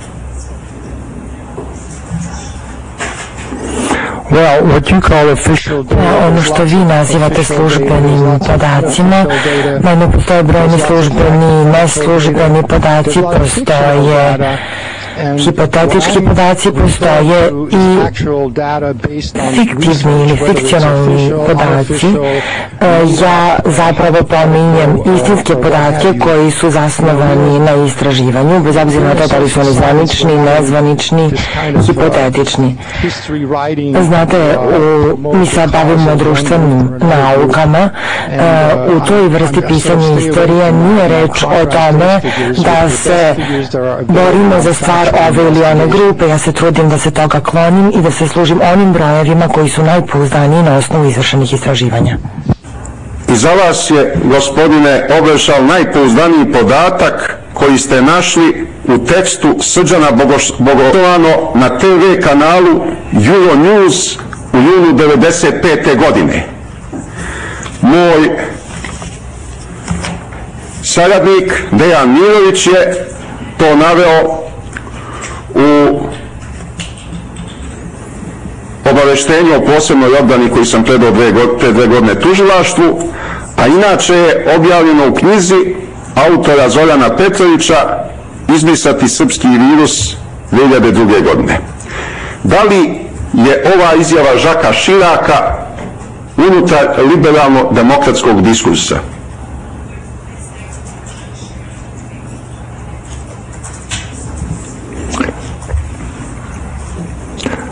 First of all, I kao prvo, ja doista sumnjam da je predsjednik Širak i kada kazao ovo što mu se pripisuje. Ako ste vi sada citirali francuske novine ili francuskog novinara, um, um, you know, then I would react and assess what onda bih ja reagirao na to što je e, rečeno da je predsjednik Širak kazao. Ali vi ovdje navodite izvore ovog što opisujete i meni to nije pouzdano.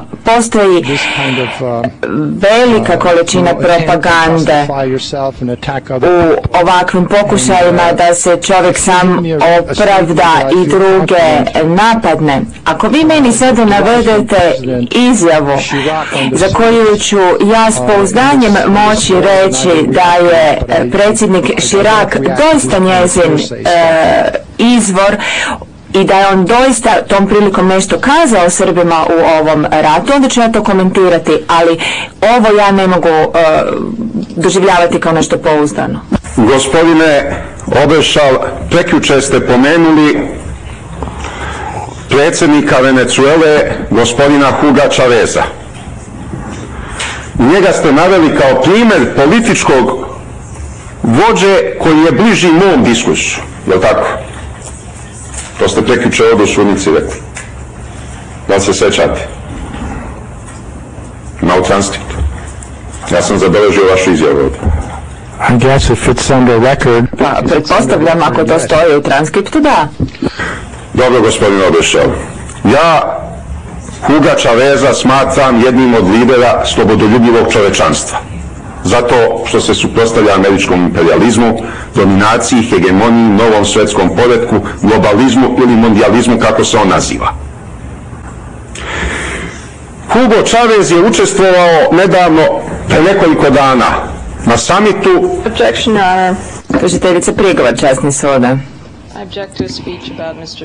Ja e, sada ulažem prigovor na govor gospodina Šešelja u vezi sa stavovima Hugača Veza. Mislim da to nije ispravno e, unakrsno ispitivanje sudac. Da, mišljenje o gospodinu Čavezu doista nema osobite relevantnosti, jedino ako na osnovi toga nemate namjeru postaviti neko pitanje. Pa imam, nego mi zastupnik optužbe nije dozvolila da postavim pitanje. Pitanje odmah sledi.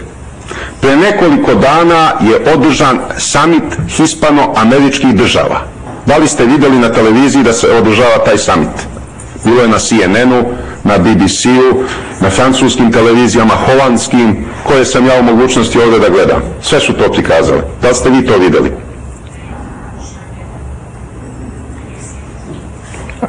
Probably, I mean, I... Najvjerojatnije, da, pratim vijesti, da. Uh, podsjetit ću vas, desio se incident kada je španski kralj Juan Carlos iskočio i počeo da veđa Huga Chaveza.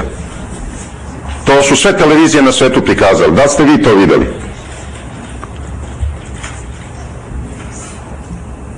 Oh, yes. Da. Da li vi smatrate španskog kralja Juana Carlosa nekim ko zastupa liberalno-demokratski diskurs.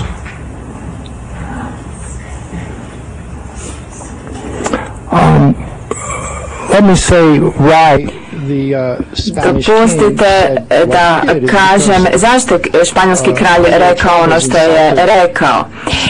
E, budući da je Hugo Chavez e, izvrijeđao Španjolsku, španjolsku povijest,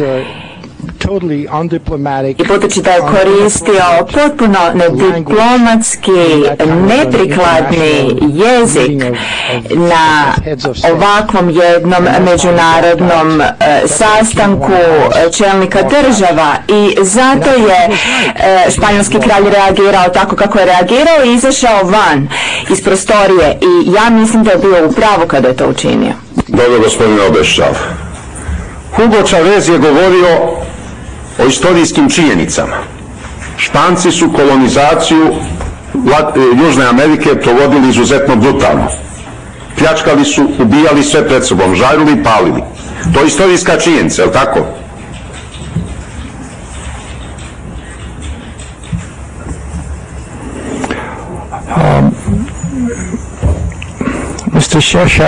Gospodine Šešelj, želite li vi doista razgovarati o povijesti Španjolske na američkom kontinentu tijekom ovog vremena što vam je preostalo? Sudac e, on vam je postavio pitanje recite da ili ne svjedok da ja naravno ja poznajem tu povijest da. Da li je predsjednik Venezuele Hugo Chavez izabran na demokratskim izborima voljom svoga naroda?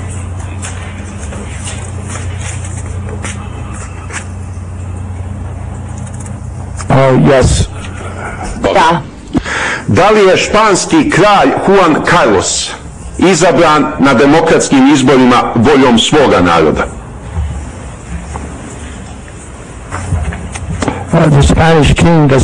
Španjolski kralj se ne bira na izborima. On je on prihvaća ustav te zemlje, ali to nije položaj koji se bira. Vrlo dobro, gospodin Obešav. Znate li ko je postavio španskog kralja Juana Carlosa na obnovljeni španski prestol?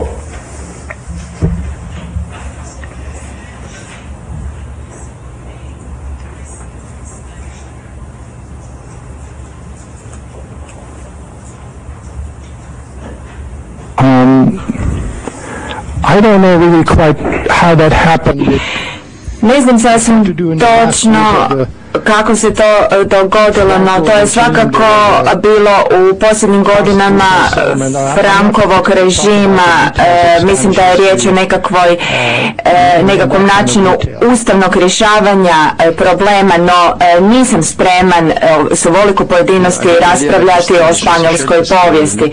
Sudac, gospodine Šešelj, molim vas priječite na pitanje jer vaše vrijeme je praktički isteklo. Postavite svoje pitanje. Ako mi je vrijeme isteklo, postavit ću još jedno pitanje. Španskog kralja Juana Carlosa na presto je postavio svojom ličnom voljom fašistički diktator Francisco Franco.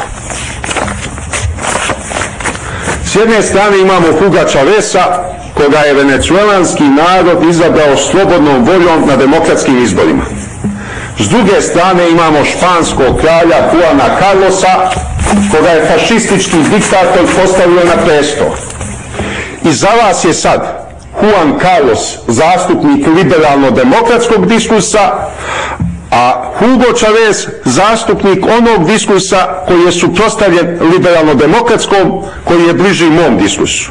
Jel tako?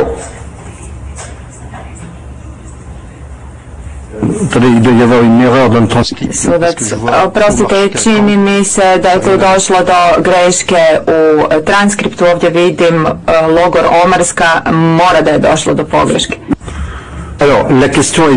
Euh, dakle, pitanje je postavljeno, molim vas odgovorite svjedok.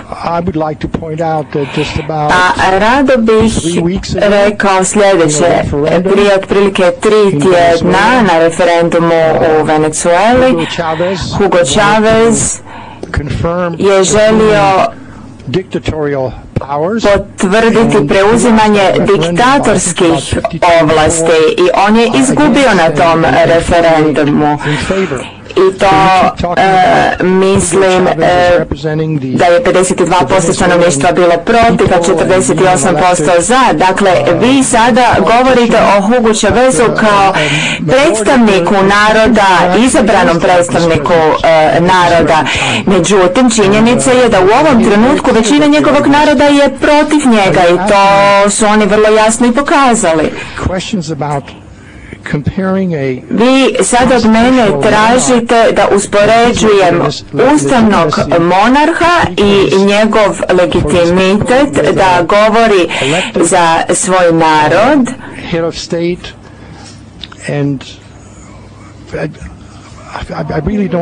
sa jednim izabranim čelnikom države. Ja doista ne razumijem kakve to veze ima s temom kojom se mi ovdje zapravo bavimo. Ja moram e, priznati da sam se ja sada izgubio, ne znam točno gdje smo u cijeloj ovoj priči. Sudac, pa e, gospodine Šešelj, ovo pitanje usporedbe e, španjolskog kralja Juana Carlosa i predsjednika predsjednika Čaveza. Kakav je smisao e, toga? Što je cilj tog pitanja u okviru ovog unakrsnog ispitivanja? Što vi zapravo želite time pokazati? Ja pokazujem neodrživost ove konstrukcije koju navodi gospodin Obenšal u svojoj ekspertizi da s jedne strane postoji liberalno-demokratski diskurs, a s druge strane nacionalistički koji nije ujedno liberalno-demokratski. Hugo Chavez je želeo da mu se prošire ustavna ovlašćenja. Održao je referendum, narod je malom većinom rekao ne damo.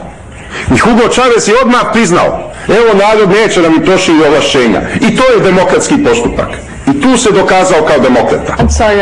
E, tužiteljica. Oprostite, časni suda. Španski kralj nikada nije izašao na referendum da proveri volju naroda u odnosu na... Čekajte, sudac, čekajte, čekajte. Izvolite, gospođo Dal, što želite reći? Tužiteljica.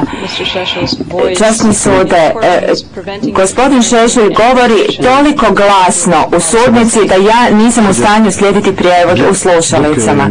Sudac, e, da. Gospodine Šešelj, vi ste dakle sada objasnili zašto ste postavili ovo pitanje. No, dakle, vaše vrijeme je e, isteklo jer iskoristili ste svoje vrijeme koje vam je vijeće dodijelilo. Ako gospođe Dal nema dodatnih e, pitanja, nema, u redu. Gospodine Svjedoće. Izvolite. ja nisam stigao da postavim sva pitanja, ali ne žalim se. Želeo bi samo, ako je moguće, dva dokumenta koja sam pripremio da uvrstite u spis.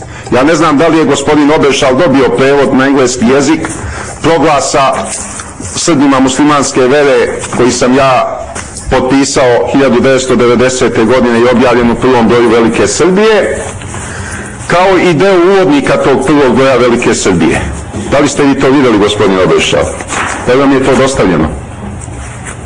To je trebala služba da vam dostavi. Tek vam sad dostavljaju. Ja sam se nadao da će vam to ranije dostaviti. I druga stvar, gospodine predsjedavajući, vi niste prihvatili moje službeno obaveštenje povodom druge dopune izveštaja veštaka Antonija Obešala, koji sam predao 26. novembra. Zbog isteka dužeg vremenskog perioda, rok sam prekoračio. Međutim, sudsko veće može da mi produži svaki rok propisan pravilnikom o postupku i dokazima. Pa ja, ja vas molim da onda ovo uđe u sudski spis, a da se prevođenje odbije od one kvote od 10.000 strana koju ste mi odobrili. Znači da i to uđe u tu kvotu. Ja sam ovo ipak dostavio dovoljno rano da se gospodin Obešal upozna s tim i tužilaštvo. Donc, sudac. U redu.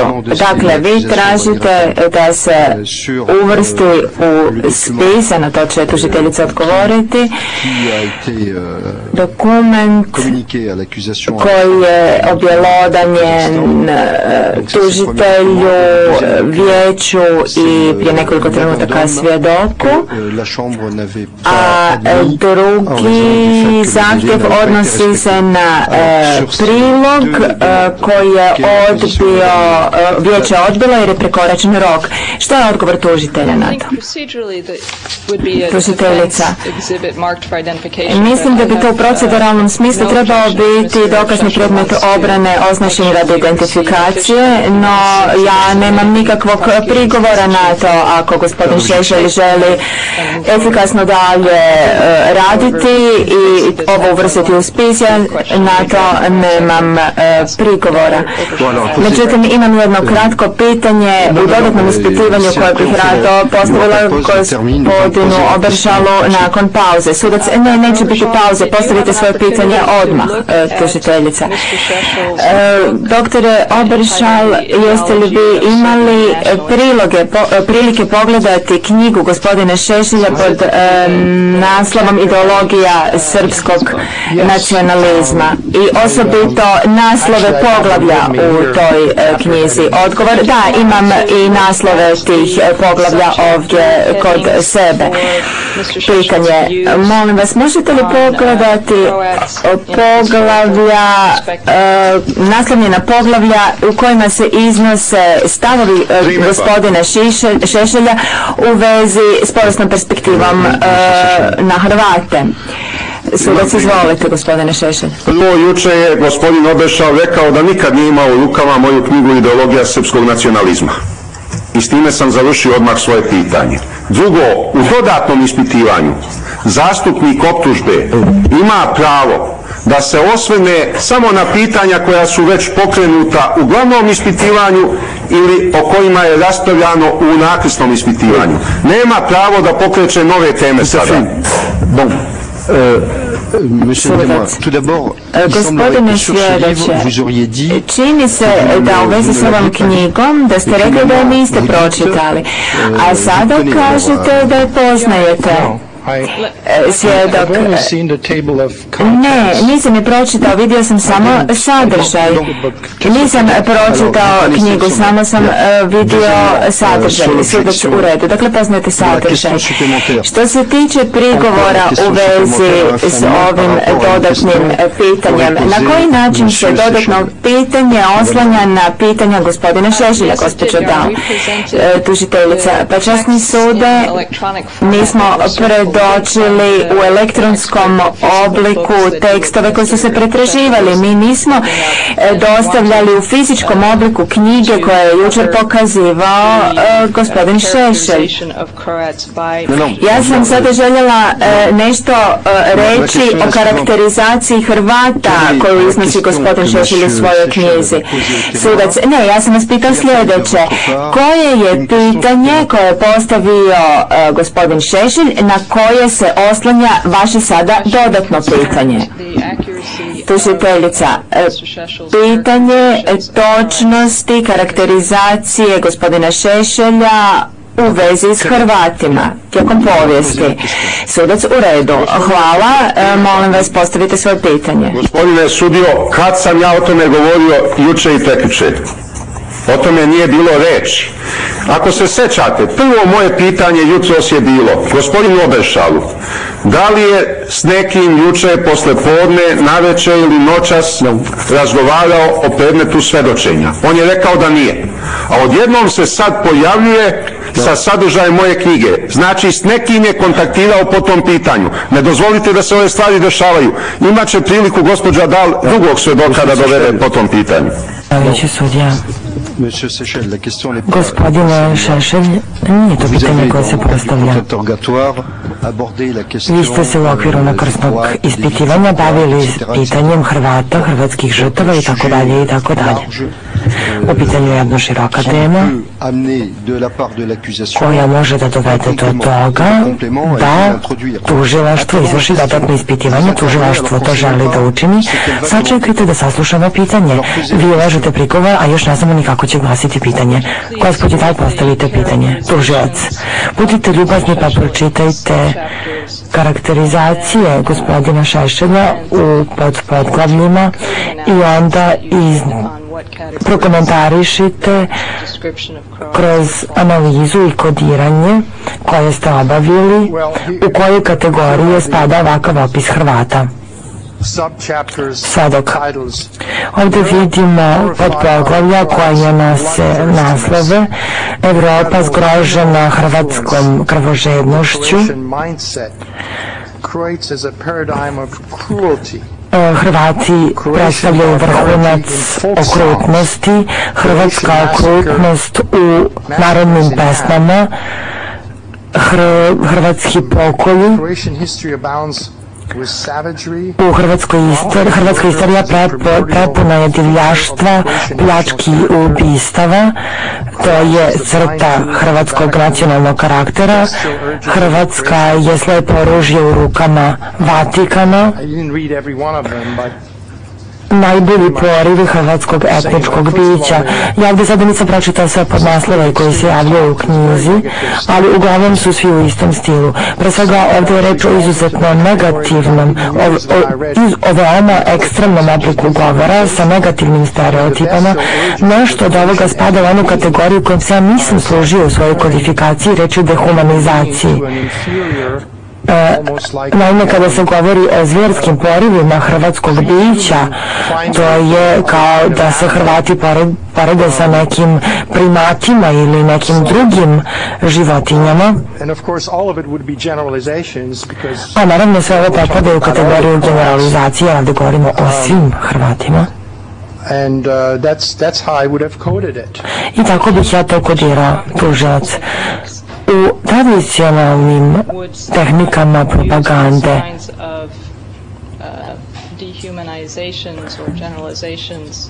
iz kog razloga bi se neko služio ovim vrstama dehumanizacije i generalizacije? Šta bi time želeo da postigne svedok? Pa pre svega stvorio bi se strah od tih zverskih bića, drugo, stvorila bi se netrpeljivost protiv istih, stvorilo bi se nepoverenje, to deal with them on a civilized nesposobnost da se sa njima ophodi na jedan civilizovan način i u saradnju s nekakvim divljacima i tako dalje. That would be um, Primjedba. uh, that would be sort of To the, bi the uses of na neki način bio korišćenje propagande radi stvaranja ove vrste osjećanja i neprijateljskih odnosa. Yes Da. Tužilac dal, hvala vam, doktore Oberšal, časni sude, nema više pitanja. Predsjedavajući sude, mislim da moj kolega ima pitanje. A, gospodine Ce que vous aviez Šešelj. indiqué dans le sommaire de votre livre, Dakle, sad uvijek je pročitao ono što ste vi naveli u sadržaju svoje knjige i odgovorio je u smislu tehnika propagande. Šta vi na to želite da dodate? Pa gospodine sudjo, ja vas pozivam da ne dozvoljavate da se vrši analiza teksta na osnovu sadržaja na kraju knjige, bez pročitanog teksta. Reč je o svedočenjima istorijskih očevidaca i istaknutih europskih istoričara, vojskovođa, čak i velikog nemačkog pesnika Schillera, koji je u svojoj baladi o Valenštaju na taj način opisivao Hrvate. Reč je o čuvenoj Magdeburškoj tragediji, kada su Hrvati u šleskim ratovima pobili celokupno stanovništvo Magdeburga u Nemačkoj, negde u blizini Dresdena. Ce que vous dites est acté. Predavajući sudija. Samo trenutak. Knjige. Ja, moj kolega va poser question. Moj kolega bi želao da postavi pitanje. Sudija Harhov, hvala vam. S obzirom na vreme možda bi trebalo da sada odemo na pauzu iz tehničkih razloga. Predsjedavajući sudija, imamo li još malo vremena, ja, ja bih više voleo da završimo sednicu. Gospodine sekretare, koliko nam još vremena ostaje na traci za snimanje, jer bilo bi dosta besmisleno da sada idemo na pauzu 20 minuta, pa da se vraćamo na nekoliko minuta. Bon, il doit nous rester 5 à 10 minutes. Predsjedavajući sudija, mora biti da nam je ostalo 5 do 10 minuta. 10 minutes. Bien. 10 minuta u redu, sudija Harhov. U redu. Mr. Obushal, Questions relating ja bih imao nekoliko pitanja koja se odnose na nešto što verujem da ni jedna od strana nije pomenula. Mislim naime na metode kojima ste se koristili u svom izveštaju veštaka. Prvo pitanje koje bih želeo da vam postavim odnosi se na ono što ste vi naznačili na prvoj stranici svoga izveštaja. Because I wanted to know what was the question that was put Ja to bih you. želeo da znam kakvo je pitanje vama postavilo tužilaštvo, kako biste vi izradili ovaj izveštaj. I vidim da u vrhu stranice postoji jedno pitanje koje glasi kako propaganda masovnih medija utiče na prihvatanje kolektivnog nasilja od strane običnih ljudi i njihovo učestvovanje u njemu i kako je Šešeljeva nacionalistička propaganda zagovarala i opravdavala prisilu i nasilje Srba protiv nesrba. Moje pitanje glasi, da li je vama tužilaštvo ovo pitanje postavilo, da li je ovako glasio vaš zadatak, svedok? Koliko se ja sećam, ono što je od mene traženo da uradim jeste da izvršim analizu sadržaja Savjevića. To je fusnota 68 vašeg izveštaja. I to je jedina fusnota koja se odnosi na ove podatke. Je li tako? Fusnota 68. I, I have to check this. Robite da proverim.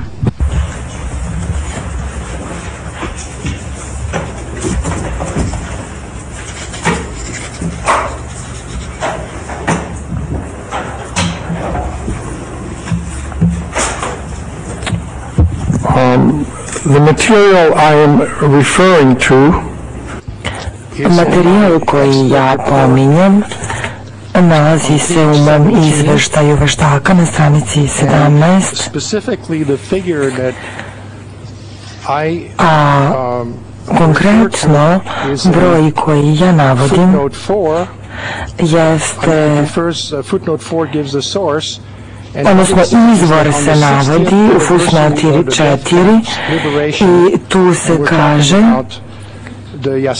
da je reč o 60. 60-godišnjici oslobođenja logora smrti, govorimo o Jasenovcu, vođe udruženja žrtava logora smrti Jasenovac ustanovile su da je postojao broj od 59.188 žrtava i mada se tačan broj možda nikada neće znati, to udruženje procenjuje da je bilo između 80 i 100.000 žrtava, uključujući Srbe, Rome, Jevrije i Hrvate i druge grupe.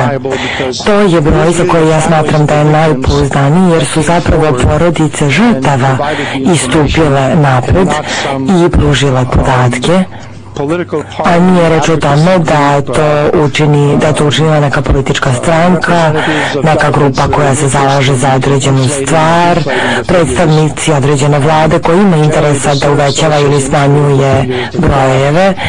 Uopšte uzev srpski izvori su bili skloni da uvećavaju brojeve, hrvatski izvori, zvanični i nezvanični su ih umanjivali. Ja se služim ovde jednim izvorim gde smatram da je postao interes jedne grupe da se obezbedi tačan broj.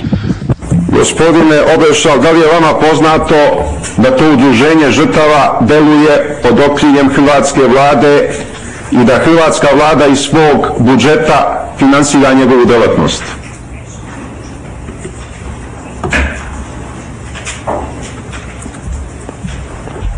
Um, I, I don't know about uh, who sponsors Meni nije jasno ko sponzoriše ili finansira ovo udruženje. Sve što je meni poznato jeste da je to udruženje žrtava. Žrtve obuhvataju sve žrtve. Srpske žrtve, hrvatske žrtve, romske, jevreje i pripadnike ostalih grupa. Nije dakle reč o samo jednoj grupi koja bi bila zastupljena u ovom udruženju.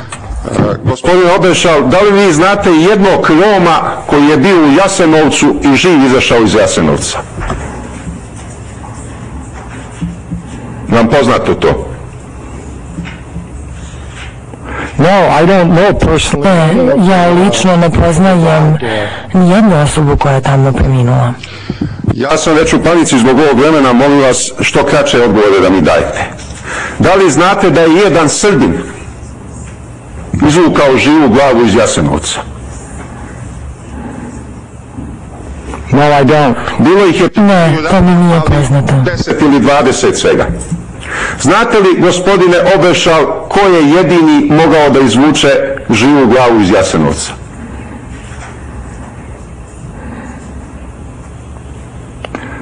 I don't see what this has to do with the number. Ne vidim kakve ove veze ima sa brojem ljudi koji su skupili život. Vi govorite o broju preživjelih i da li je meni to poznato, a govorili smo o broju ljudi koji su izgubili život. Odmah ću vam objasniti. Udruženje žrtava je udruženje ljudi koji su bili u Jasenovcu pa izašli živi iz Jasenovca. Je li tako? Iz Jasenovca su živi mogli da izađu samo Hrvati i nekoliko bogatih jevreja. Na prste bi se mogli izbrojati. I mi imamo svedočanstvo, ogromna knjiga u tri toma, Hrvata, pukovnika Antuna Miletića, o logoru Jasenovac, koji je ustanovio da su ustaške hrvatske vlasti vodile evidenciju samo logoraša Hrvata i nešto bogatih jevreja. Srbi, masa jevreja i svi Romi samo su uvođeni u Jasenovac likvidirani bez ikakve evidencije. Da li vam je to poznato?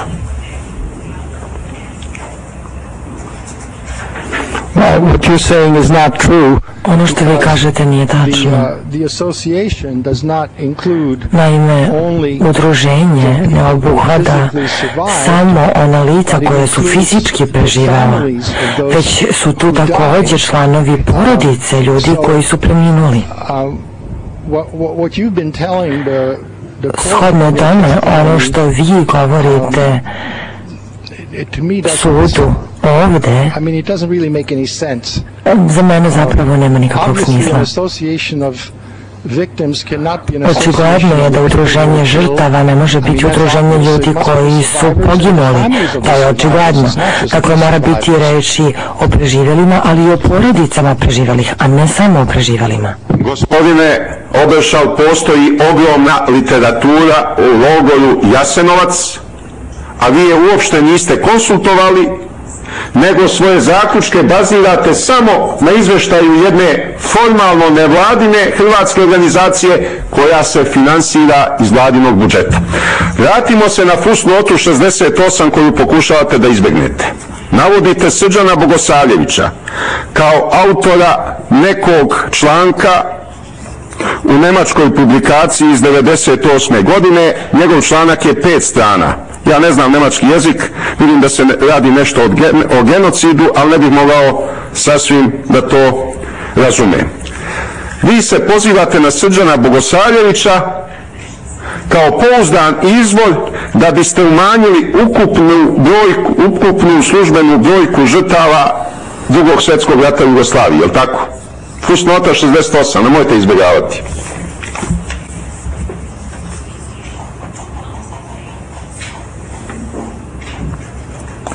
Oh. I don't have any footnote 68. The page... Pa ja nemam fusnotu 68. Ona stranica, ona verzija dokumenta koju ja imam, fusnote na svakoj stranici su numerisane brojevima od 1 pa do 6 ili 7. Predsjedavajući sudja, gospodine Šešelj, ja sam učio ovu poteškoću. U izveštaju veštaka fusnote su numerisane od 1 do 2, 3, 4 za svaku stranicu i tako dalje. Dakle, na svakoj stranici počinje iznova numeracija. Nema fusnote 68. Dakle, ne znamo dakle vama ova referenca, ovo pozivanje na broj 68. Sve dok, u stvari mislim da sam našao odgovarajuće mesto. Našli ste fusnotu Srđana Bogosavljevića. Zato što sam ja radi lakšeg snalaženja izvršio brojanje tih fusnota gospodine sudio. I to je fusnota po redostu 68. Tužilaštvo časni sude, želela bih da ukažem na transkript. U pitanju je stranica 17 u engleskoj verziji izveštaja. To sada možemo da vidimo na ekranu u sistemu elektronske sudnice, a stranica se poklapa i u prevodu. I to je takođe predočeno. I izgleda da je gospodin Šešelj uveo drugačije brojeve, a da to nije slučaj u prevodu na BHS. Predsjedavajući sudija, izgleda gospodine Šešelj da ste vi odlučili da uvedete nove brojeve. Jer mi sada vidimo fusnote pred očima i ovde nema broja 68. Da, to je fusnota broj 1 na stranici 16.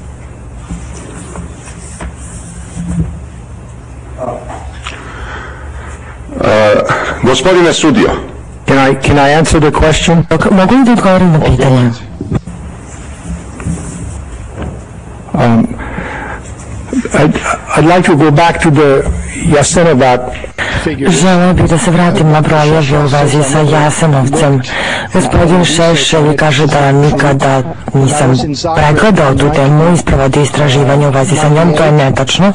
Kada sam bio u Zagrebu 98. godine, ja sam otišao u jedinicu za demografska pitanja u Hrvatskoj statističkoj službi. Postoji posebna jedinica koja se bavi žrtvama i poginulima u drugom svetskom ratu i potonjem periodu. i oni su za mene obezbedili brojeve i objasnili su mi kojim su metodom došli do tih brojeva. Ja sam zaključio da je metodologija neprimjerena i da oni uvećavaju svoje brojeve. i jednostavno se nisam služio brojima koje su oni naveli jer nisu bili pouzdani. I to je razlog zbog kojih se ne pozivam na te brojeve. Predsjedavajući sudja u redu. Ono što jedino zanima pretresno veće jeste da sazna sledeće. Vi iznosite procenu da je bilo reči o otprilike 60.000 žrtava, a na koja je procena gospodina Šešelja kada je reč o broju žrtava? Da to uđe u zapisnik. Gospodine sudio, službeni je podatak između 600 i 700 hiljada žrtava. To je službeni državni podatak Jugoslavije. Bo. Predsjedavajući sudio u redu. I na Ninbeškom procesu. Ali sad ne govorimo o Jasenovcu. Stalno mi gospodin Obešal izbjegava Srđana Bogosavljevića. Riječ je sad o ukupnom broju žrtava. Službena cifra je milijun i sedamsto. Vi kažete da je to manje od milijun i sedamsto, kažete da je to najmanje 896 hiljada, a najviše milijun i 200 hiljada žrtava. To kažete na strani 16, je tako?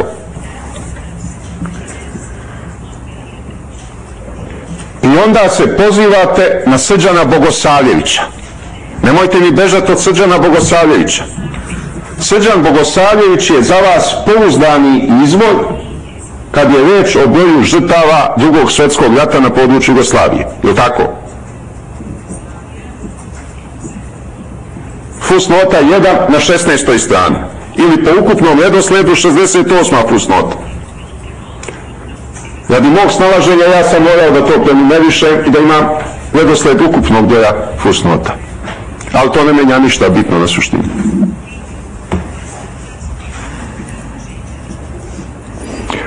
It's, it's absolutely true. Um, to je potpuno točno. Konkretna knjiga na koju vi sada referirate, a koja je na njemačkom jeziku, sadrži određeni broj analiza o broju smrtnih slučajeva na području bivše Jugoslavije i nekoliko demografa uspoređivalo je te brojke. Dr. Bogosavljević je pregledao i uh, usporedio sve te brojke i on je sam ekspert za ta pitanja i njegove brojke, njegovi rezultati e, bili su po mojem mišljenju s obzirom na nesigurnost podataka e, točni odraz broja žrtava e, iz perspektive sociologije kao znanosti.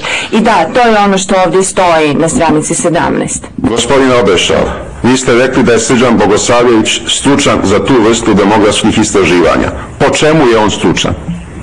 Koji je dokaz njegove stručnosti?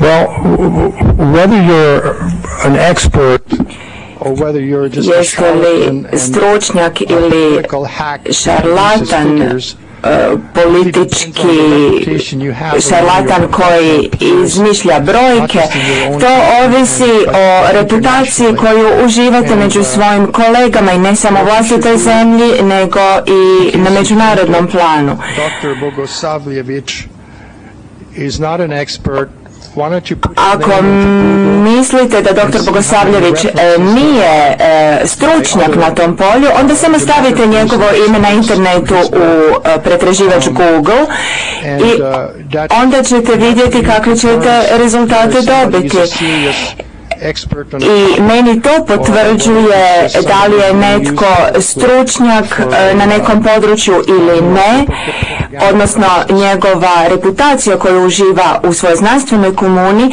ili je tek riječ o čovjeku kojeg se koristi radi političkih razloga. Sudac. Prema onome što vi kažete u vezi s ovim e, stručnjakom kojeg se navodi u izvještaju, broj srpskih žrtava i u drugom svjetskom ratu kreće se oko 500 tisuća. E, pa prema gospodinu Šešelju možete li nam vi kazati gospodine Šešelj e, Možete li osporiti ovog e, stručnjaka prema vama koliki je broj tih žrtava? Gospodine sudio, Srđan Bogosavljević se uopšte nije ozbiljno bavio ovim pitanjem. I on nije nikakav naučnik koji iživa renome u srpskim akademskim krugovima. On je vlasnik privatne agencije Strategic Marketing za istraživanje javnog mnjenja i bavi se prognozama izbornih rezultata i ratingom političkih partija. I svaki put je do sad omanuo u svojim prognozama. Jer njegove prognoze zavise od toga komu naruči posao i dobro plati, a ne od stvarnog istraživanja raspoloženja javnog mnjenja. On nikada ništa ozbiljno nije napisao o žrtvama drugog svjetskog rata. A u ovom članku koristi podatke trojice autora. Samo su trojica autora ozbiljno pokušala da ospore zvanične rezultate o srpskim žrtvama u drugom svjetskom ratu. To je Bogoljub Kočević, koji je objavio knjigu na tu temu u Londonu 70. godina u izdanju emigrantske organizacije Savez oslobođenja, čiji je lider bio kasniji potpredsjednik demokratske stranke e, Tošić. Vesimir Tošić. Zatim, inženjer Vladimir Žerjavec iz Zagreba i Franjo Tuđman. Nijedan od njih trojice nije stručnjak za demokratska istraživanja. Jedan je inženjer, drugi je bio samostalni publicista, a vi znate, Franjo Tuđman, jedna vrsta istoričara. Ja ne osporavam da je nešto i postigao u toj nauci, ali nije demograf. To su jedine tri ozbiljnije studije. I sad hoću da skrenem pažnju gospodinu Obešalu u čemu se sastoji falsifikat, pa da mi on da onda svoje, svoj stav o tome. Falsifikat je napravljen Sudac, gospodine Šešelj, kažete da postoje ova, ove tri osobe koje su o tome pisale. No, kada se raspravlja o tome da li je bilo 500 tisuća žrtava, milijun žrtava, dva milijuna žrtava, što je vaše mišljenje? E, koja je realna brojka? Jer ja o tome ne znam ništa. Gospodine sudio, ja se nisam bavio tim istraživanjem, ja imam zvanične podatke, ali sam ustanovio kako su ova tri autora falsifikovala rezultate istraživanja. I to bih hteo da izložim gospodinu Obešalu i da on iznese svoje stanovište o tome. Oni su radili na osnovu popisa stanovništva u Kraljevini Jugoslaviji pre drugog svjetskog rata i u komunističkoj Jugoslaviji posle drugog svjetskog rata i izvukli zaključak da je preuveličana brojka srpskih žrtava, a smanjena brojka muslimanskih i hrvatskih žrtava. Pa su oni iznijeli nove podatke sa manje srpskih žrtava, a sa mnogo više muslimanskih i hrvatskih, pozivajući se na statističke podatke popisa stanovništva. Podvala je bila u sljedećem. U Kraljevini Jugoslaviji stanovništvo je popisivano samo po vero ispovesti, a ne po nacionalnosti. Jer je Kraljevina Jugoslavija vodila unitarističku politiku, stvaranja jugoslovenske nacije. A komunisti su vodili popise stanovništva samo po nacionalnosti, a nisu imali rubriku verska pripadnost.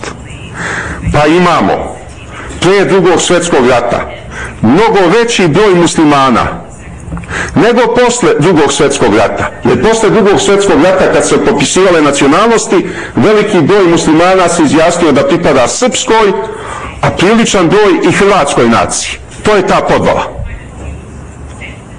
Je vam jasna ova podvala gospodine Obešav? A u statistici, u statistici se te stvari ne mogu porediti. Morate imati isti kategorijalni aparat za razna istraživanja da biste izveli ispravan zaključak. Znate statistički metod u čemu se sastoji? Madame Dali. Budas, gospođe Dali, izvolite. Tužiteljica. Zamolila bih da se e, svjedoku da mogućnost da odgovori na ovo pitanje koje je gospodin Šešelj postavio, sudac.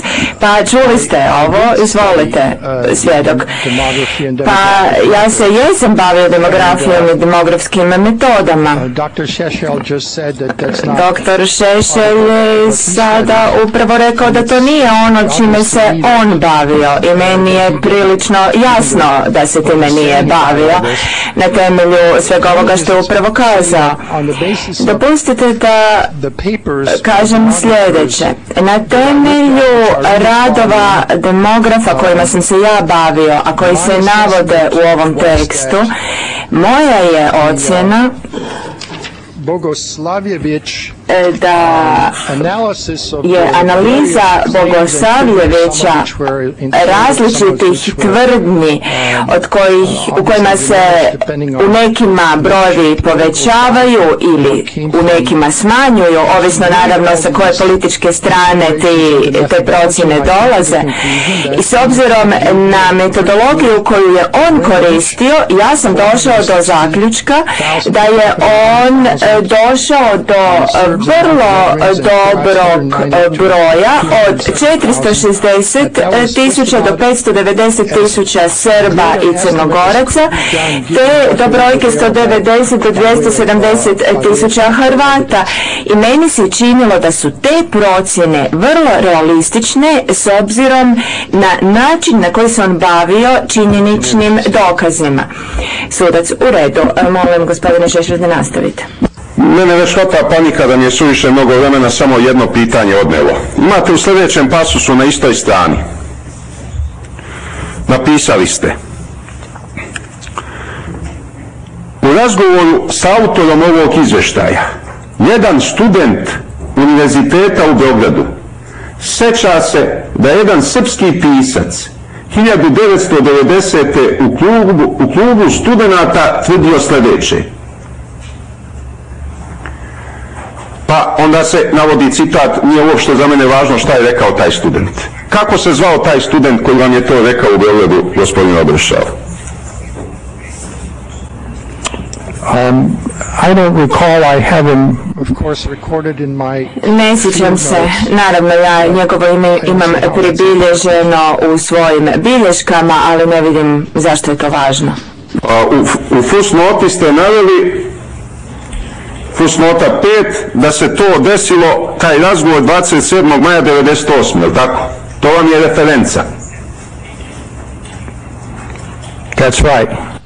A kako se zove taj srpski pisac koji je u klubu studenta nešto tvrdio 90. godine? Da li to znate? Well, again, I have it Moram ponoviti, imam to ubilježeno u svojim bilješkama s terena i nije mi se činilo da je važno navesti ime tog konkretnog e, govornika o kojem je govorio student. Ja sam mogao iskoristiti mnoge druge citate koje sam prikupio u svojim razgovorima u to vrijeme u Beogradu, ali e, riječ je u principu uglavnom o vrlo sličnim informacijama koje sam dobivao. I činjenica je da je da su srpski intelektualci i mediji koristili jedan uobičajeni diskurs o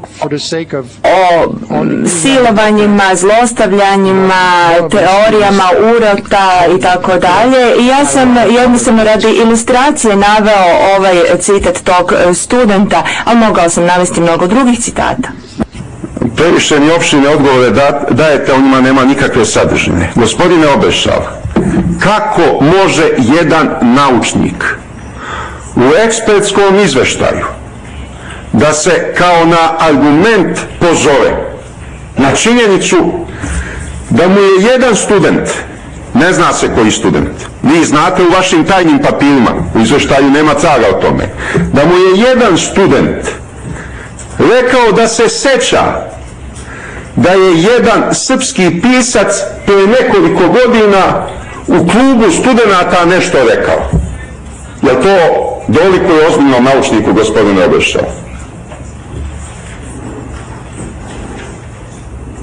Certainly, I mean, svakako od mene nije zatraženo da napišem knjigu od 300 stranica o svemu što bi se moglo napisati o masovnoj propagandi, vašim izjavama i srpskim e, medijima.